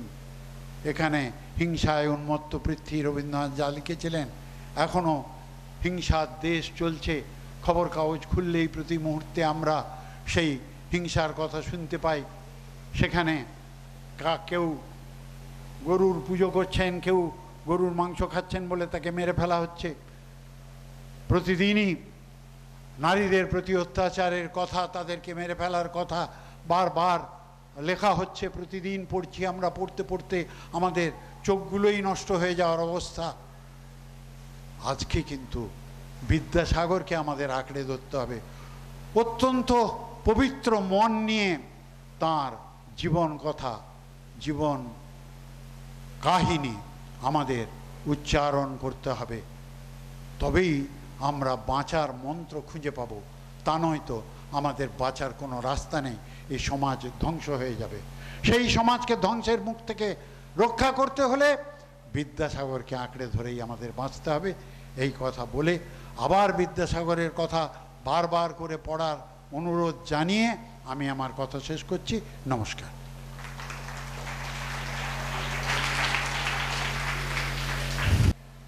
প্রাক্তন ছাত্রছাত্রী, বর্তমান ছাত্রছাত্রী, বর্তমানে উপস্থিত শিক্ষকবৃন্দ এবং আমার স্নেহের ছাত্রছাত্রীরা, আমরা দ্বিতীয় পর্বে যাচ্ছি এবং সময়ের স্বল্পতার কারণে এবং তোমরা অনেকক্ষণ ধরে বিদ্যাসাগর সম্পর্কে শুনছো, তোমাদের ধৈর্যের অনেকটা শেষ সীমায় প্রায় পৌঁছে গেছে। তাই আমি কয়েকটা কথা বলে তোমাদের যে কুইজ কম্পিটিশনের কথা বলা হচ্ছে, তাতে আমি প্রবেশ করব। যারা দায়িত্বে আছেন কুইজ তৈরি করার, তা আমি তাদেরকে বলব, এই প্রশ্নগুলো আমার কাছে বা আপনারা যদি যদি যদি আসেন তাহলে ভালো হয়। দুশো বছর পেরিয়ে গেছে। দুশো বছর আগে এই মহান মানুষটি আমাদের এই জেলায় জন্মগ্রহণ করেছিলেন। তিনি ছিলেন এক অসাধারণ বিস্ময়কর প্রতিভা এবং তার প্রতিভা বিকশনের দ্বারা তিনি শুধুমাত্র আমাদের রাজ্যের মধ্যে সীমাবদ্ধ থাকেননি। তার কথা, তার প্রতিভা বিকশ, বিকশিত হয়েছে গোটা ভারতবর্ষ জুড়ে এবং তিনি, তাকে বলা হয় he was call the renaissance man তিনি ছিলেন এক নবজাগরণের প্রতিভু। তিনি ছিলেন এক অসাধারণ প্রতিভাধর মানুষ এবং তার অসাধারণ প্রতিভার জন্য, প্রজ্ঞার জন্য, জ্ঞানের জন্য তাকে আমরা বলি, তার নিজের নাম বলি না। আমরা বলি না ঈশ্বরচন্দ্র বন্দ্যোপাধ্যায়। আমরা সমাজের সবার কাছে পরিচিত, তিনি বিদ্যাসাগর বলে পরিচিত। আমরা জানি তিনি কাজ করেছিলেন ফোর্ট উইলিয়াম কলেজে, তিনি কাজ করেছিলেন উনিশশো একচল্লিশ সালে। হেড পণ্ডিত রূপে, আবার বাংলা বিভাগে। তার আগে তিনি সংস্কৃত কলেজে তিনি অধ্যাপনা করেছেন। পরবর্তীতে সংস্কৃত কলেজে তিনি অধ্যক্ষ হয়েছিলেন অ্যাসিস্ট্যান্ট সেক্রেটারি হয়েছিলেন সেক্রেটারি হয়েছিলেন। অনেক মহান মহান পদ তিনি অলঙ্কৃত করেছেন। তাকে বলা হয় তিনি হচ্ছেন বাংলা সাহিত্যের জনক, বাংলা গদ্যের জনক। তার অনুবাদ সাহিত্যের জন্য তিনি প্রবাদ প্রতিম হয়ে আছেন। তিনি লিখেছিলেন ভ্রান্তি বিলাস কমেডি অব এরর্সের অনুকরণে। সেই মহান মানুষটি তার হৃদয় কম্পিত হতো। তার হৃদয়টা উথলে উঠত যখন বাঙালি মায়ের কান্না শুনতেন। তাই তিনি ভাবলেন যে, উইডো রিম্যারেজ অ্যাক্ট কিন্তু চালু করতে হবে। এবং সেটা তিনি চালু করেছিলেন ডাল হাউসের সহায়তায় তিনি চালু করেছিলেন। এবং এই যে উইডো রিম্যারেজ অ্যাক্টটা এর ড্রাফট করেছিলেন লর্ড ডাল হাউসি আঠারোশো সালে। এবং তার যে অসাধারণ কাজ, তিনি তাকে রাখা হয়েছিল ইউনিভার্সিটি কমিটিতে রাখা হয়েছিল। এবং এই ইউনিভার্সিটি কমিটি প্রতিষ্ঠা করেছিলেন পরবর্তী ক্ষেত্রে আঠারোশো সাতান্ন সালে কলকাতা বিশ্ববিদ্যালয়। সেই ব্যক্তিটি আমাদেরকে আমাদের কাছে পরিচিত হয়ে আছেন। এক অসাধারণ মানব দরদি মানুষ হিসাবে তাই তাকে আমরা বলি দয়ার সাগর। তিনি প্রকৃতপক্ষে ছিলেন এই বিশ্বপ্রেমিক। সেই বিশ্বপ্রেমিককে আমরা শ্রদ্ধা জানাব, আমরা শ্রদ্ধা জ্ঞাপন করি। তা আমি এই প্রসঙ্গে চলে যাচ্ছি এখনও আমার কাছে কোশ্চেনগুলো এলো না। আমি কিন্তু আর সময় নষ্ট না করে আমি সরাসরি প্রশ্ন প্রশ্ন ছুড়ে দিচ্ছি তোমাদের মাঝখানে। প্রশ্ন ছুড়ে দিচ্ছি আমি তোমাদের মাঝখানে।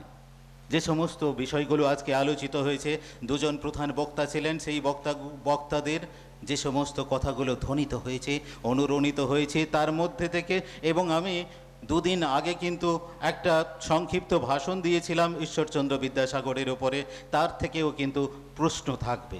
So the first question to you প্রথম প্রশ্ন তোমাদের কাছে, প্রথম প্রশ্ন তোমাদের কাছে।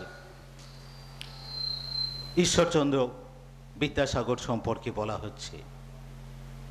ঈশ্বরচন্দ্র বিদ্যাসাগর সম্পর্কে বলা হচ্ছে heart of a Bengal a mother he had the energy of a of an Englishman he had the energy of an Englishman and he had the knowledge of an ancient sage who said this about Ishwarchandra Vidyasagar who said this about Ishwarchandra Vidyasagar কে এটা বলেছিলেন?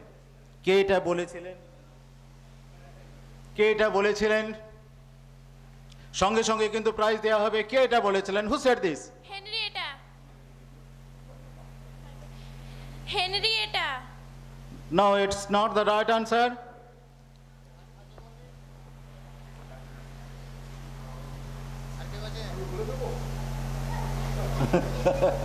My Michael Madhusudan Dutt? Michael Madhusudan Dutt Yes, right answer. That's the right answer. Michael Madhusudan Datta, Datta said this about Ishwar Chandra Vidyasagar. So she will get the prize and big applause for her. Uh, Next question to you, and uh, I have I had uttered this quotation during the during my last lecture two days ago. It was said also about Ishwar Chandra Vidyasagar. You have to say who said this. He was the colossus among the pygmies. He was the colossus among the pygmies. Who said this about Ishwar Chandra Vidyasagar?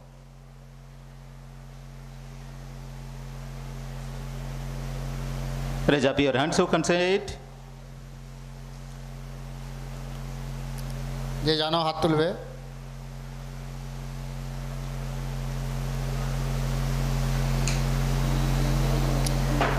না কারো হাত দেখ- দেখা যাচ্ছে না Who said this?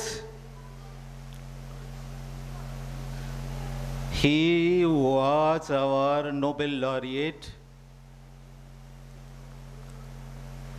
He got the Nobel Prize in 1913. Who was he? Oh, oh, I have given the hint. So, Rabindranath Tagore, Rabindranath Tagore. It's the right answer. Rabindranath Tagore. আর এর মধ্যে আলোচিত হয়েছে ঈশ্বরচন্দ্র বিদ্যাসাগর দুটো পত্রিকার সঙ্গে যুক্ত ছিলেন দুটো পত্রিকার সঙ্গে যুক- যুক্ত ছিলেন তিনি সেই দুটো পত্রিকার নাম কি? একটা বললেই হবে দুটো পত্রিকার নাম আজকে উচ্চারিত হয়েছে আমাদের বক্তাদের দ্বারা। So what is the name of the magazine Somprakash. Som Prakash it's the right answer Som Prakash Som Prakash সঠিক উত্তর সোম প্রকাশ সঠিক উত্তর সোম প্রকাশ আরেকটা পত্রিকার নাম কি কেউ বলতে পারবে আরেকটা পত্রিকার নাম কি কেউ বলতে পারবে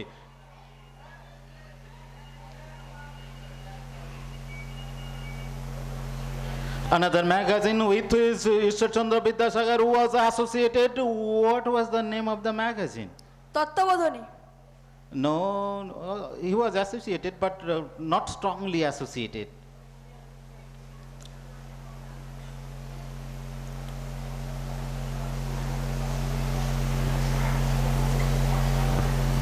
Sarbashubhankari. No, not the right answer, not properly answered.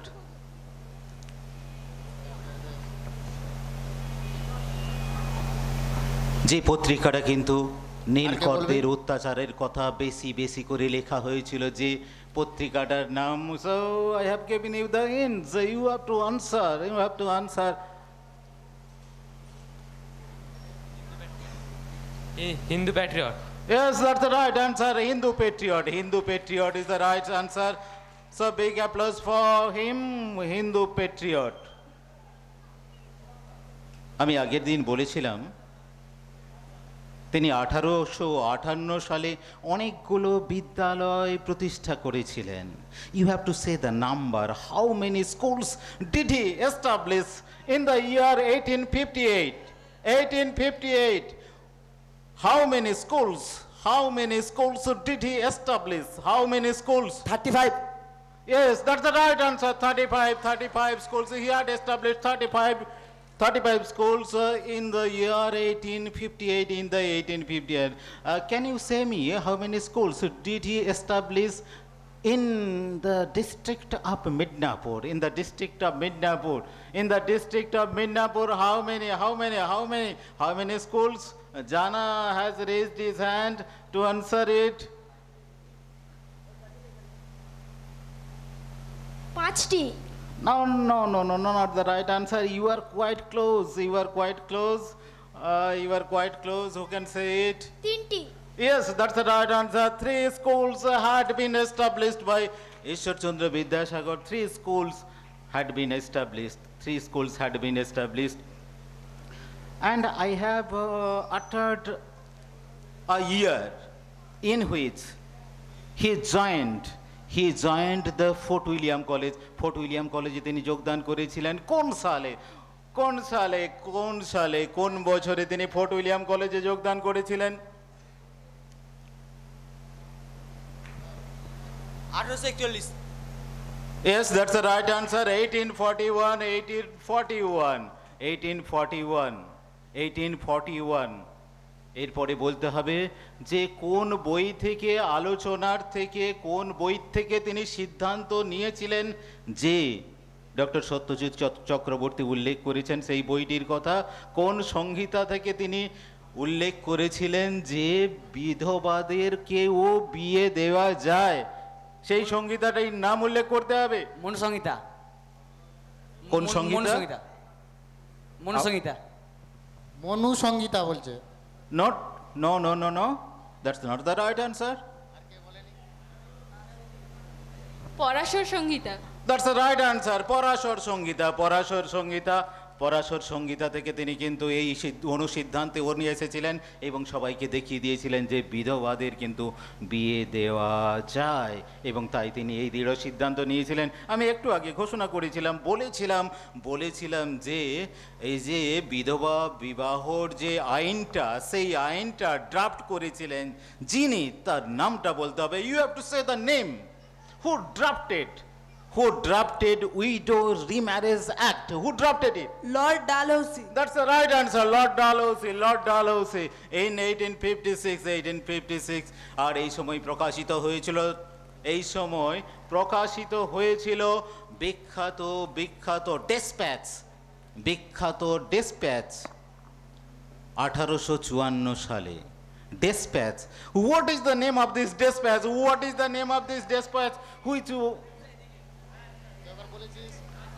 what is the name of this dispatch উডে dispatch Woods dispatch Woods dispatch that's the right answer Woods dispatch আমাদের বক্তা উল্লেখ করেছিলেন আমরা শুরু করি কিন্তু সমাপ্ত করি না আমরা শুরু করি কিন্তু সমাপ্ত করি না কে বলেছিলেন এই কথা কে বলেছিলেন এই কথা Whose page is this? Whose page is this? Rabindranath Thakur Yes, Rabindranath Tagore. Rabindra, he will get the prize. Big applause for him. Ravi- Rabindranath Tagore told আমরা শুরু করি কিন্তু আমরা সমাপ্ত করি না আমরা শুরু করি কিন্তু আমরা সমাপ্ত করি না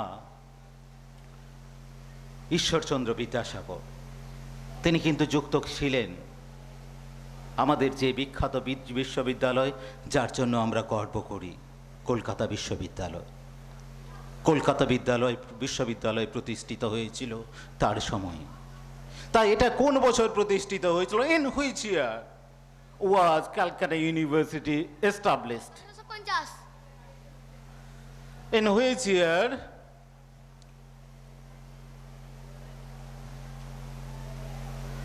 in which year in which year আঠারোশো পঁয়ত্রিশ। No, no, no. In which year?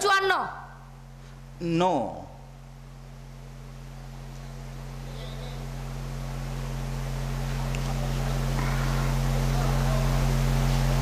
Anyone can join this quiz contest. Anyone can join this quiz contest.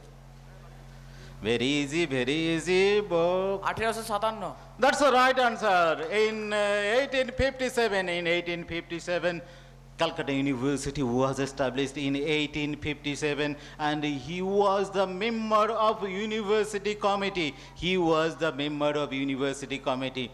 Doctor Satya Satyajit Chakraborty উল্লেখ করেছিলেন যে যে শিক্ষার উন্নতিতে তিনি সরকারের কাছে শিক্ষার উন্নতিতে তিনি সরকারের কাছে অনেকগুলো দফা অনেকগুলো নীতি তিনি উপস্থাপিত করেছিলেন। তা তিনি কত দফা নীতি উপস্থাপিত করেছিলেন?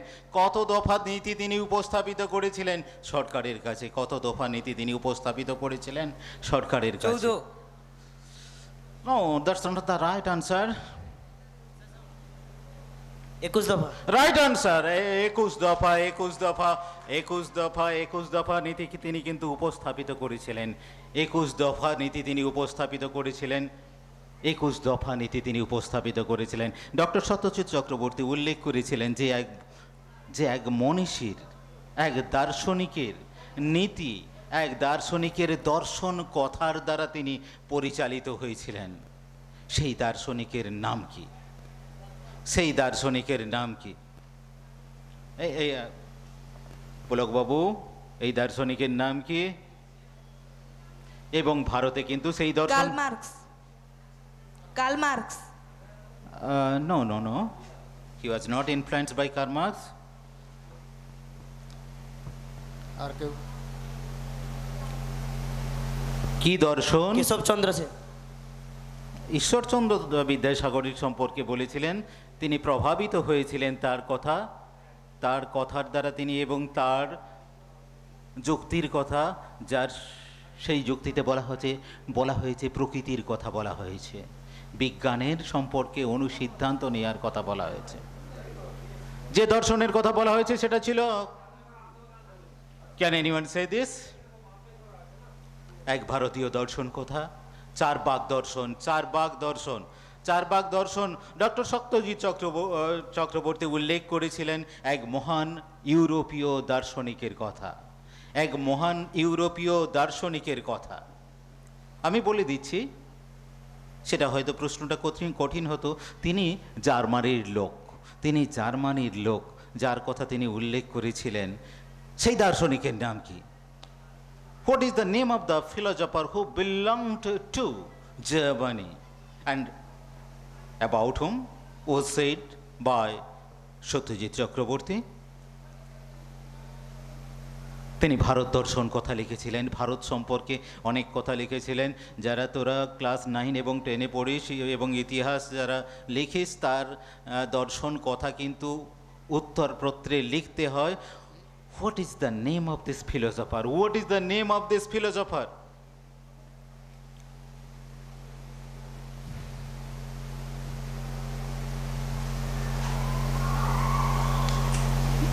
তার নামের শেষ অংশটা আমি বলে দিচ্ছি Muller Muller.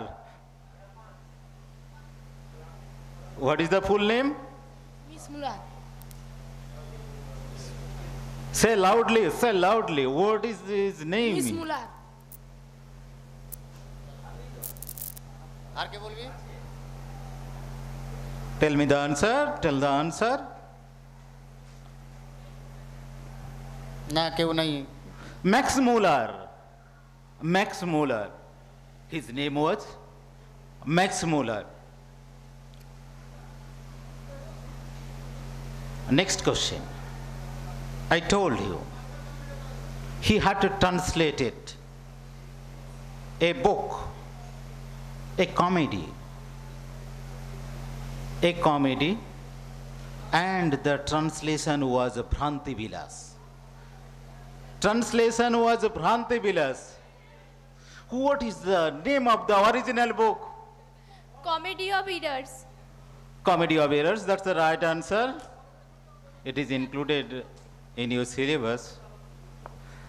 Comedy of Errors, Comedy of Errors, এটা Comedy of Errors থেকে Comedy of Errors এর অনুবাদ এখানে উল্লেখিত হয়েছে, আঠারোশো চুরাশি সালে তিনি একটা বিখ্যাত বই লিখেছিলেন। এবং সেটা মৌলিক রচনা। সেই বিখ্যাত বইটার নাম কি? এখানে বক্তাদের দ্বারা উল্লেখিত হয়েছে সেই বইটার নাম আঠারোশো চুরাশি সালে। আঠারোশো চুরাশি সালে, আঠারোশো চুরাশি সালে সবাই তোরা নামটা জানিস? নামটা আমি এক্ষুনি বলে দিলেই বলবে হ্যাঁ আমরা তো এটার নামটা জানি। বর্ণ পরিচয় না হলো না। Shakuntala. Right answer Shakuntala Shakuntala. Right answer Shakuntala. এরপরে খুব সহজ প্রশ্ন একটা বলব আমি খুব সহজ প্রশ্ন। বর্ণ পরিচয়ের কটা ভাগ? বর্ণ পরিচয়ের কটা ভাগ? টিনটি হু সেট থ্রি পার্টস দুটি। Yes two parts two parts বর্ণ পরিচয়ের দুটো পার্ট বর্ণ পরিচয়ের দুটো পার্ট সামনের দিকে অনেকে হাত তুলছে তারা সেই সুযোগটা পাচ্ছে না। So the question to you what is the pseudonym of Ishwarchandra Vidyasagar Bishwachandra বিদ্যাসাগরের ছদ্মনাম কি ঈশ্বরচন্দ্র বিদ্যাসাগরের ছদ্মনাম কি দয়াস সাগর no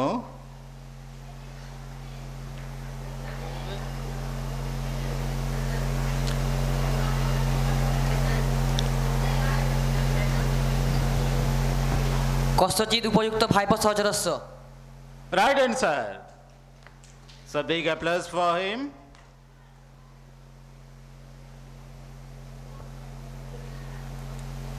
Next question. He joined the Fort William College in 1841. In which department? In which department? In which department? So I, have, I, I am giving you. Has anyone raised his hand? Bangla বিভাগের প্রধান পণ্ডিত That's the right answer. Head Pandit of Bengali department, head Pandit of Bengali department. Very good answer. আঠারোশো একচল্লিশ সালে আঠারোশো একচল্লিশ সালে তিনি join করেছিলেন ফোর্ট উইলিয়াম কলেজে এরপরের প্রশ্ন আমরা জানি সংস্কৃত কলেজে তিনি অধ্যাপক ছিলেন সংস্কৃত কলেজে তিনি অধ- অধ্যক্ষ ছিলেন। সংস্কৃত কলেজের আর কি কি পদ তিনি অলঙ্কৃত করেছিলেন? সংস্কৃত কলেজের আর কি কি পদ তিনি অলঙ্কৃত করেছিলেন? সংস্কৃত কলেজের আর কি কি পদ তিনি অলঙ্কৃত করেছিলেন? ছাত্র হিসাবে। ছাত্র হিসাবে। How can it be possible? He was the principal. He was the professor. How could he be- become the student? অধ্যক্ষ ছিলেন পরিদর্শকও ছিলেন No, that's, the, that's not the right answer. He was the inspector of schools. Sir পরিদর্শক পরিদর্শক অর্থাৎ inspector তিনি inspector ছিলেন স্কুলের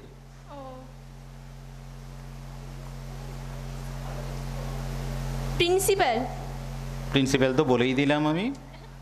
অধ্যাপক ছিলেন অধ্যক্ষ ছিলেন।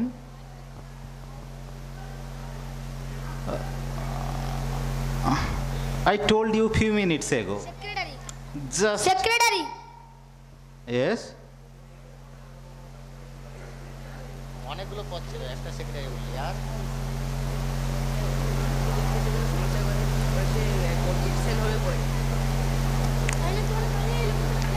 আর কি কি পদ কেউ বলতে পারছে? সেক্রেটারি সেক্রেটারি সেক্রেটারি আমার শুনে বললি? সেক্রেটারি আচ্ছা ওকে পুরস্কার দিয়ে দাও। সেক্রেটারি সেক্রেটারি এবং অ্যাসিস্ট্যান্ট সেক্রেটারির পদ তিনি অলঙ্কৃত করেছিলেন। আর যখন তিনি কলেজের যখন তিনি কলেজের অ্যাসিস্ট্যান্ট সেক্রেটারি ছিলেন তখন কিন্তু একজন বিখ্যাত ব্যক্তির সঙ্গে তার লড়াই হয়েছিল। সেটা উল্লেখিত হয়েছে এখানে বক্তাদের দ্বারা। সেই ব্যক্তিটির নাম কি? সেই ব্যক্তির নাম কি? তার টাইটেলটা আমি বলে দিচ্ছি দত্ত। তার টাইটেলটা আমি বলে দিচ্ছি Dutta. Michael Madhusudan Dutta. No no no